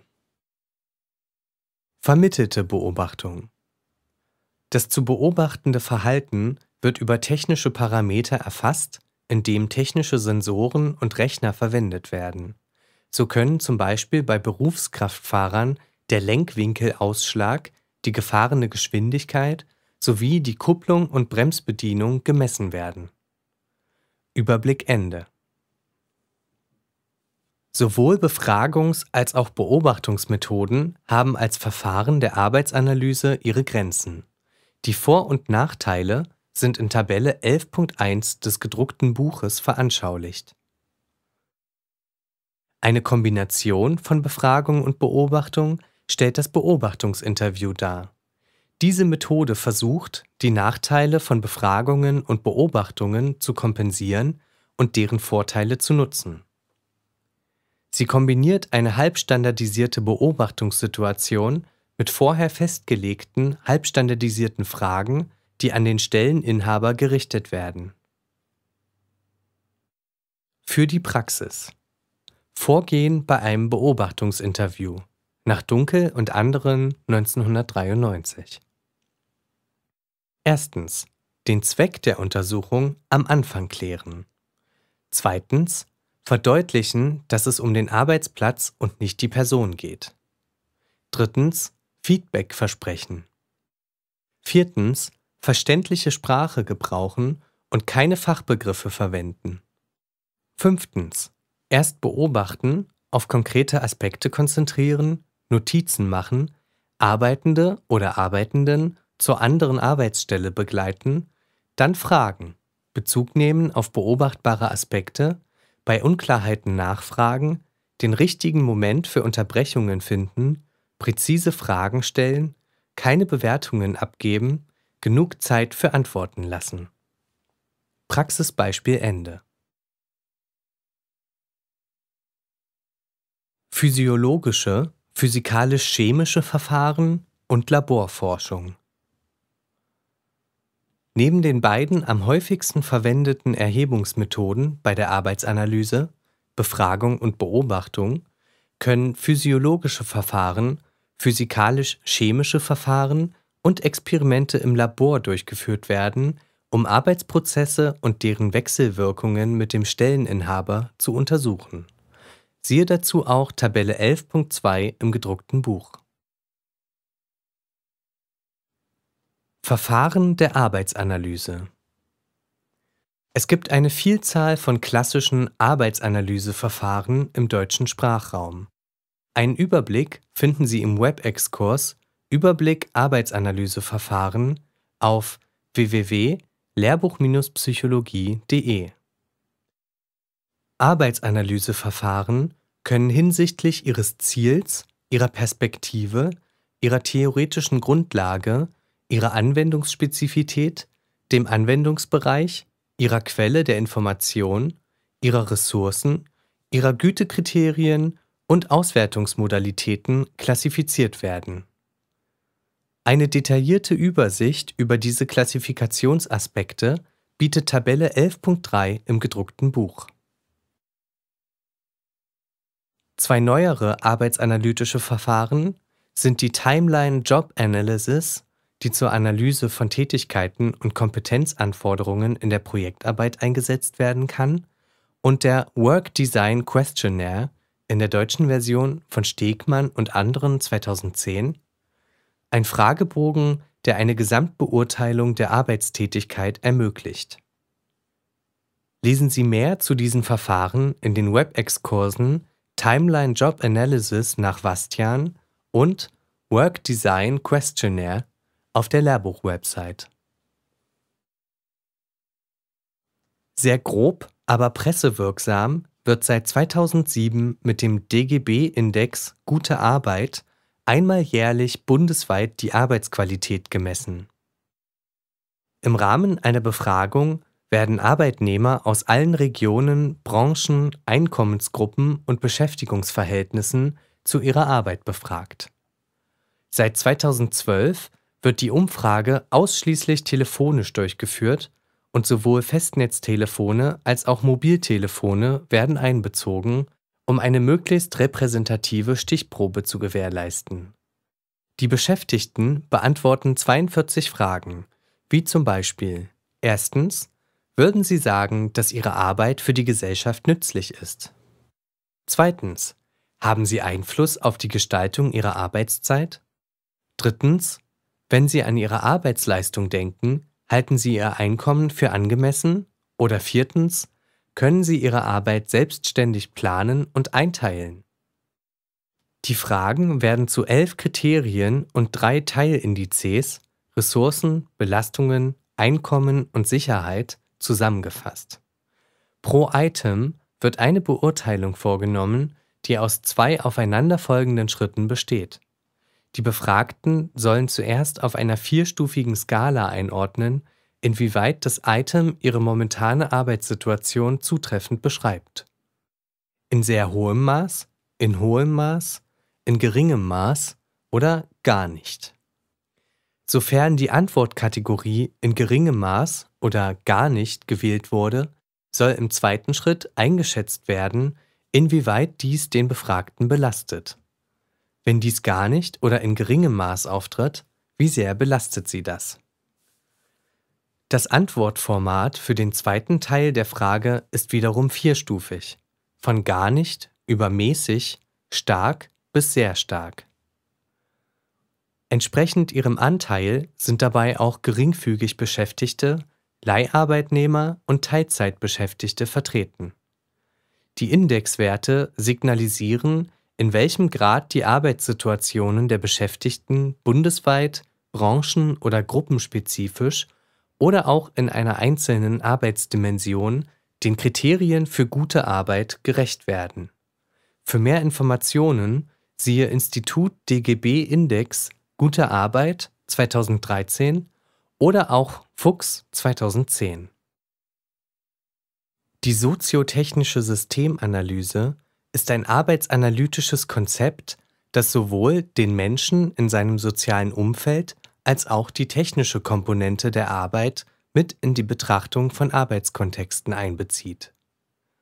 Der Ansatzpunkt einer gemeinsamen Optimierung des sozialen und des technischen Systems wird von Emery 1967 in seinen Neun Schritten der soziotechnischen Systemanalyse umgesetzt. Siehe dazu auch Tabelle 11.4 im gedruckten Buch. Die Optimierung bezieht sich auf die Analyse und Identifikation von Problemen in der Organisation und Durchführung und umfasst sowohl das technische als auch das soziale System einer Organisation. Abschnitt 11.2 Arbeitsgestaltung. Begriffsklärung. Definition. Zitat aus Nerdinger und andere 2011 Unter Arbeitsgestaltung werden alle technischen, organisatorischen und ergonomischen Maßnahmen verstanden, die sich auf die Gestaltung des Arbeitsplatzes, des Arbeitsablaufes, der Arbeitsorganisation und der Aufgabeninhalte beziehen. Definition Ende.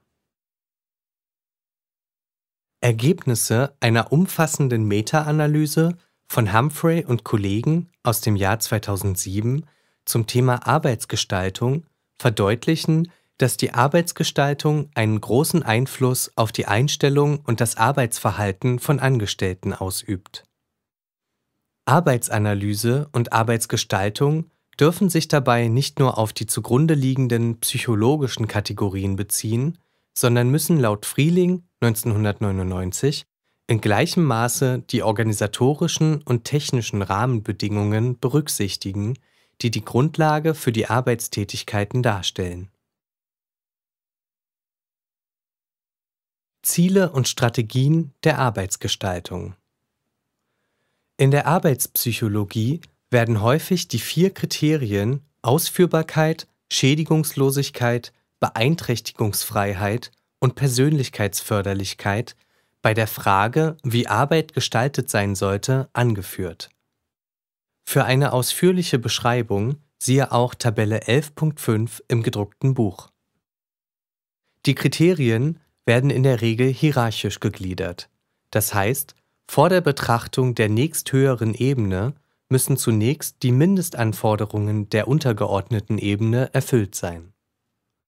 In der Praxis beziehen sich die Ziele der Arbeitsgestaltung seitens der Organisation zum Beispiel auf erstens Qualität, Verbesserung der Produktqualität, Reduzierung von Ausschuss.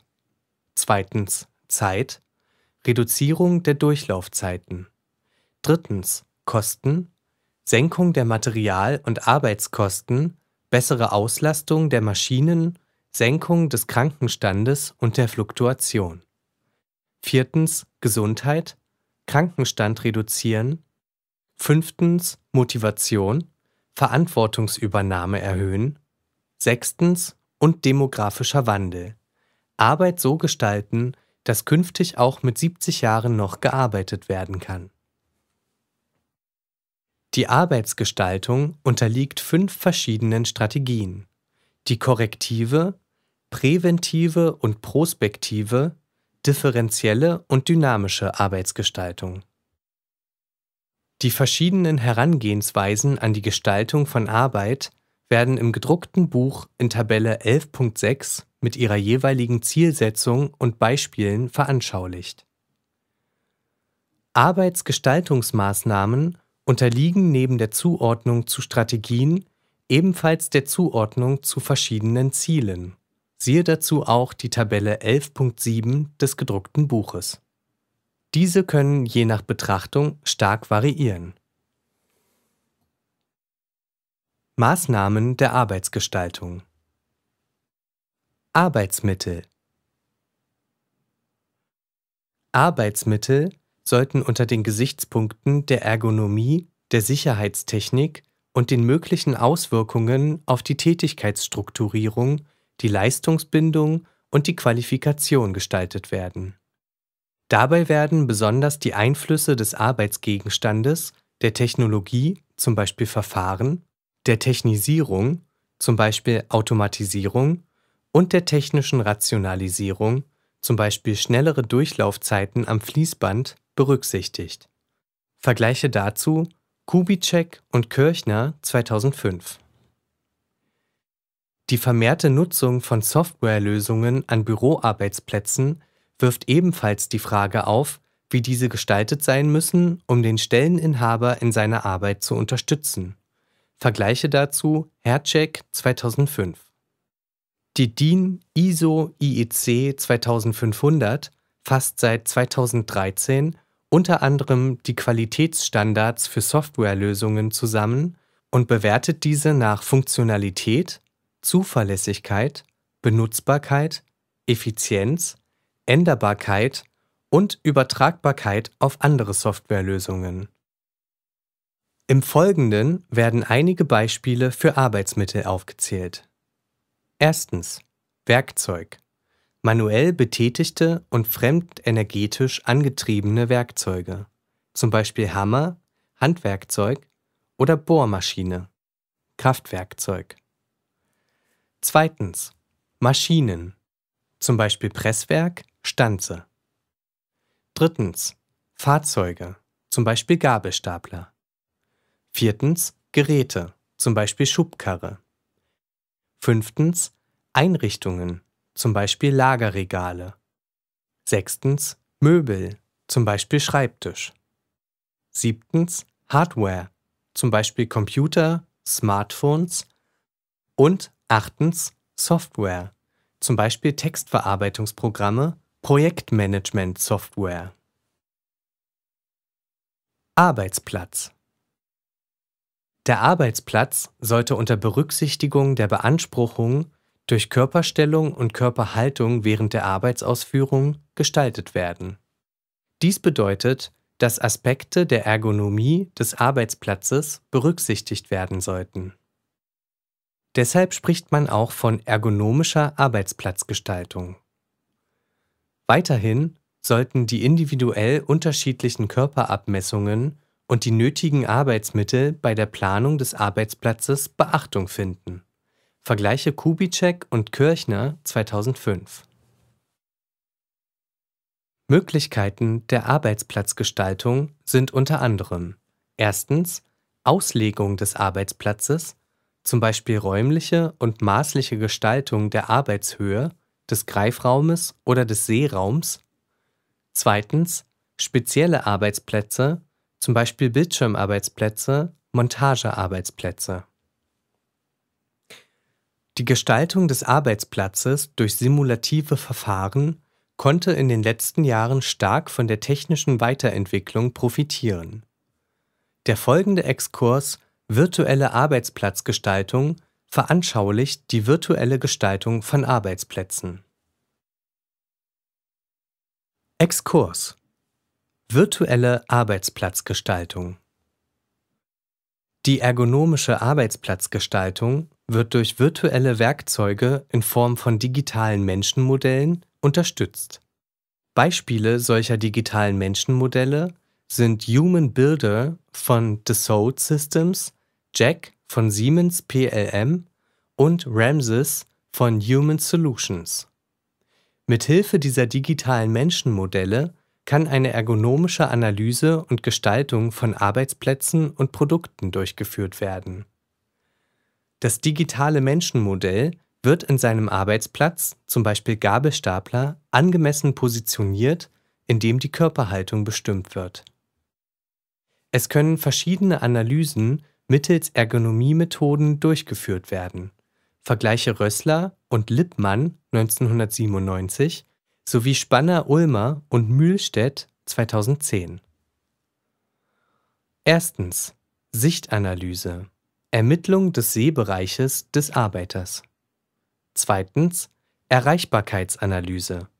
Feststellung der Bedienbarkeit und Erreichbarkeit der Arbeitsgeräte, zum Beispiel Erlangen der Bedienhebel. Drittens Haltungsanalyse. Untersuchung der Körperhaltung. Viertens sowie weitere Ergonomiemethoden, Maß, Kraft, Zeitanalyse und Laufwegermittlung. Der große Vorteil der virtuellen Arbeitsplatzgestaltung liegt in der realen Gestaltung der Arbeitsplätze in einem Modell, in dem alle Bestandteile des Arbeitsplatzes vor der Errichtung betrachtet, analysiert und auf ihre ergonomische Funktion hin geprüft werden können. Exkurs Ende. Arbeitsumgebung Die Arbeitsumgebung sollte so gestaltet werden, dass Gesundheitsbeeinträchtigungen oder Unfälle, Belästigungen und Störungen vermieden werden. Außerdem sollte die Arbeitsumgebung die Arbeits- und Leistungsfähigkeit unterstützen und optimale Werte für Bequemlichkeit und Behaglichkeit erzielen. Vergleiche Kubitschek und Kirchner 2005. Im Folgenden einige Beispiele für Umgebungseinflüsse und Einrichtungen auf die Gestaltung der Arbeitsumgebung. Erstens physikalische Umgebungseinflüsse, zum Beispiel Beleuchtung und Farben, Klima und Lüftung, Schall, also Lärm oder mechanische Schwingungen. Zweitens chemische Umgebungseinflüsse, zum Beispiel Stoffe und Zubereitungen, die beim Arbeitsprozess entstehen, beispielsweise als Gase, Dämpfe oder Stäube. Drittens. Biologische Umgebungseinflüsse. Zum Beispiel mikrobiologische Organismen wie Bakterien, Viren und Pilze. Viertens. Hygienische und soziale Einrichtungen. Zum Beispiel Wasch-, Umkleide- und Toilettenräume sowie Pausen- und Bereitschaftsräume. In modernen Dienstleistungsberufen, unter anderem IT-Arbeitsplätze, können sich Stelleninhaber ihre Arbeitsumgebung mehr und mehr selbst gestalten. Durch neue Technologien ist das Arbeiten von zu Hause (Homeoffice) und von unterwegs (per Smartphones) keine Seltenheit mehr. Ein ausführliches Beispiel findet sich im Webexkurs Flexibilisierung von Arbeitszeit und Arbeitsort in IT-Unternehmen auf www.lehrbuch-psychologie.de diese Flexibilisierung stellt die Unternehmen und den Stelleninhaber jedoch vor neue Herausforderungen im Hinblick auf Gesundheit und Work-Life-Balance. Mehr dazu auch in Kapitel 12. Aufgabengestaltung Die Gestaltung der Aufgabe nimmt in der Arbeitswelt eine wichtige Rolle ein. Im Sinne des soziotechnischen Systemansatzes, der im Abschnitt zuvor eingeführt wurde, beeinflussen sowohl das technische Teilsystem als auch das soziale Teilsystem die vom Stelleninhaber auszuführenden Aufgaben. Siehe dazu auch Abbildung 11.1 des gedruckten Buches. Das soziotechnische System wird von der Umwelt wechselseitig beeinflusst und beeinflusst diese im Gegenzug. Es werden Primäraufgaben und Sekundäraufgaben unterschieden. Die Primäraufgaben stellen hierbei die zu erledigenden Arbeitsaufträge, zum Beispiel die Produktion von Industrieketten, dar. Sekundäraufgaben sind solche Aufgaben, die zur Optimierung der Primäraufgaben beitragen, zum Beispiel die Wartung der dazu benötigten Maschinen. Sowohl das soziale System als auch das technische System beeinflussen die Erfüllung der Primäraufgaben. Vergleiche dazu auch Ulich 2011. Der Job Diagnostic Survey von Heckman und Oldham 1975 ist ein standardisierter Fragebogen, der auf dem Job Characteristics Model aufbaut. Er wird vom Stelleninhaber selbst ausgefüllt und zur Analyse des Motivationspotenzials in der Arbeit eingesetzt. Siehe dazu auch Kauffeld und Grote 1999.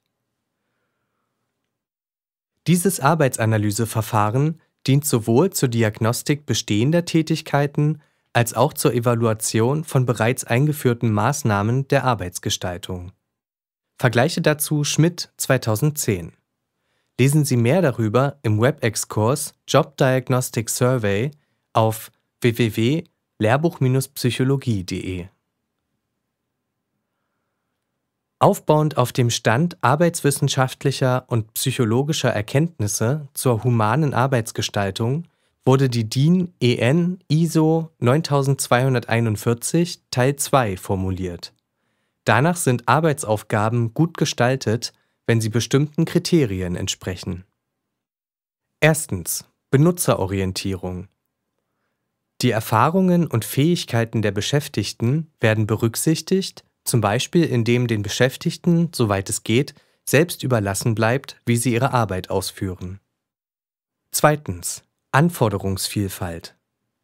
Die Entfaltung unterschiedlicher Fertigkeiten und Fähigkeiten werden gestattet. Zum Beispiel täglich oder mindestens mehrmals wöchentlich wechseln sich Arbeiten mit unterschiedlichen körperlichen und geistigen Anforderungen ab. Tätigkeiten mit Bildschirmnutzung und handschriftliches Arbeiten. Lesen, Nachschlagen, Konzepte erstellen, sortieren etc. oder sitzende und stehende Körperhaltung sowie Bewegung. Drittens. Ganzheitlichkeit.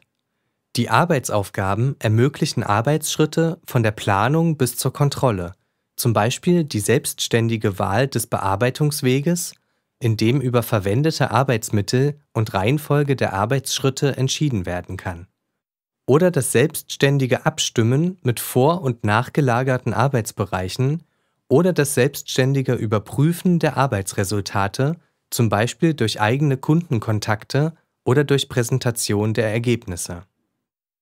Viertens. Bedeutsamkeit. Der Arbeitende sollte einen Beitrag am Gesamten erkennen. Fünftens. Angemessener Handlungsspielraum. Zum Beispiel die Möglichkeit zu haben, eine Situation entsprechend den eigenen Vorstellungen zu beeinflussen, beispielsweise das Arbeitstempo je nach Tagesform zu variieren, Tätigkeiten, die eine hohe Konzentration erfordern, in störungsfreien Zeiten zu erledigen. Sechstens. Ausreichende Rückmeldung. Zum Beispiel durch Vorgesetzte und Kollegen über die Qualität der Arbeit.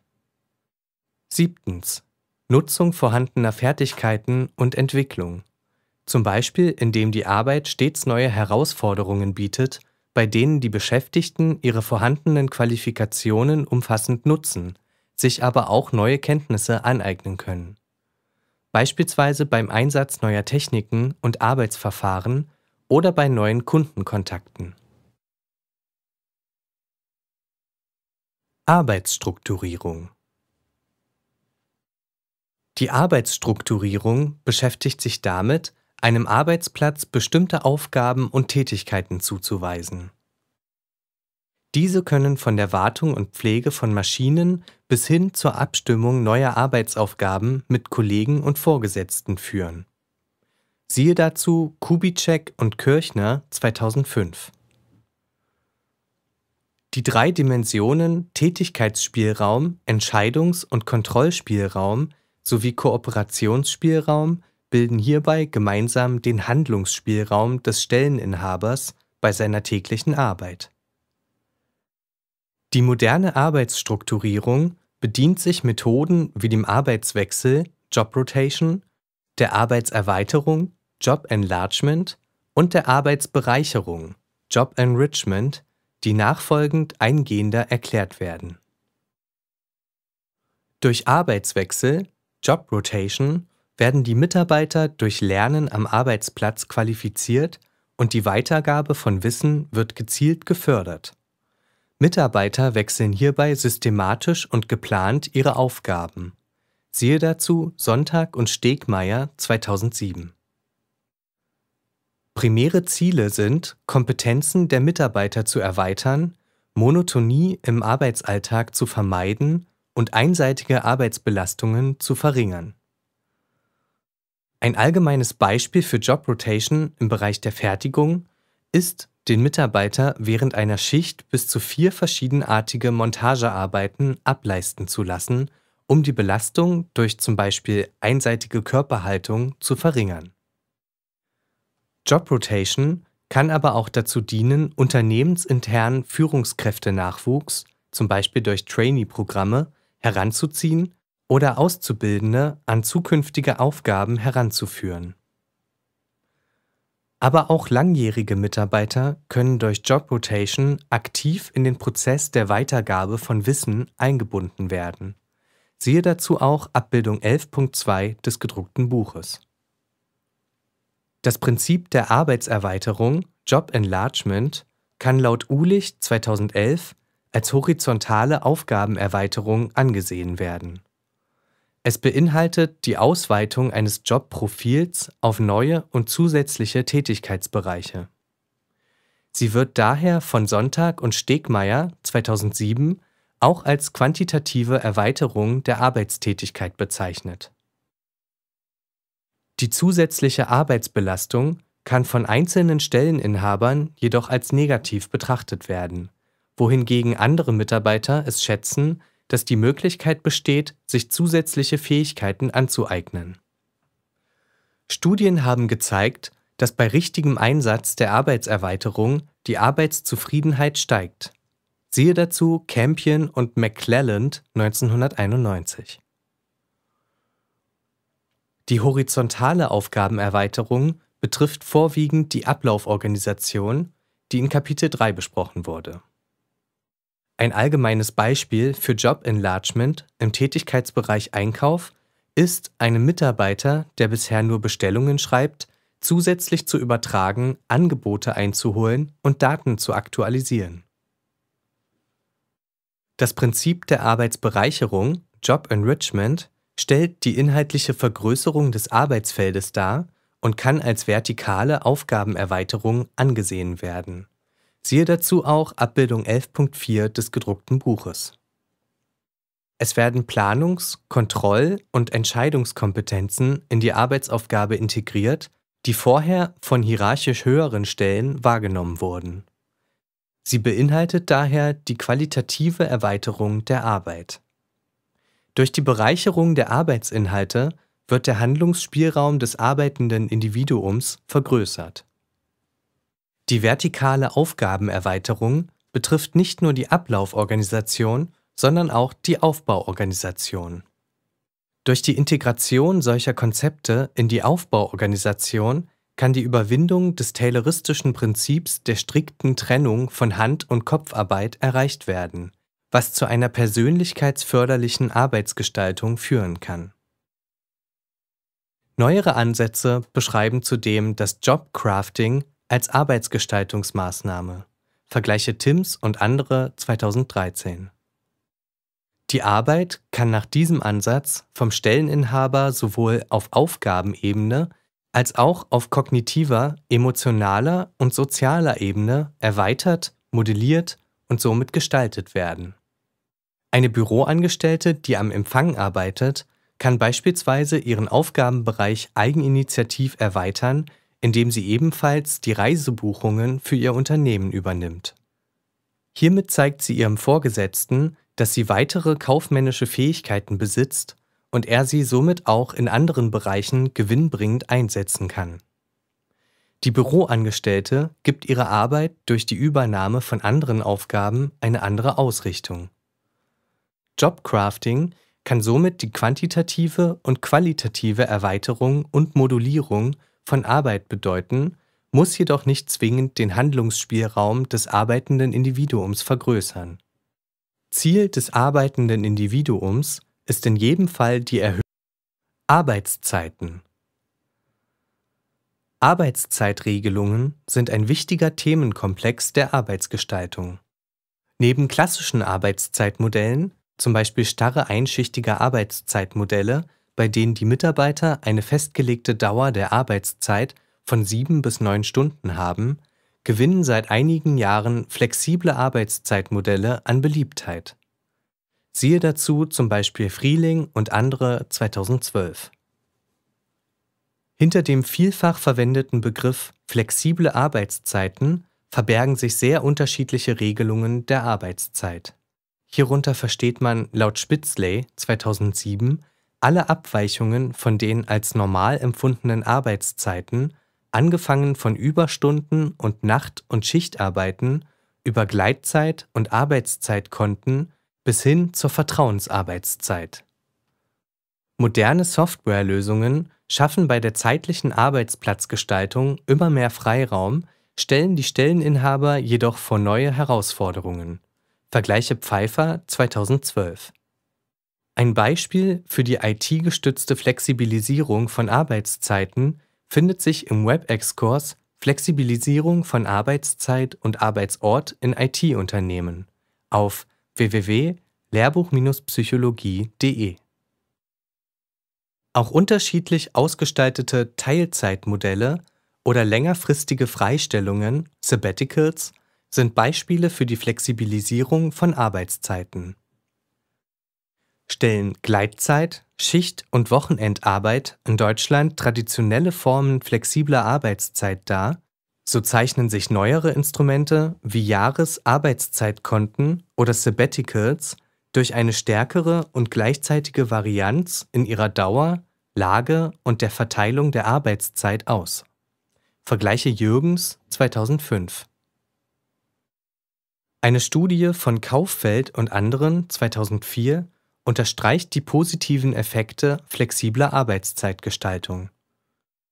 Sie betrachtet Effekte eines flexiblen Jahresarbeitszeitmodells, bei dem die Mitarbeiter ihre Arbeitszeit, abgestimmt mit den Kollegen in der Filiale, nach den Kundenströmen ausrichten konnten. Die Mitarbeiter mit flexiblen Arbeitszeiten erlebten mehr Autonomie und Selbstbestimmungsmöglichkeiten bei gleichzeitig höheren Anforderungen im Vergleich zur Kontrollgruppe. Die Mitarbeiter mit flexibler Arbeitszeitgestaltung waren zufriedener und bewerteten ihre persönliche Entwicklung sowie ihre Lernmöglichkeiten positiver als die Mitarbeiter mit weniger Arbeitszeitautonomie. Zu einer speziellen Form der flexiblen Arbeitszeitgestaltung, der ergonomischen Schichtplangestaltung, finden sich Informationen im WebEx-Kurs Ergonomische Schichtplangestaltung und deren Auswirkungen auf die Mitarbeiter auf www.lehrbuch-psychologie.de. Im Hinblick auf den nahenden demografischen Wandel in Deutschland und Westeuropa ist es sinnvoll, sich mit altersdifferenzierter Arbeitsplatzgestaltung zu beschäftigen, da lebensphasenabhängig unterschiedliche Anforderungen an Mitarbeiter gestellt werden. Zudem werden ein Großteil der Krankheiten, die durch die Arbeit verursacht werden, sowie Unfälle am Arbeitsplatz durch eine mangelhafte Arbeitsgestaltung und schlechte Arbeitsorganisation mit verursacht. Siehe dazu Landau 2003. Lesen Sie mehr zu diesem Thema im Webexkurs Altersdifferenzierte Arbeitsgestaltung als Prävention und Intervention auf der Lehrbuch-Website. Gruppenarbeit als Form der Arbeitsgestaltung Gruppenarbeit ist nach Angaben von Ulich 2011 eine der gängigsten Formen der Arbeitsorganisation in der Produktion. So nutzten 2006 bereits 87 Prozent der Unternehmen mit mehr als 1000 Mitarbeitern Gruppenarbeit als Organisationsform. Siehe Kinkel und andere 2007. Über Gruppenarbeit wird bereits seit Anfang des 20. Jahrhunderts kontrovers diskutiert. Vergleiche Kauffeld 2001. Willi Hellpach führte erste Ansätze zur Gruppenfabrikation in den 1920er Jahren bei Daimler-Benz ein, um der Atomisierung und Sinnentleerung der Fabrikarbeit im Zuge der Rationalisierung industrieller Produktionsprozesse entgegenzuwirken. Arbeitsformen mit autonomen Gruppen wurden in den 1950er und 1960er Jahren in Skandinavien erprobt. Teilautonome Arbeitsgruppen wurden im Rahmen des soziotechnischen Ansatzes vom britischen Tavistock Institute in London erstmals eingesetzt. In Deutschland wurde ab 1974 im Rahmen des staatlichen Forschungsprogramms zur Humanisierung des Arbeitslebens Gruppenarbeit in die Unternehmen getragen. Die Versuche zur Humanisierung des Arbeitslebens haben dabei in den Unternehmen bestenfalls den Boden für spätere Versuche zur Einführung von Gruppenarbeit bereitet. Überzeugt haben sie nicht. Dies war einer Untersuchung von James Womack und seinen Kollegen aus den 1980er Jahren vorenthalten, die den Automobilproduzenten das japanische Organisationskonzept der Lean Production mit flexiblen Fertigungsgruppen empfahlen. Definition Lean Production bedeutet schlanke Produktion und ist eine Methode, die zu höherer Produktivität bei gleichzeitiger Erhöhung der Qualität der Produkte führt. Definition Ende.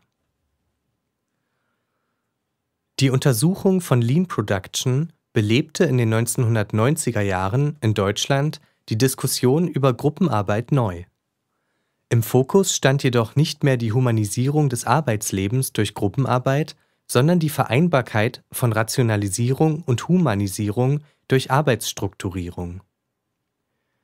Neue Managementkonzepte, vor allem Lean Management, die auf Gruppenarbeit in unterschiedlichen Formen setzten, fanden Eingang in die Unternehmen.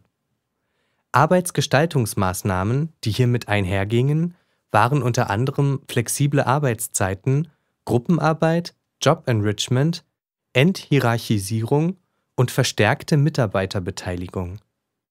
Im folgenden Exkurs werden die Kernmerkmale von Lean Production und Lean Management beschrieben.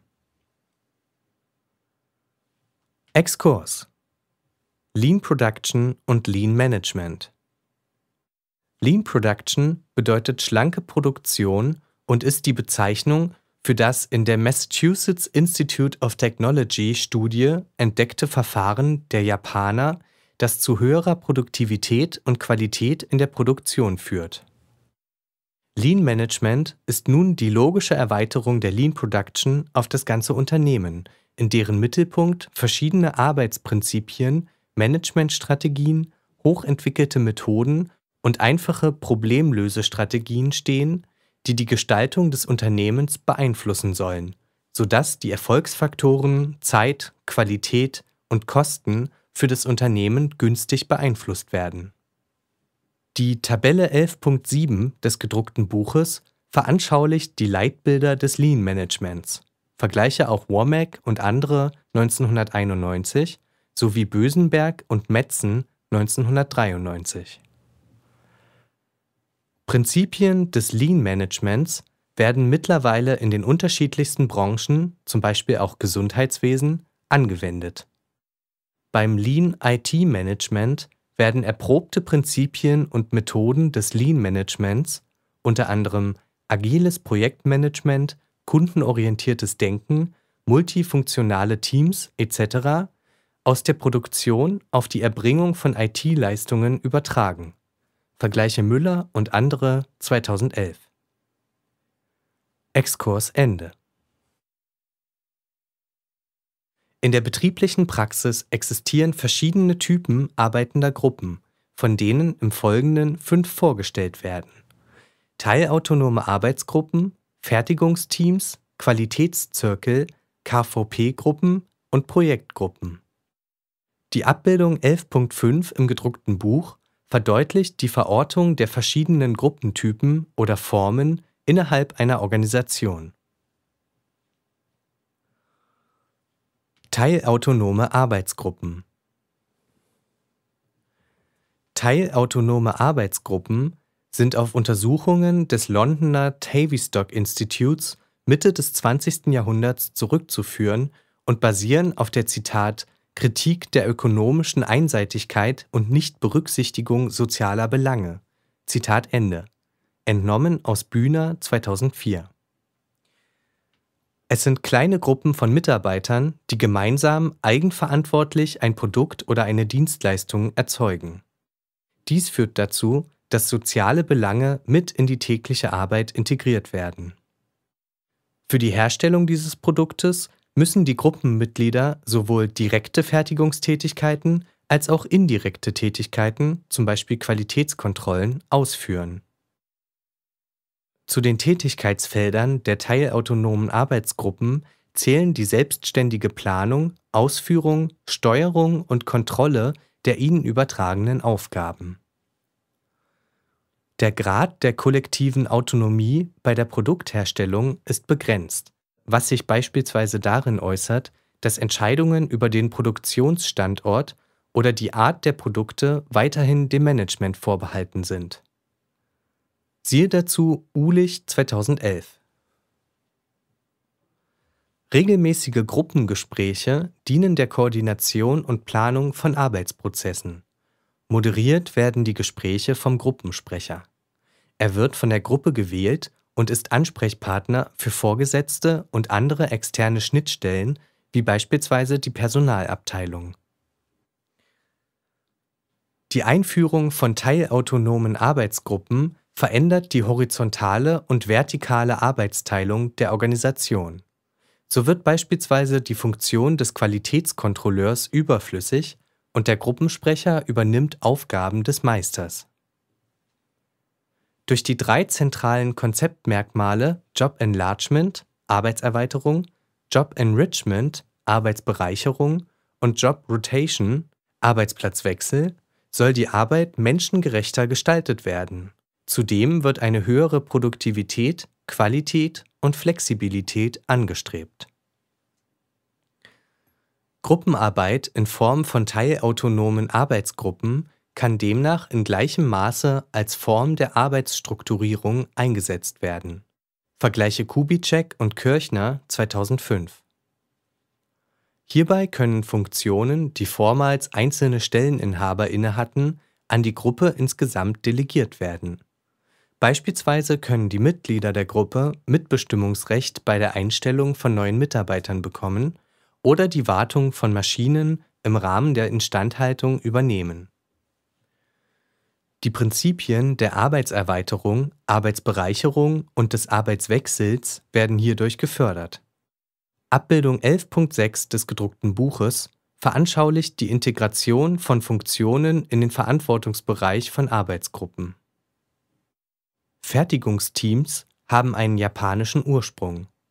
Ein Fertigungsteam besteht aus Fließbandarbeitern und ist hauptsächlich durch taktgebundene Fließbandarbeit charakterisiert, bei der jeder Beschäftigte mehrere spezifische Tätigkeiten ausführt, Multiskilling genannt. Beispielsweise kann ein Fließbandarbeiter sowohl löten als auch schrauben. Das Multiskilling bewirkt, dass Fertigungsteams personell flexibel sind weil mehrere Mitglieder der Gruppe verschiedene spezifische Tätigkeiten ausführen können. Neben direkten Fertigungstätigkeiten müssen die Teams auch indirekte Tätigkeiten übernehmen. Siehe dazu Berggren 1991. Es existiert eine hierarchische Struktur. Dies bedeutet, dass zum Beispiel ein Meister zwei Teams führt. Hohe Arbeitsstandards bedingen, dass jeder Handgriff festgelegt ist. Durch Verbesserungsvorschläge der Teammitglieder können die Standards optimiert werden.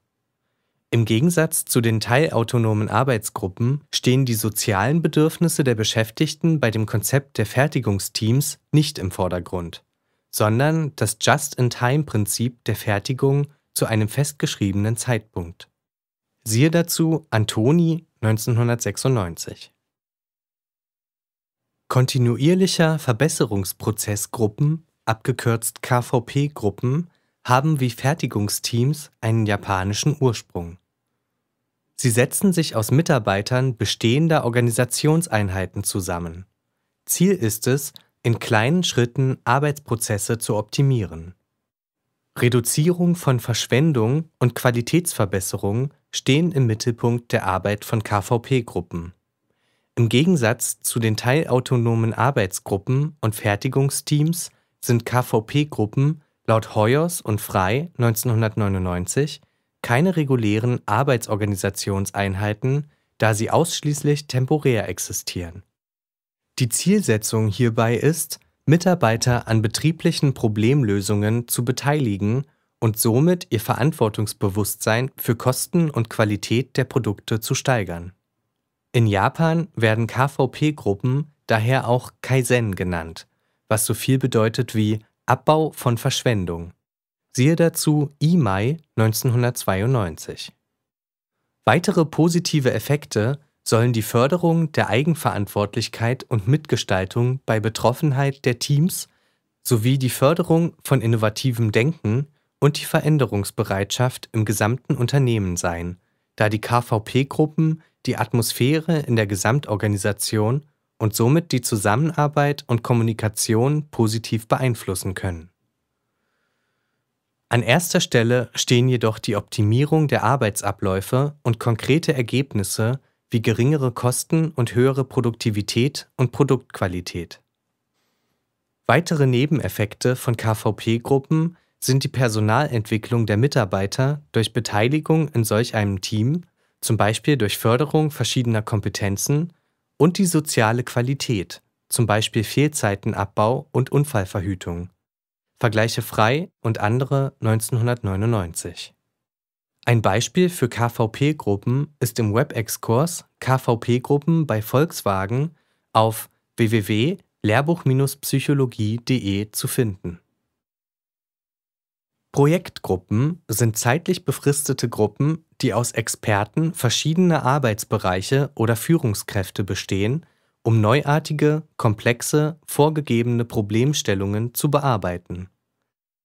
Die Interdisziplinarität soll genutzt werden, um die Projektaufgabe aus möglichst vielen verschiedenen Blickwinkeln betrachten zu können und um somit zu einer optimalen Lösung bzw. einer optimalen Zielerreichung zu gelangen die Teilnahme an den Projektgruppen ist nicht freiwillig, sondern wird anhand des Managementauftrags und der Sachkompetenz des Mitarbeiters festgelegt. Die Zusammenarbeit der Projektgruppe ist aufgrund der klar umrissenen Aufgabenstellung, die sowohl operative als auch strategische Elemente enthält, zeitlich befristet. Siehe dazu Neuberger 1994. So steht die effiziente Auftragsbearbeitung von Planungs- und Entwicklungsaufgaben im Fokus von Projektgruppen.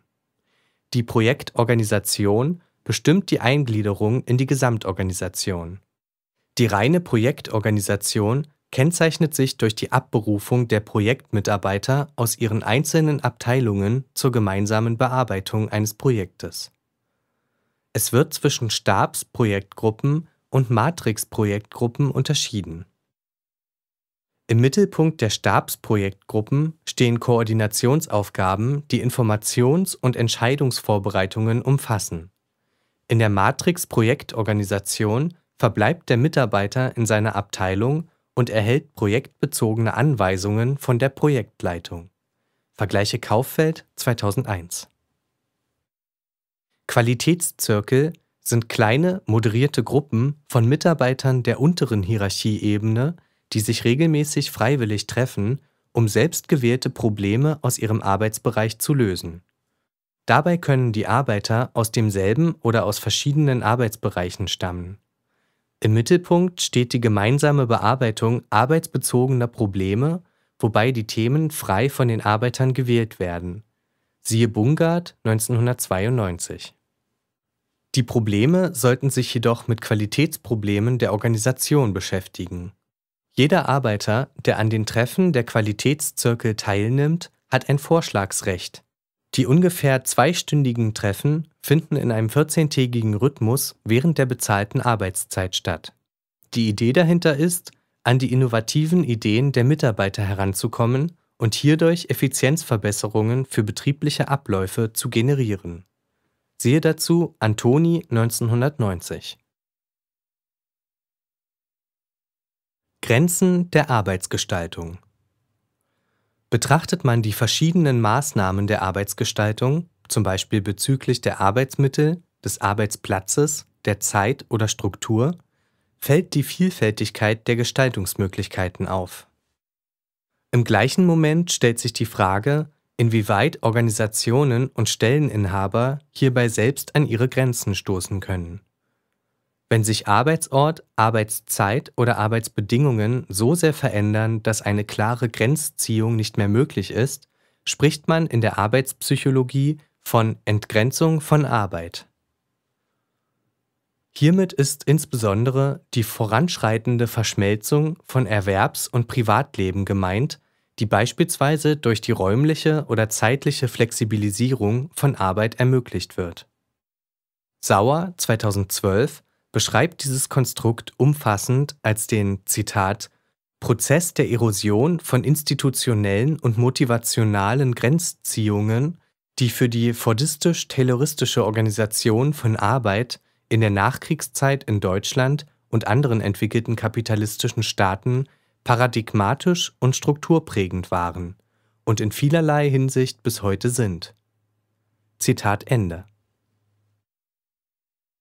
Zwei aktuelle Beispiele zum Thema Arbeitszeit und Arbeitsortflexibilisierung sollen die Herausforderungen, die an Organisation und Arbeitnehmer gestellt werden, verdeutlichen. Beispiel 1 Grenzen der Arbeitszeitflexibilisierung am Beispiel der Volkswagen AG. Ende 2011 erwirkt der Betriebsrat der Volkswagen AG per Betriebsvereinbarung dass für alle tariflich beschäftigten Mitarbeiter, die ein Smartphone, mit dem E-Mails abgerufen werden können, besitzen, eine sogenannte Funkstille eingehalten werden muss. E-Mails werden abends 30 Minuten nach Ende der Gleitzeit vom Server nicht mehr an das Smartphone gesendet und diese Sperre wird morgens erst 30 Minuten vor Arbeitsbeginn wieder aufgehoben. Vergleiche unter anderem Brian 2011. Diese Maßnahme stieß eine öffentliche Debatte zum Thema Grenzen der Arbeitszeitflexibilisierung an.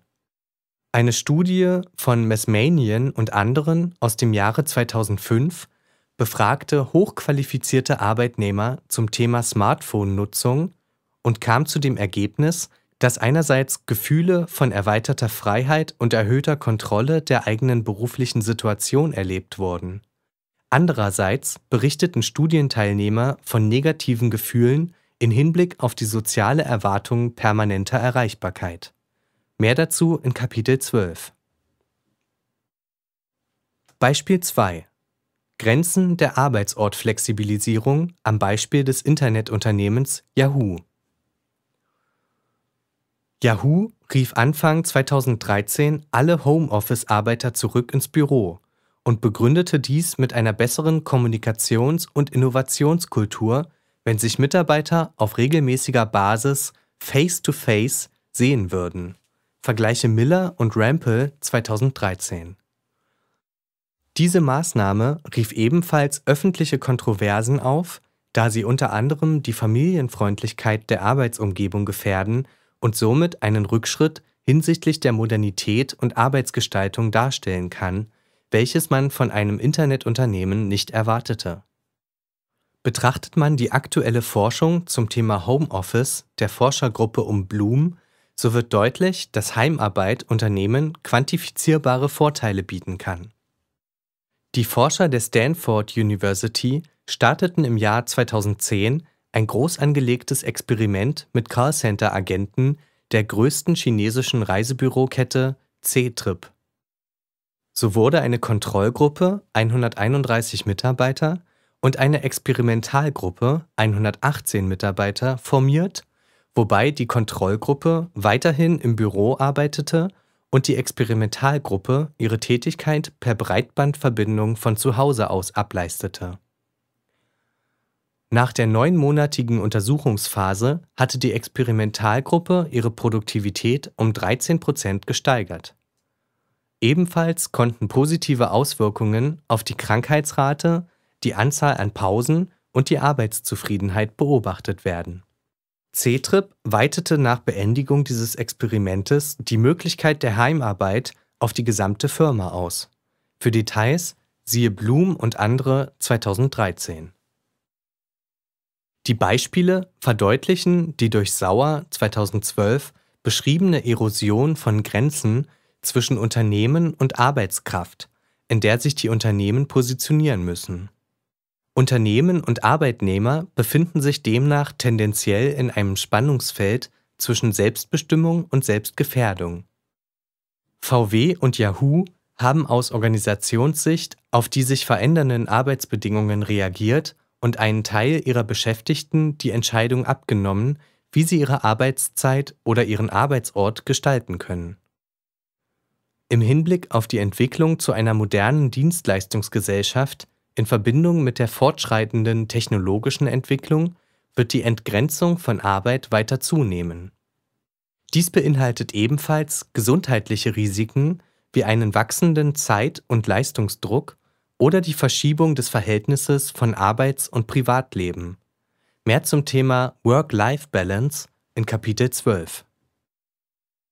Arbeitsgestaltungsmaßnahmen hängen neben den oben beschriebenen Merkmalen Arbeitsmittel, Arbeitsplatz, Arbeitsumgebung, Aufgabengestaltung, Arbeitsstrukturierung, Arbeitszeiten und Gruppenarbeit somit ebenfalls von den technischen Möglichkeiten, den organisationalen Rahmenbedingungen dem Gestaltungswillen des Stelleninhabers und der Organisations- bzw. Unternehmenskultur ab.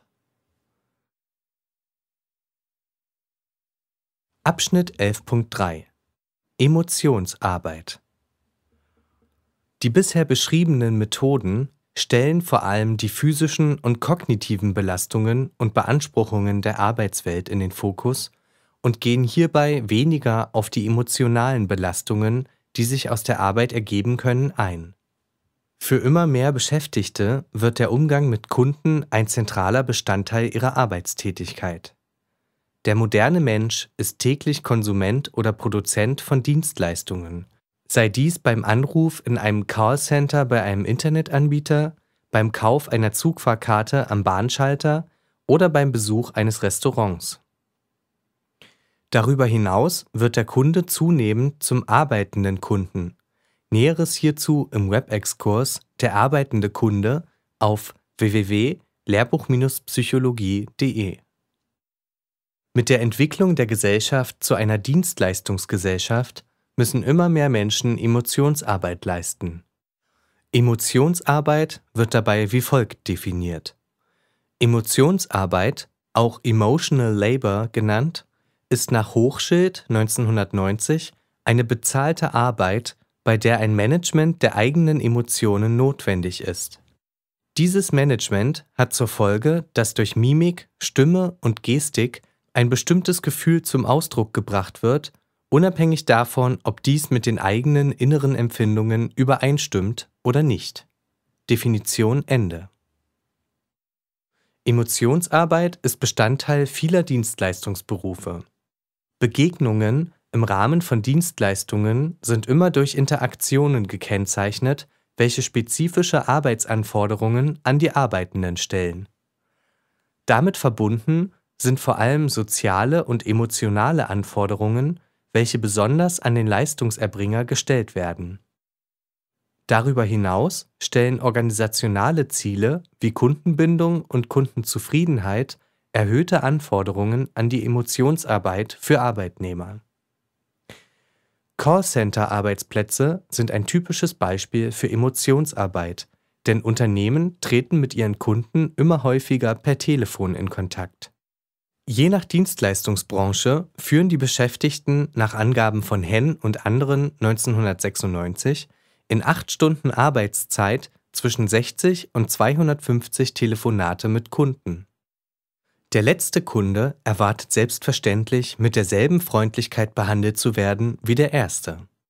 Vom Callcenter-Agenten wird erwartet, dass er sich konstant professionell verhält und sich seine Gefühle nicht anmerken lässt. Dasselbe gilt zum Beispiel für Flugbegleiter. Weitere Beispiele für Emotionsarbeit in verschiedenen Berufen sind in Tabelle 11.8 des gedruckten Lehrbuchs aufgeführt. Das Spezifische an den Dienstleistungsberufen ist die Interaktion mit Kunden, aus denen heraus sich entsprechende Arbeitsanforderungen ergeben. Das heißt, dass es zu den Arbeitsanforderungen von Dienstleistungsberufen gehört, mit Emotionen umzugehen und Emotionen regulieren zu können. Zapf 2002 unterscheidet in Anlehnung an Hacker 2005 drei Aspekte der Emotionsarbeit. Erstens Regulationsmöglichkeiten, zweitens Regulationsanforderungen und drittens Regulationsprobleme. Regulationsmöglichkeiten Ein Teil des beruflichen Alltags ist der Umgang mit Ärger. Ein Kunde ist nicht zufrieden mit der Ware und lässt die Wut am Verkäufer aus. Schüler verhalten sich aus unerklärlichen Gründen aggressiv oder eine Flugbegleiterin muss zuvorkommend freundlich sein, trotz ihrer Müdigkeit nach einem Transatlantikflug. Zapf und andere 2003 unterscheiden vier Strategien, wie mit solchen Situationen umgegangen werden kann. Automatische Regulation bei der automatischen Regulation tritt die geforderte Emotion spontan auf, ohne dass eine falsche Emotion vorgetäuscht werden muss und ohne dass es besonderer Anstrengung bedarf. Oberflächenhandeln Surface Acting Die arbeitende Person gibt nach außen hin über Mimik, Gestik und Stimme vor, die erwartete Emotion zu empfinden, obwohl dies innerlich nicht der Fall ist. Der Gefühlsausdruck wird den Normen angepasst, nicht aber das empfundene Gefühl. Dies bedeutet, dass man sich freundlich verhält, obwohl man den anderen zum Beispiel unsympathisch findet. Siehe Raststätter 1999. Beim Oberflächenhandeln wird laut Krause und anderen 2008 zwischen Faking in Good Faith und Faking in Bad Faith unterschieden. Vergleiche auch Nerdinger 2011. Erstens. Bei Faking in Good Faith dient das Simulieren der Gefühle aus Sicht der arbeitenden Person einem guten Zweck und wird als sinnvoll erachtet. Zweitens. Bei Faking in Bad Faith wird das Oberflächenhandeln ebenfalls praktiziert, es wird jedoch als Zwang erlebt und innerlich nicht akzeptiert. Eine hohe Ausprägung an Faking in Bad Faith im Alltag korreliert stark mit emotionaler Erschöpfung. Tiefenhandeln, Deep Acting. Die arbeitende Person bemüht sich erfolgreich, die erwarteten und erwünschten Gefühle tatsächlich zu empfinden. Nach dem Motto, ich versuche, ein bestimmtes Gefühl hervorzurufen und verhalte mich dementsprechend. Das Tiefenhandeln bedarf bestimmter, in erster Linie kognitiver, Techniken, mit deren Hilfe passende Gefühle hergestellt werden können. Raststätter 1999 beschreibt drei dieser Techniken. Erstens. Eine Methode umfasst alle Arten von körperlicher Entspannung, angefangen bei tiefem Durchatmen. Damit soll innere Ruhe erreicht werden in Situationen, die unerwünschte Gefühle geweckt haben oder voraussichtlich wecken werden, zum Beispiel ein schwieriges Gespräch mit einem Kunden. Zweitens. Eine zweite Methode kann schlicht mit Konzentration beschrieben werden, wie der Handarbeiter seinen Gegenstand nicht fallen lassen darf und sich auf seine Arbeit konzentrieren muss, auch wenn er müde ist, soll sich der Emotionsarbeiter auf seine Aufgabe, auf die zu erreichenden Ziele und auf die Bedürfnisse des Kunden konzentrieren und keine unerwünschten Regungen zulassen. Drittens. Die dritte und interessanteste Technik ist die sogenannte Stanislavski-Methode, die auch Schauspielschüler lernen. Der Betroffene versucht, mentale Bilder und Vorstellungen hervorzurufen, die mit einem bestimmten, nämlich dem in der vorliegenden Situation erforderlichen Gefühl verbunden ist. Die Gefühlserinnerungen helfen in der aktuellen Situation, das passende Gefühl zu erzeugen. Man stelle sich beispielsweise die Flugzeugkabine als gemütliches Wohnzimmer vor, in das nette Gäste eingeladen werden, und denke sich, ich bewirte die Gäste und freue mich, wenn es ihnen gefällt. Für Details siehe Stanislavski 1981. Emotionale Devianz Das gewünschte Gefühl wird von der arbeitenden Person nicht gezeigt, zum Beispiel weil sie die organisationalen Regeln nicht anerkennt. Ganz im Gegenteil wird eine Emotion gezeigt, die seitens der Organisation sogar unerwünscht ist zum Beispiel ein Wutausbruch beim Flugbegleiter. Diese Variante von emotionaler Devianz kann auf Seiten des Arbeitgebers zu Sanktionen führen, da ein Teil der Arbeit im Dienstleistungssektor die Vermittlung bestimmter Emotionen umfasst. Regulationsanforderungen wenn eine Organisation ihren Mitarbeitenden vorgibt, welche Gefühle und welches Verhalten in der täglichen Arbeit gezeigt werden sollen, spricht man von Display Rules. Beispielsweise ist es in der Werbebranche ein verbreitetes Phänomen, dass Marketing-Experten stets positiv auftreten und die Attraktivität ihrer Produkte auch durch ihre gezeigten Gefühle bestätigen. Wer würde ein Produkt kaufen, welches schon mit der Werbung etwas Bedrückendes vermittelt? Zapf und andere (2000) haben Fragen zusammengestellt, mit denen diese Regulationsanforderungen in einer Organisation erfasst werden können. Tabelle 11.9 des gedruckten Buches zeigt die Regulationsanforderungen mit Beispielen von Items für deren Messung. Sind keine expliziten Regeln für den emotionalen Ausdruck vorhanden wird laut Goldberg und Granday 2007 von Display Autonomy gesprochen. Die bisherige Forschung zur organisationalen Emotionsarbeit beschäftigt sich vor allem mit den negativen Auswirkungen von Display Rules auf das Wohlbefinden von Mitarbeitern. Siehe dazu Krause und andere 2008. Regulationsprobleme Emotionale Dissonanz Emotionale Anforderungen in der Arbeit führen nicht per se zu negativen Auswirkungen auf das Befinden, wie etwa zu emotionaler Erschöpfung. Jedoch wurden in Meta-Analysen stabile Zusammenhänge zwischen emotionaler Dissonanz und emotionaler Erschöpfung für verschiedene Berufsgruppen nachgewiesen. Siehe Krause und andere 2008. In Anlehnung an die kognitive Dissonanz wird von emotionaler Dissonanz gesprochen, wenn eine Diskrepanz zwischen den eigenen Gefühlen und der vom Unternehmen geforderten Norm bei den Flugbegleiterinnen zum Beispiel Freundlichkeit und Rücksicht besteht. Maslach und andere 2001 haben nachgewiesen, dass emotionale Erschöpfung, fehlende Erfüllung und Depersonalisation ein Burnout begünstigen. Hier besteht ein Zusammenhang mit den zuvor angesprochenen Display Rules sowie mit Faking in Bad Faith einer Art des Oberflächenhandelns. Letzteres führt zu emotionaler Dissonanz und fördert damit emotionale Erschöpfung und Depersonalisation, die Voraussetzungen für ein Burnout. Im Gegensatz zu anderen Variablen, zum Beispiel Faking in Good Faith oder tiefen Handeln, trägt laut Zapf und anderen 2000 emotionale Dissonanz aber nicht zum Gefühl bei, etwas leisten zu können was förderlich für den Arbeitenden wäre. Soziale Unterstützung durch Vorgesetzte, Kollegen, Freunde oder Familie und Persönlichkeitsmerkmale wie emotionale Stabilität oder Extraversion können den Auswirkungen von emotionaler Dissonanz entgegenwirken und vor emotionaler Erschöpfung schützen. Vergleiche Giardini und Frese 2006 sowie Judge und andere 2009.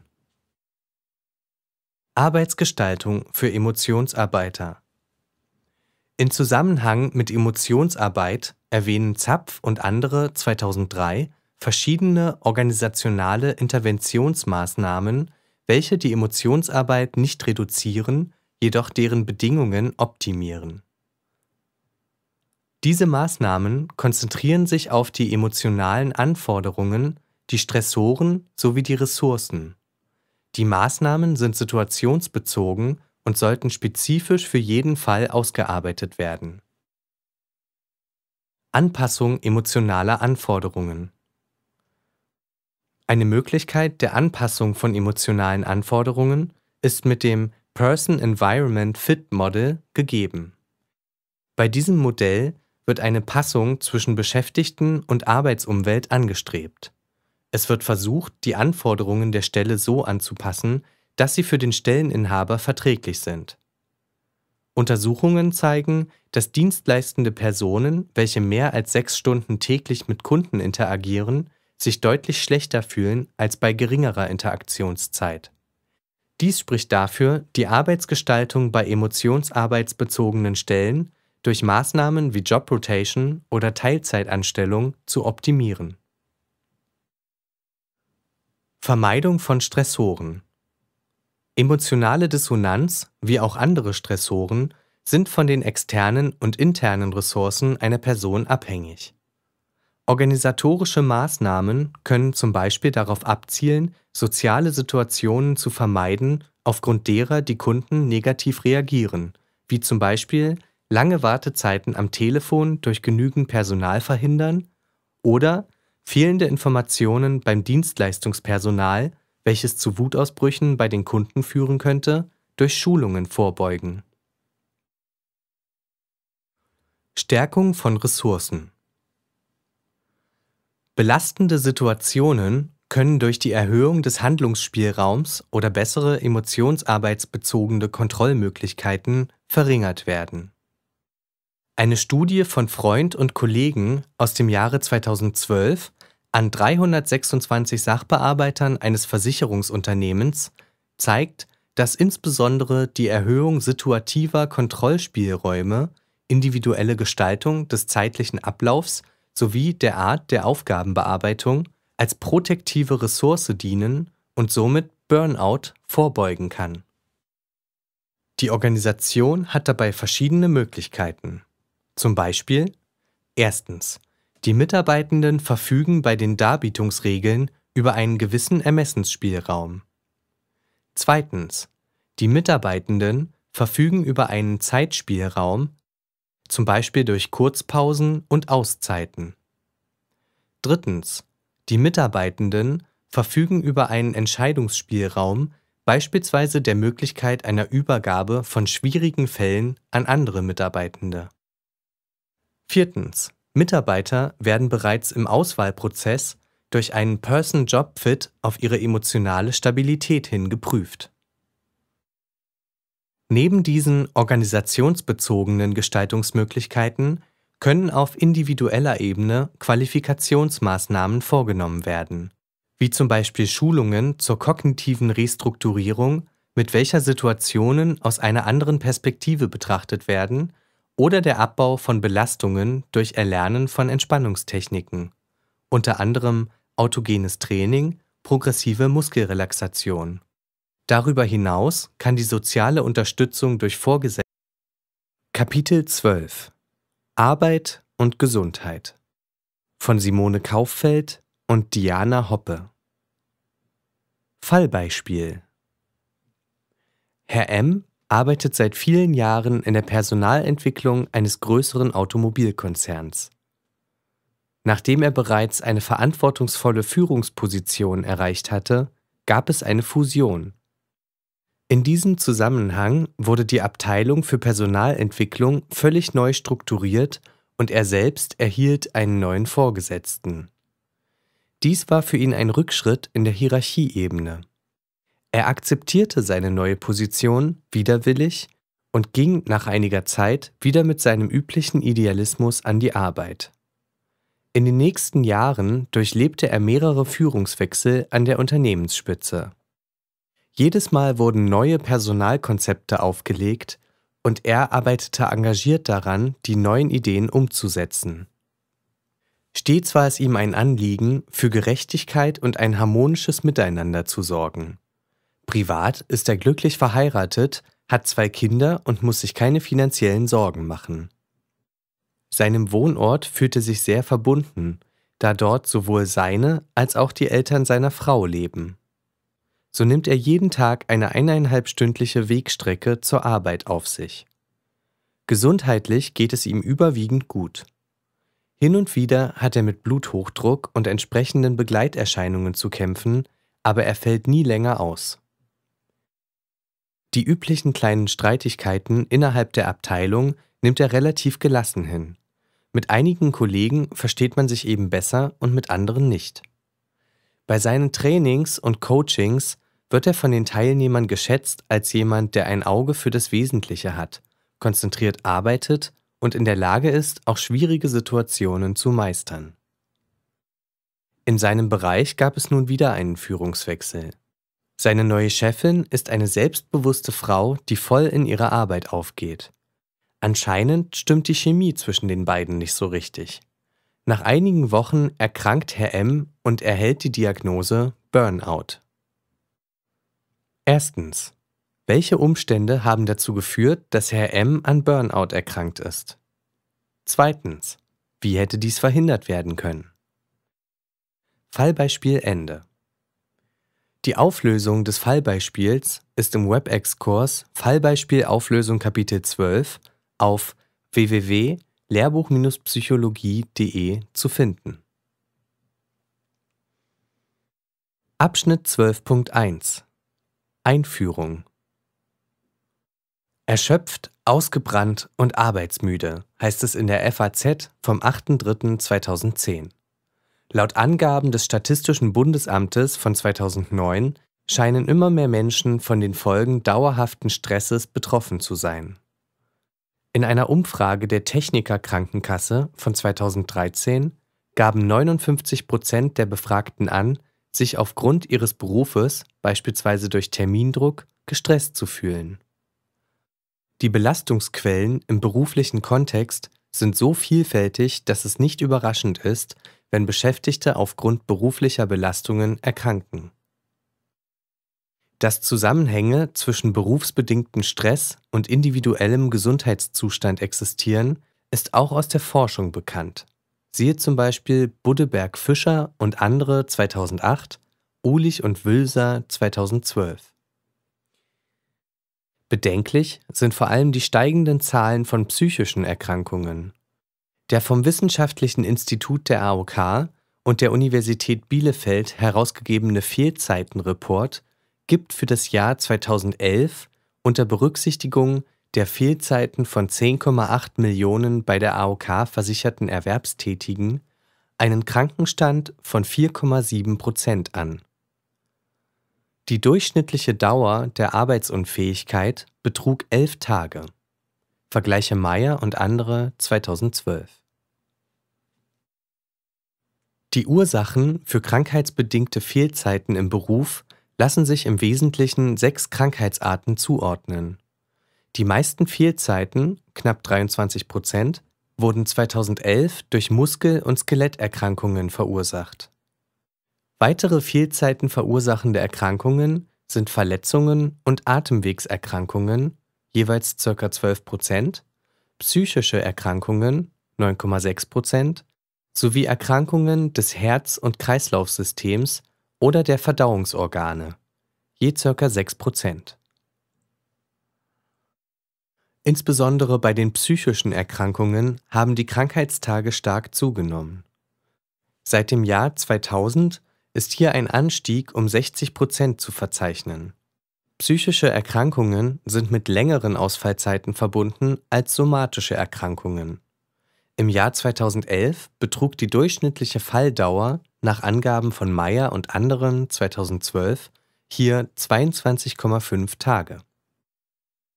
Laut dem Gesundheitsbericht der BKK von 2012 nehmen psychische Erkrankungen weiter zu und haben einen hohen Zuwachs am Arbeitsunfähigkeitsgeschehen. Die krankheitsbedingte Abwesenheit Beschäftigter verursacht nicht nur individuelle Konsequenzen für die Arbeitnehmer selbst. Unternehmensseitig entstehen neben organisatorischen Problemen, zum Beispiel Vertretung, vor allem erhebliche Kosten. Siehe dazu Ulich und Wülser 2012. Nach einer Erhebung der Bundesanstalt für Arbeitsschutz und Arbeitsmedizin von 2013 liegen die volkswirtschaftlichen Produktionsausfälle bei 46 Milliarden Euro. 5,9 Milliarden Euro davon entfallen auf psychische Erkrankungen. Mit den steigenden Kosten arbeitsbedingter Erkrankungen für Unternehmen ist die Verbesserung der Gesundheit auch vermehrt ein betriebliches Thema bzw. Ziel geworden. Siehe zum Beispiel Lück und andere 2009 oder Ulich und Wülser 2012.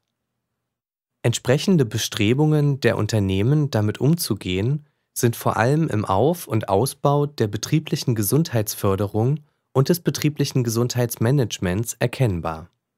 Lesen Sie dazu auch den Webexkurs Betriebliche Gesundheitsförderung und betriebliches Gesundheitsmanagement auf www.lehrbuch-psychologie.de. Gesundheit ist ein wichtiger persönlicher und auch gesellschaftlicher Wert. Die Bedeutung der eigenen Gesundheit wird häufig erst bei auftretenden Erkrankungen oder mit fortschreitendem Alter erfasst. Doch was genau bedeutet Gesundheit eigentlich? Definition Die Weltgesundheitsorganisation WHO definierte Gesundheit 1946 zunächst als einen Zustand vollkommenen körperlichen, psychischen und sozialen Wohlbefindens und nicht allein dem Fehlen von Krankheit. In einer überarbeiteten Definition von 1987 wird Gesundheit nun als die Fähigkeit und Motivation, ein wirtschaftlich und sozial aktives Leben zu führen, bezeichnet. Definition Ende. In der überarbeiteten Fassung der Gesundheitsdefinition wird eine veränderte Auffassung von Gesundheit deutlich. Dem Menschen wird eine aktivere Rolle bei Aufbau und Aufrechterhaltung von Gesundheit zugesprochen. Somit gewinnt auch die Gestaltung von Arbeitsbedingungen einen größeren Stellenwert. Siehe dazu Ulich und Wilser 2012. Abschnitt 12.2 Belastungen in der Arbeit ob bei der Arbeit, im Kreis der Familie oder bei Freizeitaktivitäten, der Mensch ist im Alltag oft stark gefordert. Gehen die Anforderungen über ein gewisses Maß hinaus, kann dies als anstrengend und belastend empfunden werden. Der Mensch fühlt sich gestresst. Die Begriffe Belastung, Beanspruchung und Stress werden in der Alltagssprache häufig synonym verwendet, wobei sie zumeist eher negativ konnotiert sind. Im Arbeitskontext wird Belastungen und Beanspruchungen viel Aufmerksamkeit geschenkt. Die Begrifflichkeiten werden jedoch differenzierter und neutraler betrachtet. Für die tiefere Auseinandersetzung mit dem Thema Stress am Arbeitsplatz ist es zunächst wichtig, einige der wesentlichen Begriffe zu definieren und voneinander abzugrenzen. Überblick Belastung als psychische Belastung wird die Gesamtheit aller erfassbaren Einflüsse, die von außen auf den Menschen einwirken, verstanden. Angaben aus dem Normenausschuss Ergonomie im Deutschen Institut für Normung 1987. Beanspruchung Als psychische Beanspruchung bezeichnet man die individuellen, zeitlich unmittelbaren Auswirkungen der psychischen Belastung auf den Menschen. Stress Nach Greif und Cox 1997 ist Stress ein subjektiv intensiv unangenehmer Spannungszustand, der aus der Befürchtung resultiert, dass eine stark aversive, zeitlich nahe oder bereits eingetretene, subjektiv lang andauernde Situation wahrscheinlich nicht vollständig kontrollierbar ist, deren Vermeidung aber subjektiv wichtig erscheint. Stressoren. Dies sind Faktoren, externe oder interne Stimuli, die mit hoher Wahrscheinlichkeit eine Stressreaktion auslösen. Der Begriff Stressor und Stressreaktion entsprechen den Begriffen Belastung und Beanspruchung. Siehe dazu Sharper 2011. Überblick Ende. Durch die Unterscheidung zwischen Belastung und Beanspruchung wird eine differenzierte Betrachtungsweise ermöglicht. Gleiche Belastungen können zu unterschiedlichen Beanspruchungen führen. Verschiedene Faktoren wie die Intensität und Dauer der Belastungen oder auch individuelle Merkmale der Person wie vorhandene Ressourcen haben einen Einfluss darauf, ob die Beanspruchung mit eher positiven, zum Beispiel Aktivierung, oder eher negativen, zum Beispiel Stresserleben, Konsequenzen verbunden ist. Siehe Poppelreuter und Mirke 2008. Aus arbeitspsychologischer Sicht hat die Beanspruchung des Individuums nicht nur negative, sondern auch positive Auswirkungen, wie der gleich folgende Exkurs zeigt. Ziel sollte es daher sein, nicht nur diejenigen Faktoren zu identifizieren, die Mitarbeiter negativ beanspruchen, sondern auch diejenigen, die positiv erlebt werden, zum Beispiel im Sinne einer Herausforderung. Dies kann in der Folge in einer beanspruchungsoptimalen versus beanspruchungsarmen Arbeitsgestaltung münden. Exkurs Positive Folgen von Stress am Arbeitsplatz Meist gehen wir automatisch davon aus, dass berufsbedingter Stress mit negativen Konsequenzen wie zum Beispiel Krankheit oder Fehlzeiten verbunden ist. Stress kann aber auch positive Seiten haben. Selye 1978 prägte den Begriff Eustress. Im Gegensatz zum Distress, negativer Stress, wirkt Eustress als positiver Stress anregend und motivierend. Entscheidend für das Erleben von Eustress ist, dass die Stressoren nicht als bedrohlich, sondern als herausfordernd empfunden werden, zum Beispiel eine in Aussicht gestellte Beförderung. Der Körper ist dann zwar in erhöhte Aktiviertheit versetzt, jedoch regt diese Form des Stresses Menschen zu höheren Leistungen an. Auf diese Weise kann laut Semmer und Udris 2007 Stress auch eine Quelle von Stolz und dem Erleben von Selbstbewusstsein sein. Exkurs Ende. Belastungsfaktoren die Möglichkeiten, Belastungen, die sich in der Arbeitswelt ergeben, zu gruppieren, sind so vielfältig wie die Belastungen selbst. Nach Schönpflug 1987 können Belastungen anhand der folgenden sechs Dimensionen unterschieden werden. Nach ihrer Herkunft, zum Beispiel personenbedingt oder umgebungsbedingt, nach ihrer Qualität, zum Beispiel leichte oder starke Belastung, nach den Möglichkeiten, sie zu beeinflussen, zum Beispiel nicht beeinflussbare gesundheitliche Einschränkungen oder selbstverursachter Konflikt mit Kollegen, nach der Möglichkeit, ihr Auftreten vorherzusehen, zum Beispiel unvorhersehbare Störungen wie Maschinenausfälle oder vorhersehbare Belastung durch ein zusätzlich angenommenes Projekt. Nach ihrer zeitlichen Struktur, zum Beispiel permanent oder selten, nach der Art ihrer Auswirkungen, zum Beispiel physisch oder psychisch, auf die Betroffenen.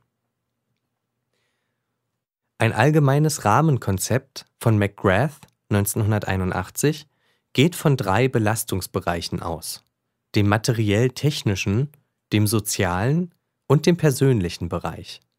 Siehe dazu auch Abbildung 12.1 im gedruckten Lehrbuch. In allen drei Bereichen können Belastungen entstehen. Im technischen Bereich A kann zum Beispiel Lärm eine Belastung sein, im sozialen Bereich B kommen zum Beispiel soziale Konflikte als Ursache von Beanspruchungserleben in Frage und im personalen Bereich C ist Überängstlichkeit einer Person ein möglicher Belastungsfaktor. Darüber hinaus können sich Überlappungen der drei Bereiche ergeben. Eine Belastung in der Überlappung des technischen und sozialen Bereichs AB kann die soziale Isolation eines Beschäftigten sein. In der Überschneidung des sozialen und personalen Systems BC ergeben sich Rollen, die zu Rollenkonflikten führen können. Und im technisch-personalen Bereich AC findet sich als Belastungsfaktor die Arbeitsaufgabe mit ihrer ganz individuellen Schwierigkeit, wie zum Beispiel eine unklare Aufgabenstellung oder Über- bzw. Unterforderung. Siehe dazu Semmer und Udris 2007. Im Überlappungsbereich aller drei Bereiche ABC kann zum Beispiel ein schlechtes Betriebsklima eingeordnet werden, da dieses durch unterschiedliche Aspekte wie zum Beispiel schädliche Arbeitsumgebung, negative Kommunikation untereinander und mangelnde Motivation Einzelner, dies zu verändern, bedingt sein kann. Die Tabelle 12.1 des gedruckten Buches gibt einen Überblick über beispielhafte Belastungen in der Arbeitswelt und wie diese den drei Bereichen nach McGrath 1981 sowie den Schnittstellen zwischen diesen Bereichen zugeordnet werden können. Einige Arbeitstätigkeiten gelten als besonders belastend. Dies liegt in erster Linie daran, dass in der alltäglichen Arbeit eine Vielzahl von Belastungsfaktoren zusammenkommen, sodass die Möglichkeit der Beschäftigten, diesen Belastungen mit individuellen Ressourcen entgegenzuwirken, erschwert ist. Eine Betrachtung des Nacht- und Schichtarbeitsmodells zeigt, dass Schichtarbeiter in erhöhtem Maße körperlichen und psychischen Belastungen sowie ungünstigen Umgebungseinflüssen ausgesetzt sind. Darüber hinaus verfügen sie über wenig Kontrolle und Handlungsspielräume am Arbeitsplatz. Siehe dazu Beermann 2008. Als belastungsreich hat sich auch der Pflegeberuf erwiesen. Im Umgang mit pflegebedürftigen Personen ergeben sich häufig psychische Belastungen durch Situationen, in denen Krankheit, Gebrechen oder Tod eine Rolle spielen.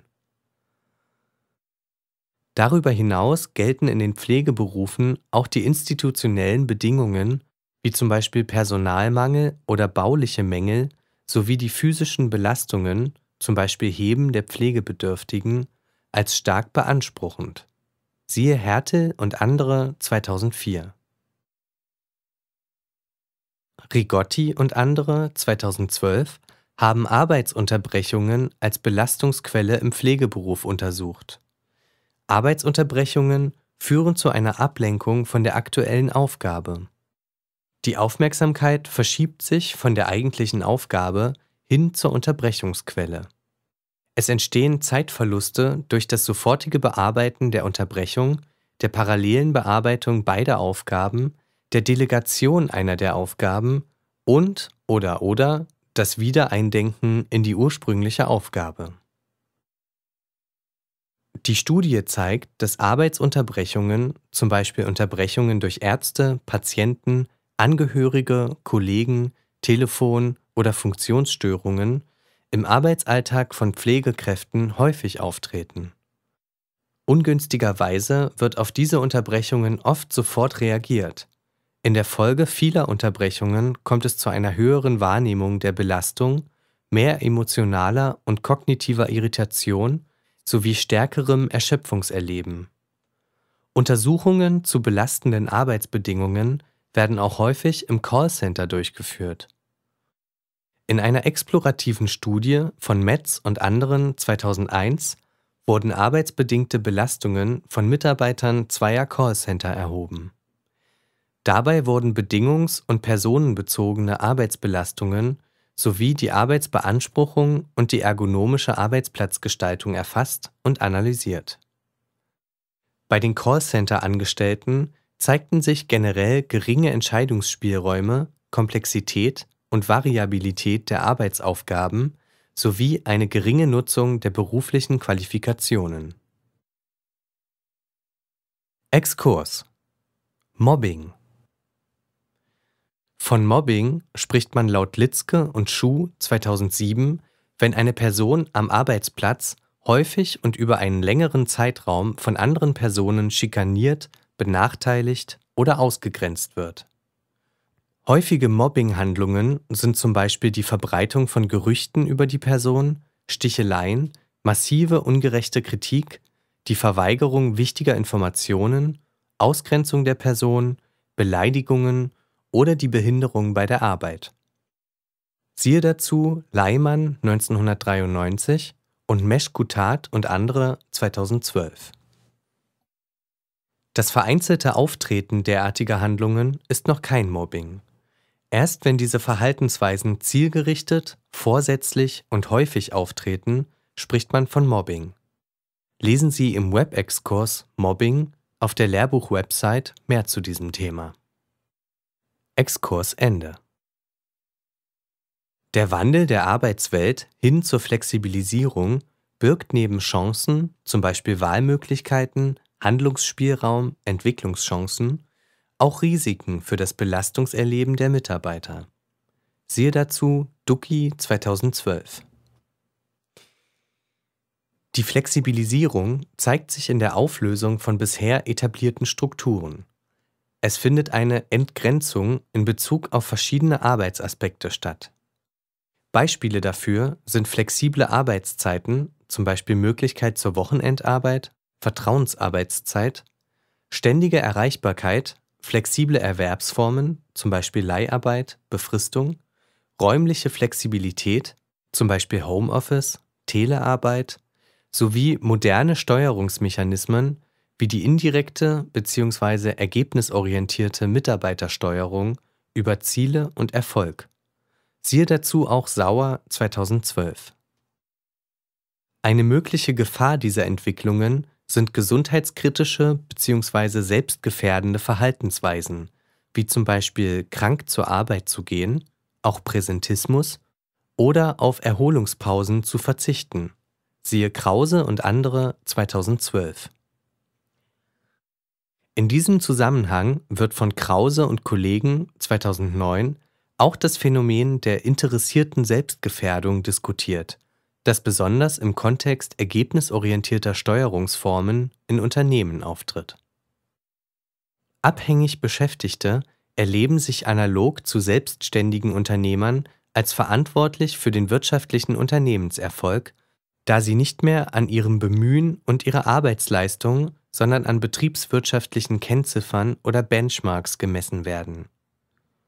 In der Folge gehen Mitarbeiter freiwillig über ihre gesundheitlichen Grenzen hinaus und zeigen gesundheitsschädigendes Verhalten wie Pausenverzicht, Ausdehnung der Arbeitszeit, Präsentismus. Häufig schwankt dabei das individuelle Arbeitserleben zwischen Engagement und Begeisterung über die Herausforderungen einerseits und Selbstzweifel, den Ansprüchen zu genügen und dem Druck standhalten zu können, andererseits. Im Rahmen des betrieblichen Gesundheitsmanagements sollte versucht werden, diesem Nebeneffekt der zunehmenden Flexibilisierung in der Arbeit entgegenzuwirken, um langfristige Konsequenzen wie zum Beispiel Burnout zu verhindern. Mögliche Maßnahmen könnten die Sensibilisierung der Mitarbeiter über Trainingsmaßnahmen, Frühwarnsysteme, geschützte Kommunikationsräume oder die Berücksichtigung der Mitarbeitergesundheit im Steuerungssystem sein. Als Belastungen bei der Arbeit gelten darüber hinaus unter anderem neue Medien, Belastung durch Informationsfülle und Informationsüberflutung sowie durch ständig mobile Erreichbarkeit Emotionsarbeit, Belastung durch die aufgrund der Arbeitsaufgabe notwendige Regulation von Emotionen, Abweichung zwischen tatsächlichen und gezeigten Emotionen, individueller Stil, Belastung durch die spezifische Ausprägung individueller Merkmale wie Kontrollüberzeugung oder Ambiguitätstoleranz. Ausführlichere Informationen zu den Belastungen finden Sie im Webexkurs Ausgewählte Belastungen in der Arbeit auf www.lehrbuch-psychologie.de. Eine beispielhafte Beschreibung der Belastungen der Berufsgruppe Finanzberater finden Sie dort im Webexkurs Finanzberater Abschnitt 12.3 Modelle zur Erklärung der Entstehung von Stress Was sind die Entstehungsbedingungen von Stress? Unter welchen Umständen wirken Umweltfaktoren belastend? Warum führen Stressoren nur bei manchen Personen zu Stress und bei anderen nicht? Antworten darauf liefern Stressmodelle. Die verschiedenen Modelle bieten Erklärungsansätze über die Entstehungsbedingungen von Stress. Physiologisches Stressmodell Die ersten Arbeiten in der Stressforschung gehen auf Hans Selye 1974 zurück. Das Modell von Selye ist biologisch orientiert und wird häufig auch als reaktionsorientierter Erklärungsansatz für die Entstehung von Stress bezeichnet. Selye definiert Stress als eine unspezifische Reaktion des Organismus auf jede Art von Anforderung, also eine allgemeine Anpassungsreaktion. Er setzt Stress im Wesentlichen mit Erregung gleich. Unterschiedlichste Faktoren können zu Stressoren werden und das physiologische allgemeine Adaptionssystem auslösen. Dieses besteht aus drei Phasen. Erstens. Der Organismus reagiert zunächst mit einer Alarmreaktion. Der Stressor wird erkannt und die Person reagiert mit Anspannung. Der Körper schüttet vermehrt Hormone wie Adrenalin, Noradrenalin und Cortisol aus und ist in erhöhte Aktiviertheit versetzt. Zweitens. In der Widerstandsphase leistet die Person den Einwirkungen des Stressors Widerstand. Bei dieser Gegenreaktion werden die ausgeschütteten Stresshormone wieder abgebaut und der Körper erholt sich. Drittens. Gelingt es der Person nicht, sich diesen Einwirkungen zu widersetzen, zum Beispiel aufgrund mangelnder Ressourcen, folgt die Erschöpfungsphase. Sie beginnt, wenn die Person demselben Stressor über längere Zeit ausgesetzt ist und nicht mehr dagegen ankämpfen kann. Die körperlichen Anzeichen von nicht abgebautem, das heißt chronischem Stress, entsprechen in vielem denen, die auch beim Burnout zu beobachten sind. Siehe dazu auch Litzke und Schuh 2007. Transaktionales Stressmodell eines der einflussreichsten Stressmodelle stammt von Richard Lazarus 1966. Es handelt sich um einen kognitiven Erklärungsansatz für die Entstehung von Stress. Im Zentrum dieses Modells stehen individuelle kognitive Bewertungsprozesse, die darüber entscheiden, ob bei der betreffenden Person Stresserleben entsteht oder nicht. Ausgangspunkt ist ein Reiz, zum Beispiel Ereignis oder Situation, der potenziell Stress auslösen könnte. Entscheidend für die Entstehung von Stress ist, wie der Reiz durch die Person eingeschätzt bzw. bewertet wird.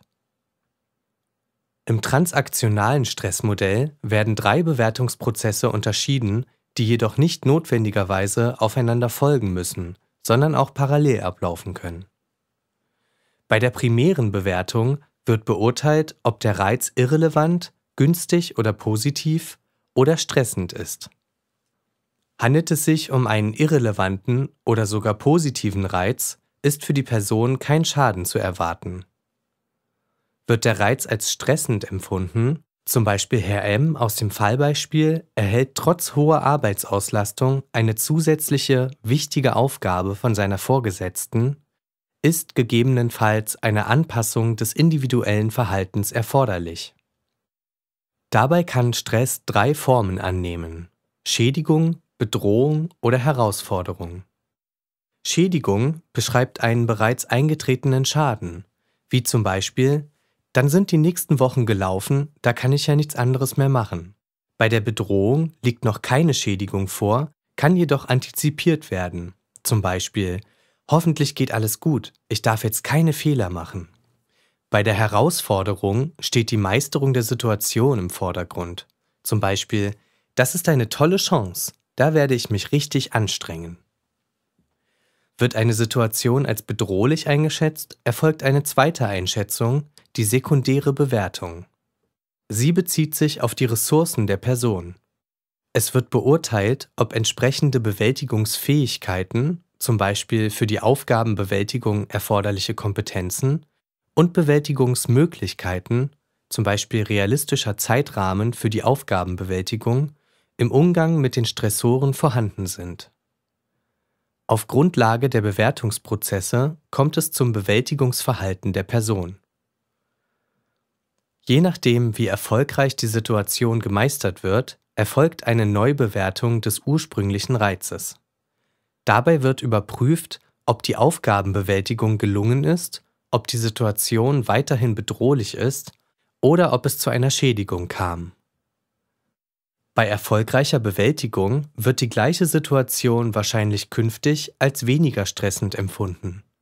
Siehe dazu Lazarus und Lonier 1981 sowie Lazarus und Folkman 1984. Die beschriebenen Bewertungsprozesse können sich je nach Situation auch mehrfach wiederholen. Es handelt sich vorwiegend um automatische und intuitive Prozesse. Nach dem transaktionalen Stressmodell entsteht Stress dann, wenn eine Situation bedrohlich ist, der Person jedoch keine ausreichenden Bewältigungsfähigkeiten bzw. Möglichkeiten zur Verfügung stehen. Vorteilhaft an diesem Modell ist, dass es Ansatzpunkte für Interventionen liefert, wie zum Beispiel die Arbeit am Bewältigungsverhalten einer Person. Außerdem lassen sich damit chronische Folgen von Stress erklären, die aufgrund von wiederholten negativen Bewertungsprozessen entstehen können. Anforderungskontrollmodell das Anforderungskontrollmodell von Karasek 1979 enthält zwei Dimensionen: die Arbeitsanforderungen und den Entscheidungsspielraum einer Person. Die Arbeitsanforderungen bezeichnen die quantitative Arbeitsbelastung und sich widersprechende Anforderungen an einem Arbeitsplatz. Der Entscheidungsspielraum ist das Ausmaß, in dem die Person Entscheidungen selbstständig treffen und auf Anforderungen variabel reagieren kann. Beide Dimensionen können in Abhängigkeit von der Arbeitsaufgabe jeweils niedrig oder hoch ausgeprägt sein. Durch diese Einteilung ergeben sich vier Tätigkeitstypen. Siehe dazu auch Abbildung 12.2 im gedruckten Lehrbuch. Nach dem Modell resultieren hochbelastende Tätigkeiten vor allem aus dem Zusammenspiel von hohen Anforderungen und einem geringen Entscheidungsspielraum. Eine hohe Anzahl von Stressoren kann dem Modell zufolge durch eine Erhöhung des Entscheidungsspielraums neutralisiert werden. Das bedeutet zum Beispiel, dass einem Mitarbeiter mit einem sehr hohen Auftragsvolumen mehr Befugnisse eingeräumt werden sollten, um Stress zu vermeiden oder zu reduzieren. Wird bei steigenden Anforderungen der Entscheidungsspielraum geringer, so ist dies gesundheitlich stark belastend. Diese sogenannte Strain-Hypothese findet in Untersuchungen überwiegend Bestätigung. Nimmt der Entscheidungsspielraum bei steigenden Anforderungen dagegen zu, so wird eine leistungsförderliche Wirkung postuliert. Die Lernhypothese wurde bislang seltener untersucht als die Strain-Hypothese. Siehe Ulich und Wöser 2012. Empirische Unterstützung findet sie zum Beispiel in einer Studie von Kauffeld und anderen 2004, in der die Effekte eines flexiblen Jahresarbeitszeitmodells, bei dem die Mitarbeiter ihre Arbeitszeit abgestimmt mit den Kollegen in der Filiale nach den Kundenströmen ausrichten konnten, betrachtet wurden die Mitarbeiter mit flexiblen Arbeitszeiten erlebten mehr Autonomie und Selbstbestimmungsmöglichkeiten bei gleichzeitig höheren Anforderungen im Vergleich zur Kontrollgruppe. Die Ergebnisse stützen die Lernhypothese. Die Mitarbeiter mit flexibler Arbeitszeit waren arbeitszufriedener und bewerteten ihre persönliche Entwicklung sowie ihre Lernmöglichkeiten positiver als die Mitarbeiter mit wenig Arbeitszeitautonomie. Neue Studien, zum Beispiel von Bakker und Demeruti 2006, berücksichtigen, dass neben dem Entscheidungsspielraum auch weitere Ressourcen, wie zum Beispiel soziale Unterstützung oder der Führungsstil, in dem Modell eine Rolle spielen könnten. Das Modell verbindet zwei wichtige Faktoren, die Anforderungen einerseits und den Entscheidungsspielraum im Rahmen einer Tätigkeit andererseits. Darüber hinaus zeigt es Ansatzpunkte für Interventionsmöglichkeiten auf.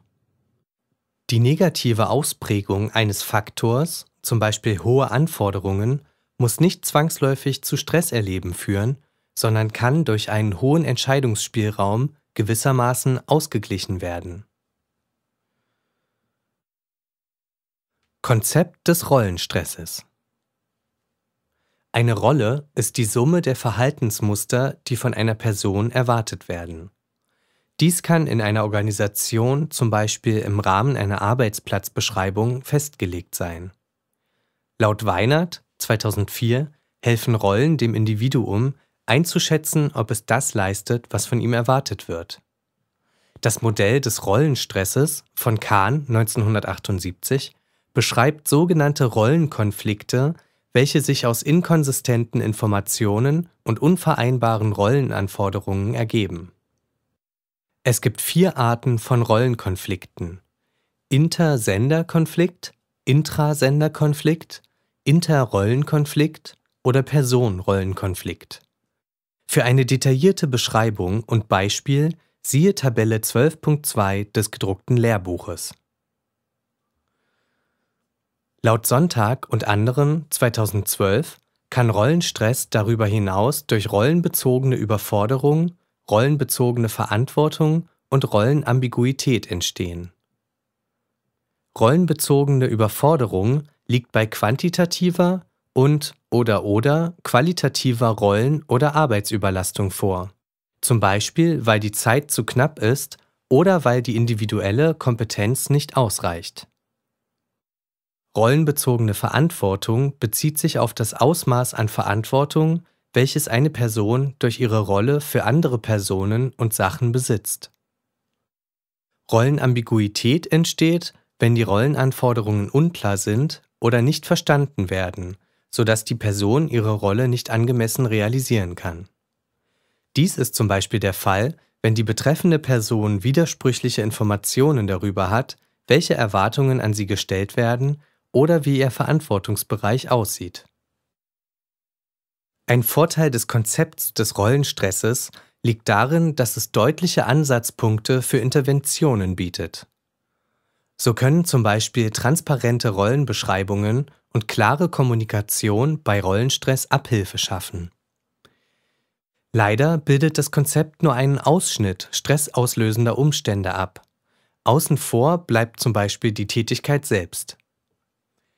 Während sich in einer Meta-Analyse von Jackson und Schuler 1985 nur geringe Zusammenhänge von Rollenkonflikten und Ambiguität mit Arbeitsleistung und Absentismus fanden, zeigte eine weitere Meta-Analyse von Brown und Peterson 1993 starke Zusammenhänge zwischen der Rollenambiguität bei Verkäufern und deren Verkaufsleistung und Zufriedenheit auf. Person-Environment-Fit-Modell Im Zentrum des Person-Environment-Fit-Konzepts von Kaplan 1983 steht die Übereinstimmung zwischen der Person P und ihrer Umwelt E. Nach diesem Modell sollte es ein Gleichgewicht zwischen den Ressourcen Abilities, über die eine Person verfügt, und den Anforderungen der Arbeitsaufgabe Demands geben. Ebenso sollten auch die Merkmale der Arbeitsaufgabe Supplies den Bedürfnissen der Person Needs entsprechen. Ist dies nicht der Fall, führt die Nichtübereinstimmung zwischen gewünschten und vorhandenen Merkmalen Abilities Demands Misfit und oder oder Needs Supplies Misfit zur Entstehung von Stress. Dabei werden unterschiedliche Stressreaktionen postuliert. Bei einem negativen Fit wird erwartet, dass die Auswirkungen umso negativer sind, je größer der Missfit ist. Bei einem positiven Fit gibt es verschiedene Konsequenzen. Das Stressniveau kann abnehmen, zum Beispiel wenn durch den Überschuss an Ressourcen Ersparnisse erzielt werden.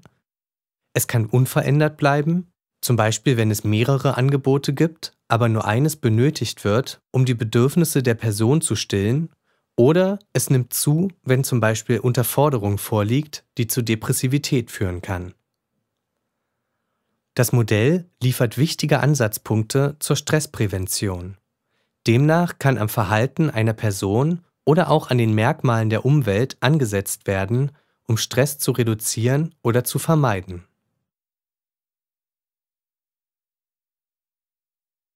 Effort-Reward Imbalance Das Effort-Reward Imbalance Modell, auf Deutsch Modell beruflicher Gratifikationskrisen von Siegrist 1996, stellt das Verhältnis von Anforderungen, das heißt sowohl beruflich vorgegebene Anforderungen und Verpflichtungen als auch eigene Ansprüche, und Gratifikationen, das heißt Gehalt, Wertschätzung oder beruflicher Status, in den Mittelpunkt der Betrachtung. Stress entsteht nach diesem Modell dann, wenn es ein Ungleichgewicht zwischen der beruflichen Verausgabung, Anforderung und den dafür erhaltenen Belohnungen, Gratifikation, gibt. Dies kann der Fall sein, wenn eine Person sich stark verausgabt und dafür nicht angemessen entschädigt wird. Zum Beispiel geringes Gehalt, mangelnde Wertschätzung, ausbleibende Beförderung. Wichtig ist also nicht nur, wie stark eine Belastung ist, sondern auch, ob es sich lohnt, diese auf sich zu nehmen. Meta-analytisch konnten positive Zusammenhänge zwischen Gratifikationskrisen und Herz-Kreislauf-Erkrankungen, psychosomatischen Beschwerden sowie arbeitsbezogenem Wohlbefinden aufgezeigt werden, die als empirische Bestätigung des Modells herangezogen werden können. Siehe dazu Van Wechsel und andere 2005. Abschnitt 12.4 Folgen von Belastungen am Arbeitsplatz Überblick zu Belastungsfolgen Eine gute Übersicht über mögliche Folgen von Belastungen geben Kaufmann und andere 1982. Sie unterscheiden einerseits zwischen kurzfristigen Folgen wie zum Beispiel Ermüdung, Monotonie und Sättigung und mittel- bis langfristigen Folgen, wie zum Beispiel Depression. Andererseits unterscheiden sie bei den Belastungsfolgen zwischen der physiologischen, psychischen und der Verhaltensebene. Wie auch Tabelle 12.3 im gedruckten Lehrbuch veranschaulicht, können die Folgen von Belastungen am Arbeitsplatz sehr vielfältig sein. Hören Sie zum Thema Belastungsfolgen auch den folgenden Exkurs zu psychischer Ermüdung. Exkurs Psychische Ermüdung, Monotonie und Sättigung. Psychische Ermüdung eine reversible Minderung der personellen Leistungsfähigkeit, welche als Folge von Tätigkeit auftritt und zu Effizienzminderung führt. Davon sind Minderungen der Leistungsfähigkeit infolge des biologischen Tagesrhythmus abzugrenzen. Kennzeichen sind Konzentrationsabnahme, Anstrengungserleben und Müdigkeit. Psychische Ermüdung kann aufgrund von Zeitdruck oder zu hohen, zu komplexen Anforderungen auftreten. Der Verlust an Leistungsfähigkeit infolge von Ermüdung kann nur durch Erholung, zum Beispiel Pause, ausgeglichen werden. Siehe dazu Richter und Hacker 1998 sowie Ulich 2005.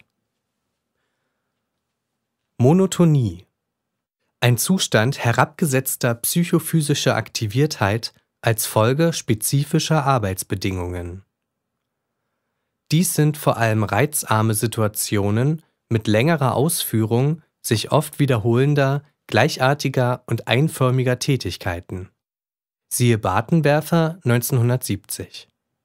Meist ist ständige Aufmerksamkeit in einem eingeschränkten Beobachtungsfeld erforderlich. Eine Beispieltätigkeit hierfür ist die Radarüberwachung. Im Unterschied zur Ermüdung verschwindet der Monotoniezustand sofort bei Wechsel der Tätigkeit oder Anforderung. Siehe dazu Semmer und Udris 2007. Sättigung es handelt sich um einen Zustand gesteigerter und unlustbetonter Gereiztheit und einen Widerwillen gegenüber der Fortsetzung einer spezifischen Tätigkeit, verbunden mit einer effektiv ausgelösten Steigerung der Wachheit.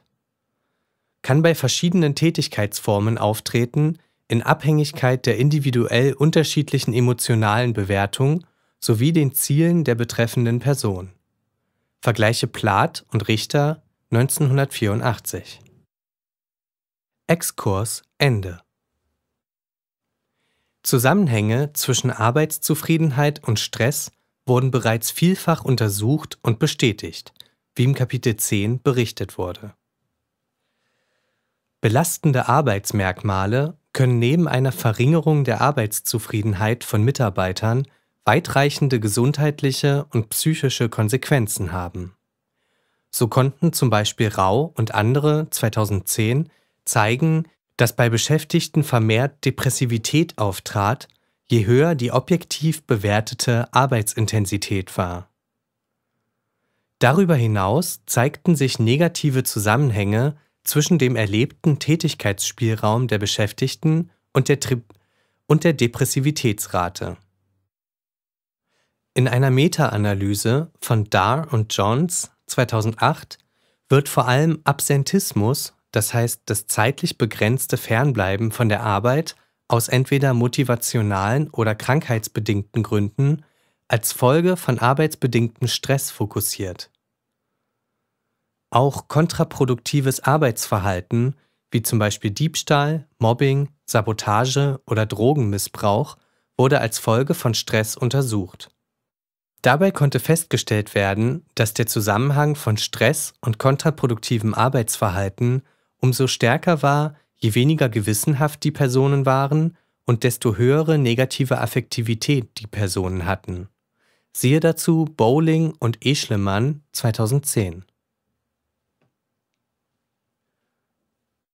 Burnout Burnout, aus dem Englischen to burn out, ausbrennen, ist eine spezifische Folge von Stress am Arbeitsplatz, welche zunehmend an Bedeutung gewinnt. Siehe dazu Mac 2010. Die Zahl derjenigen, die aufgrund von Burnout krankgeschrieben werden, ist nach Angaben des BKK Bundesverband 2012 innerhalb der letzten Jahre stark angestiegen, von 4,6 Tagen je 1000 pflichtversicherter Mitglieder im Jahr 2004 auf 86,9 Tage im Jahr 2011. Ursprünglich wurde Burnout hauptsächlich in Sozial- und Pflegeberufen untersucht, das heißt Berufe, in denen das Helfen zentral ist. Mittlerweile wurde das Konzept auch auf andere Berufsgruppen erweitert.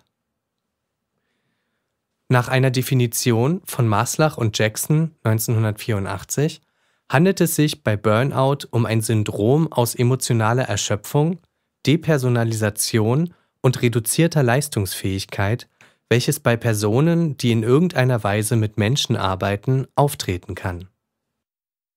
Emotionale Erschöpfung ist durch hohe interpersonelle Anforderungen und die Beanspruchung emotionaler Ressourcen sowie schnelle Ermüdung gekennzeichnet. Die Betroffenen fühlen sich durch den Kontakt mit anderen Menschen emotional überfordert und ausgelaugt. Depersonalisation beinhaltet negative, gefühllose und zynische Einstellungen gegenüber Klienten, Kunden oder Patienten. Die Betroffenen zeigen eine gleichgültige Reaktionsweise und meiden Kontakt bzw. ziehen sich zurück. Reduzierte Leistungsfähigkeit ist die Tendenz, die eigene Leistung bei der Arbeit negativ zu bewerten und ein Gefühl von schwachem oder mangelndem beruflichen Selbstwert zu entwickeln. Betroffene erleben sich bei der Arbeit nicht mehr als kompetent. Siehe dazu auch Litzke und Schuh 2007 sowie Schaper 2011. Folgende Gemeinsamkeiten können auf Basis der verschiedenen Definitionen, die zu Burnout existieren, festgehalten werden. Vergleiche Burisch 2006. Eine hohe Motivation zu Berufsbeginn Frustration und darauf folgende Enttäuschung, da Erwartungen und Ziele nicht erreicht werden. Eine ungünstige Arbeitsumgebung, zum Beispiel zu hohe oder widersprüchliche Anforderungen, unzureichende Ressourcen, ineffektives Bewältigungsverhalten des Betroffenen, prozessualer Verlauf des Burnouts, der sich nach langer und erfolgloser Auseinandersetzung des Betroffenen mit seiner Arbeit ergibt. Die Entstehung von Burnout ist ein komplexer Prozess und kann laut Schaper 2011 durch unterschiedliche Faktoren beeinflusst werden. Dies können Anforderungen des Berufs und der Tätigkeit, zum Beispiel dauerhafte Arbeitsüberlastung, Rollenkonflikte, mangelndes Feedback oder mangelnde Autonomie sein, aber auch Persönlichkeitseigenschaften und Merkmale der individuellen Lebenssituation. Zum Beispiel labiles Selbstbild, geringe Selbstwirksamkeitserwartung oder fehlende soziale Unterstützung. In Abbildung 12.3 des gedruckten Buches ist ein solcher Entstehungsprozess in Anlehnung an Kortz und Dougherty 1993 modellhaft dargestellt. Neben den im obigen Modell genannten Ursachen können weitere Faktoren die Entstehung von Burnout begünstigen. Dies sind zum Beispiel Arbeitsplatzunsicherheit, kritische Lebensereignisse wie Berufseintritt oder Berufswechsel oder Erkrankungen und schlechte Qualifikation. In der Regel entwickelt sich Burnout über einen längeren Zeitraum hinweg, wobei erste Warnhinweise, zum Beispiel nicht abschalten können nach der Arbeit, oft nicht als solche interpretiert werden. Modelle der Burnout-Entstehung wurden von verschiedenen Autoren vorgeschlagen, so zum Beispiel ein aus vier Phasen bestehendes Modell, hohes Involvement, Stagnation und Enttäuschung, Distanzierung und Rückzug, Symptomentwicklung von Maslach und Jackson 1984. Das Phasenmodell von Freudenberger und North 2002 enthält insgesamt zwölf Stadien vom Zwang, sich zu beweisen, Stadium 1, bis hin zur völligen geistigen, körperlichen und emotionalen Erschöpfung, das heißt Burnout, Stadium 12. Ein Vorteil der Phasenmodelle ist die Gliederung, die eine Übersicht über das Feld erleichtert. Jedoch variieren die Reihenfolge und Anzahl der Phasen zwischen den Modellen stark, ebenso wie die Zuordnung der Symptome zu den Phasen. Litzke und Schuh 2007 zufolge sollte daher die Beurteilung Betroffener auf Basis eines Phasenmodells oder deren Einordnung in ein derartiges Modell vermieden werden.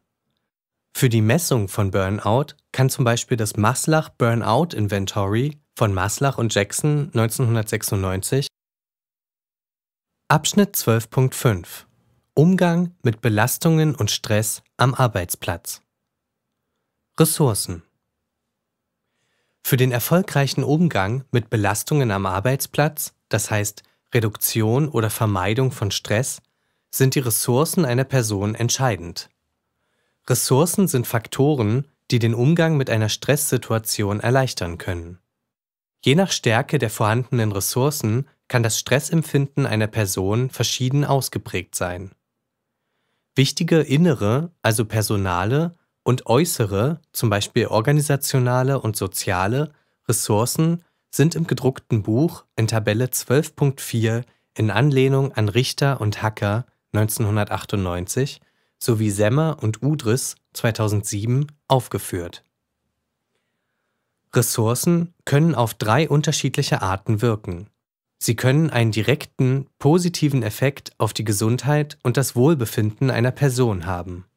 Das bedeutet, dass die entsprechende Ressource unabhängig von gleichzeitig vorhandenen Belastungen zu einer positiven gesundheitlichen Wirkung führt. In Fällen, in denen die Ressource dem Entstehen von Belastungen entgegenwirkt oder sie dem Belastungsabbau dient, spricht man von einer indirekten Wirkung auf das Wohlbefinden. Eine weitere Möglichkeit ist die Pufferfunktion einer Ressource. Sind ausreichend Ressourcen vorhanden, so können sie der Bewältigung bestehender Belastungen dienen und schädliche Folgen abschwächen. Bei einer geringen Ausprägung dieser Ressourcen würde sich hingegen die Fehlbeanspruchung erhöhen. Siehe dazu Ulich und Wülser 2012. Eine wichtige personale Ressource, die auch im transaktionalen Stressmodell integriert ist, ist das Coping-Verhalten einer Person. Menschen gehen auf unterschiedliche Art und Weise mit Stress um. Die Bewältigung von internen und externen Anforderungen, zum Beispiel Stress, welche die eigenen Ressourcen übersteigen, wird nach Lazarus und Folkman 1984 als Coping bezeichnet. Es können verschiedene Coping-Arten unterschieden werden, wobei die beiden wichtigsten Bewältigungsarten das problembezogene, instrumentelle und das emotionsbezogene, palliative Coping sind. Beim problembezogenen Coping werden konkrete Aktionen gewählt, um eine mögliche Bedrohung durch Belastungen abzuwenden. So kommt es zum Beispiel zu einer Veränderung der bisherigen Arbeitsstrategie, dem bewussten Aneignen neuer Kompetenzen oder einem offenen Ansprechen von Konflikten. Das emotionsbezogene Coping ist durch Ablenkungs- oder Konsumverhalten gekennzeichnet, zum Beispiel ins Kino gehen, rauchen oder essen. Es handelt sich also eher um eine Emotionsregulation als um direkte Handlungen zur Problembewältigung. Diese Handlungen bringen zwar eine vorübergehende Entlastung mit sich, verändern jedoch nicht die Ursache der Stressempfindung. Modell der Ressourcenkonservierung Das Modell der Ressourcenkonservierung von Hopfoll 1989 erweitert die Ergebnisse der Stressforschung um den Aspekt des Ressourcenverlusts und um den der Ressourcenstärkung. Die zentrale Annahme des Modells ist, dass Menschen danach streben, von ihnen wertgeschätzte Ressourcen aufzubauen und zu erhalten. Dabei geht der Ressourcenaufbau mit Wohlbefinden und Gesundheit einher. Ein potenzieller und aktueller Verlust vorhandener Ressourcen wird als bedrohend empfunden. In dem Modell wird Stress definiert als Reaktion auf die Umwelt, in der ein Ressourcenverlust droht, ein aktueller Ressourcenverlust auftritt oder auf die Investition von Ressourcen kein angemessener Ressourcengewinn erfolgt. Ressourcen können materielles, zum Beispiel wertgeschätzte Objekte, Lebensumstände, zum Beispiel Partnerschaft, Status, persönliche Merkmale, zum Beispiel Optimismus, und Energien, zum Beispiel Wissen, Geld, sein. Zusätzlich können Ressourcen auch Mittel sein, mit denen die für die Person wertvollen Ressourcen erreicht werden können. Nach Annahme des Modells streben Menschen danach, den befürchteten oder tatsächlichen Verlust zur Verfügung stehender Ressourcen auszugleichen, das heißt verlorene Ressourcen nach Möglichkeit direkt zu ersetzen oder durch andere zu kompensieren. Ist dies nicht erfolgreich, das heißt fehlende Ressourcen können nicht ersetzt werden, kann es zu Verlustspiralen kommen. Genauso können Gewinnspiralen entstehen, wenn Ressourcen erfolgreich zum Aufbau weiterer Ressourcen eingesetzt werden. Vorteilhaft an diesem Modell ist, dass es sich mit Situationsmerkmalen beschäftigt, die Ressourcenverlust und somit Stress zur Folge haben. Damit bietet es Ansatzpunkte für Interventionen, wie zum Beispiel das Anknüpfen an die Ressourcen der betreffenden Person. Das Modell lenkt den Blick eher auf Ressourcen statt auf Belastungen. Die Ressourcenorientierung findet sich auch bei aktuellen Personalentwicklungskonzepten und Beratungsansätzen wie zum Beispiel dem Coaching wieder. Interventions- und Präventionsformen Zur Verhinderung bzw. Reduktion von Stress am Arbeitsplatz und von individuellen Folgen, wie zum Beispiel psychosomatischen Erkrankungen infolge von starken Arbeitsbelastungen, wird eine Vielzahl an möglichen Maßnahmen diskutiert. Siehe zum Beispiel Bamberg und andere 1998 oder Schaper 2008. Die Verhinderung negativer Folgen, Krankheitsprävention, die Gesundheitsförderung wie auch andere Maßnahmen, zum Beispiel Stressbewältigung, beschreiben verschiedene Formen der Intervention. Es handelt sich dabei um ein gezieltes Eingreifen, um bei einzelnen oder auch bei ganzen Gruppen das Auftreten negativer Folgen von Stress zu beheben oder zu beeinflussen. Siehe dazu Hurrellmann und andere 2007. Die Interventionsformen können zum Beispiel nach dem Zeitpunkt des Eingreifens, Primär-, Sekundär- oder Tertiärprävention oder auch nach ihrem Ansatzpunkt Verhaltens- oder Verhältnisprävention unterschieden werden. Siehe dazu auch Tabelle 12.5 des gedruckten Buches. Verhaltensprävention Maßnahmen der Verhaltensprävention, auch personenbezogene Interventionen, zielen vor allem darauf ab, eine Veränderung individueller gesundheitsgefährdender Verhaltensmuster, zum Beispiel Rauchen, ineffektives Coping oder Einstellungen, zum Beispiel Kontrollüberzeugung, herbeizuführen.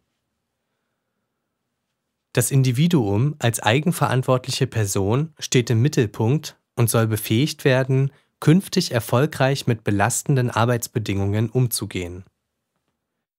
Beispiele für Maßnahmen der Verhaltensprävention sind Trainings zu Zeitmanagement, Kommunikation oder Stressmanagement, Entspannungsverfahren, Rückenschule, Gewichtsreduktion, Raucherentwöhnung sowie Ernährungsberatung.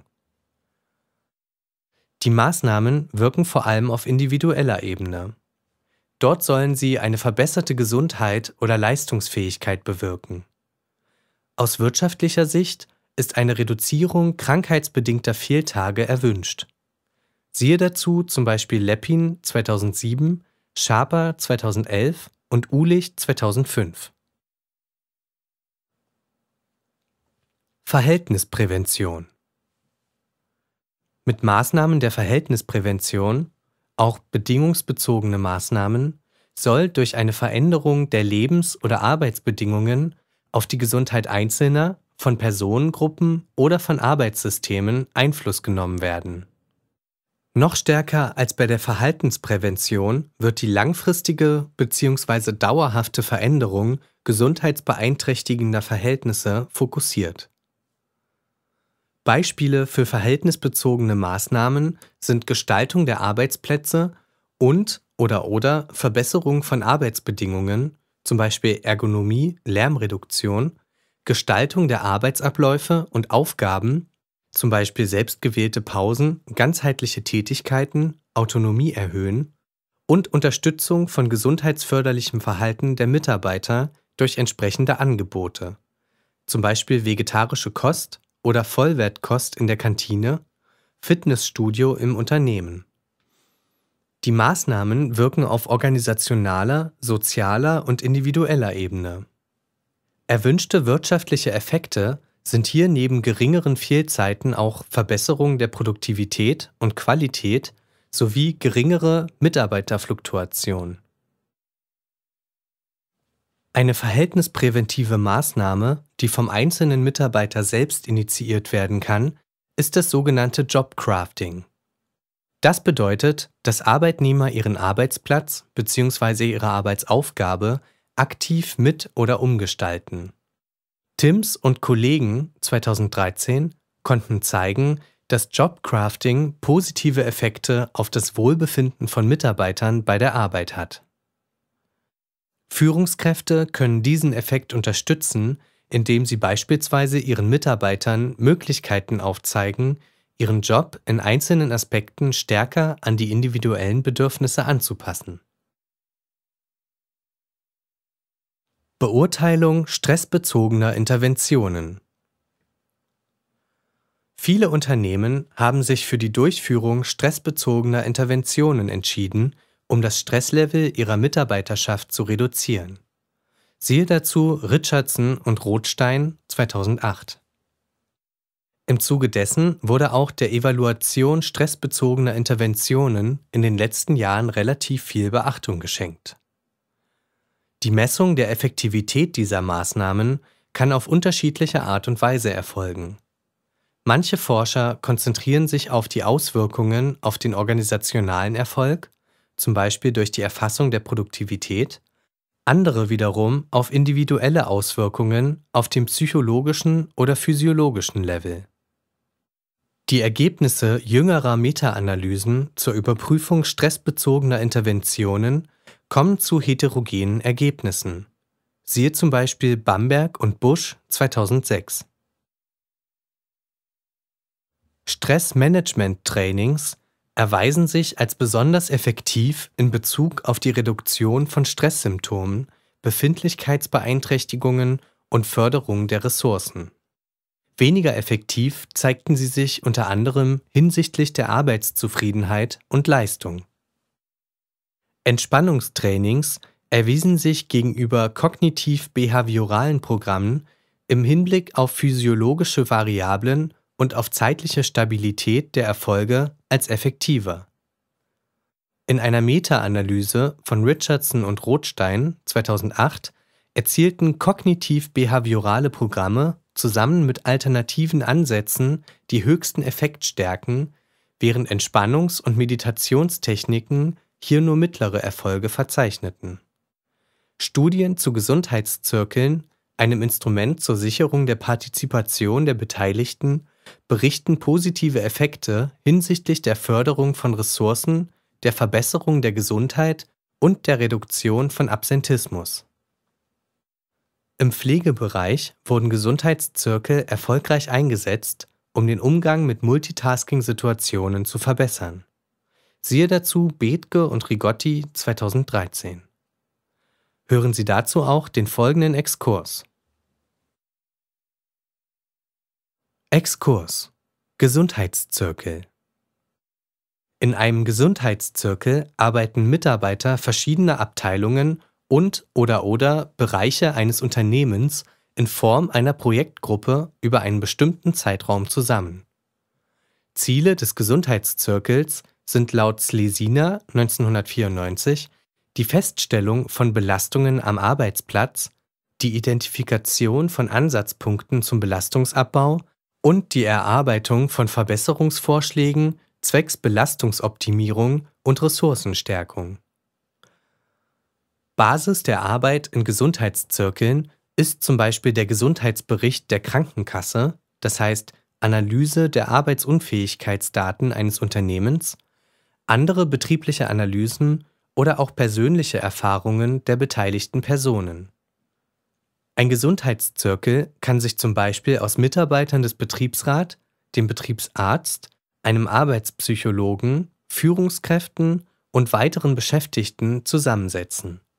Siehe dazu Ulich und Wülser 2012. Exkurs Ende. Gesundheitscoaching Ein interessanter Ansatz, der den Gedanken der frühen Prävention, Primärprävention, mit dem der Selbststeuerung und Eigenverantwortung von Menschen verbindet, ist das Gesundheitscoaching. Coaching als mittlerweile etablierte Methode der Personalentwicklung fokussiert die individuelle Weiterentwicklung, persönlich und beruflich, von Personen unter Nutzung verschiedener Gesprächstechniken und selbstreflexiver Methoden. Ziel des Gesundheitscoachings ist die Unterstützung im souveränen und gesunden Umgang mit privaten und oder oder beruflichen Herausforderungen. Der Gecoachte, auch Coachee oder Klient genannt, soll im Verlauf des Prozesses dazu befähigt werden, mit Belastungen in einer gesunden und für ihn zufriedenstellenden Weise umzugehen. Wichtig ist die Selbststeuerung. Der Gecoachte lernt sich selbst zu steuern, das heißt aktiv daran zu arbeiten, die eigene Gesundheit in die gewünschte Richtung zu bringen. Zentrale Aspekte sind die Definition eigener Gesundheitsbedürfnisse, ein selbstbestimmter Lebensstil, Gesundheitsbewusstsein sowie die eigene Stärkung und Aktivierung. Thematische Schwerpunkte im Gesundheitscoaching sind die Analyse persönlicher Ressourcen und Ziele, die Reflexion des individuellen Wertesystems sowie Fragestellungen zu Arbeitsbelastungen und Umgang mit Stress. Siehe dazu Ostermann 2010. Zunehmend taucht das Gesundheitscoaching auch im Rahmen von Konzepten zum betrieblichen Gesundheitsmanagement auf. Näheres dazu finden Sie im Web-Exkurs Betriebliche Gesundheitsförderung und betriebliches Gesundheitsmanagement auf www.lehrbuch-psychologie.de. Gesundheitscoaching wird im Einzelsetting, aber auch für kleinere Teams angeboten. Je nach Verankerung, zum Beispiel freiberuflich im Unternehmen oder im ambulanten Rehabilitationszentrum, kann das Gesundheitscoaching durch weitere Angebote wie zum Beispiel medizinische Versorgung oder spezifische Trainings, ergänzt werden. Erholung und Work-Life-Balance Wie die bisherigen Ausführungen zeigen, sind Ressourcen für den Umgang mit oder die Bewältigung von Stress wesentlich. Hält Stress länger an, können sich Ressourcen mit der Zeit erschöpfen. Daher ist es wichtig, Ressourcen wieder aufzufüllen, das heißt gewissermaßen den eigenen Akku aufzuladen. Dies kann über Prozesse der Erholung geschehen. Erholung wird von Wieland Eckelmann und Baggen 1994 als ein dem Prozess der Beanspruchung entgegengesetzter Prozess verstanden, wobei Erholung mehr ist als die bloße Unterbrechung der Arbeitstätigkeit. Erholung kann im Rahmen von Arbeitspausen und außerhalb der Arbeit, also am Feierabend, Wochenende oder im Urlaub stattfinden. Siehe dazu Sonnentag und Fritz 2010. Mit Bezug zum Modell der Ressourcenkonservierung wird zum Beispiel Urlaub als eine Möglichkeit beschrieben, um verlorene Ressourcen wiederzugewinnen und auf diese Weise Verlustspiralen zu durchbrechen. Siehe dazu Westmann 1999. Mehr zu Urlaub und Erholung finden Sie auch im WebEx-Kurs Urlaub und Erholung auf www.lehrbuch-psychologie.de. Nach Angaben von Kallus und Ulich 2001 sind Kennzeichen von Erholungsprozessen beispielsweise Erholung ist an die Belastungsverringerung, einen Belastungswechsel oder eine Belastungspause gebunden. Erholung ist abhängig von Art und Dauer der Beanspruchung. Erholung kann passiv, zum Beispiel durch Ausruhen, und aktiv, zum Beispiel durch Sport, erfolgen. Erholung ist personenspezifisch und abhängig von individueller Bewertung. Erholung endet mit dem Erreichen eines Zustands von wiederhergestellter Leistungsfähigkeit. Ziel homöostatische Ausgeglichenheit. Idealerweise sind Erholungs- und Arbeitsphasen so gestaltet, dass diese im individuellen Fall als ausgeglichen erlebt werden. Der Aspekt der Balance zwischen Arbeit und Erholung findet sich auch im Feld der sogenannten Work-Life-Balance wieder. Work-Life-Balance ist ein populärer, wenn auch nicht klar abgegrenzter Begriff, mit dem nach Sonnentag und Fritz 2010 im Wesentlichen das mehr oder weniger ausgeglichene Verhältnis von Arbeits- und Privatleben bezeichnet wird. Das Thema Work-Life-Balance ist nicht nur für Beschäftigte, sondern auch für Organisationen von hoher Bedeutung. Vergleiche Byron 2005. Kommt die Erholung von der Arbeit in der Freizeit zu kurz, können laut Sonnentag 2003 arbeitsbezogenes Wohlbefinden und Verhalten negativ beeinflusst werden. In Unternehmen wird daher zunehmend auf Programme und Strategien zur Verbesserung des Verhältnisses von Arbeits- und Privatleben, zum Beispiel Sportangebote oder flexible Arbeitszeitgestaltung gesetzt, um berufliche und private Aufgaben miteinander zu vereinbaren. Siehe dazu Resch und Bamberg 2005. Es werden verschiedene theoretische Ansätze zu Work-Life-Balance diskutiert. Zu den bekanntesten gehören die Kompensationshypothese, die Spillover-Hypothese, die Konflikthypothese, die Bereicherungshypothese und die Segmentierungshypothese, die im gedruckten Buch in Tabelle 12.6 zusammengefasst dargestellt sind. Betrachtet man die Forschung zu Work-Life-Balance insgesamt, lässt sich feststellen, dass Arbeits- und Privatleben nicht unabhängig voneinander sind. Die beiden Bereiche stehen in der Wahrnehmung von Beschäftigten jedoch nicht nur in Konflikt zueinander, sondern bereichern sich auch gegenseitig. Erschwerend bei der Beantwortung der Frage, in welchem Verhältnis die beiden Lebensbereiche zueinander stehen, ist die Tatsache, dass eine klare konzeptionelle Trennung schwierig ist. Dies liegt darin begründet, dass es bedingt durch Arbeitsformen wie Telearbeit, das heißt die Arbeitstätigkeit findet nicht am eigentlichen Arbeitsplatz statt, zum Beispiel Heimarbeit, oder auch durch die ständige Erreichbarkeit von Beschäftigten per Handy oder E-Mail zunehmend zu einer zumindest teilweisen Vermischung beider Bereiche kommt, Siehe dazu Sonnentag und Fritz 2010. Hier schließt sich der Kreis zu den schon beschriebenen Bestrebungen von Unternehmen, auch diese Thematik, zum Beispiel im Rahmen des betrieblichen Gesundheitsmanagements, zu berücksichtigen. Auf individueller Ebene kann die Auseinandersetzung mit der Work-Life-Balance, zum Beispiel innerhalb eines Gesundheitscoachings, eine wichtige Rolle spielen. Gezielte Maßnahmen, die den Kompetenzaufbau in den Bereichen Erziehung, Stressbewältigung und Zeitmanagement fördern, können erwerbstätigen Eltern helfen, Beruf und Familie besser miteinander zu vereinbaren.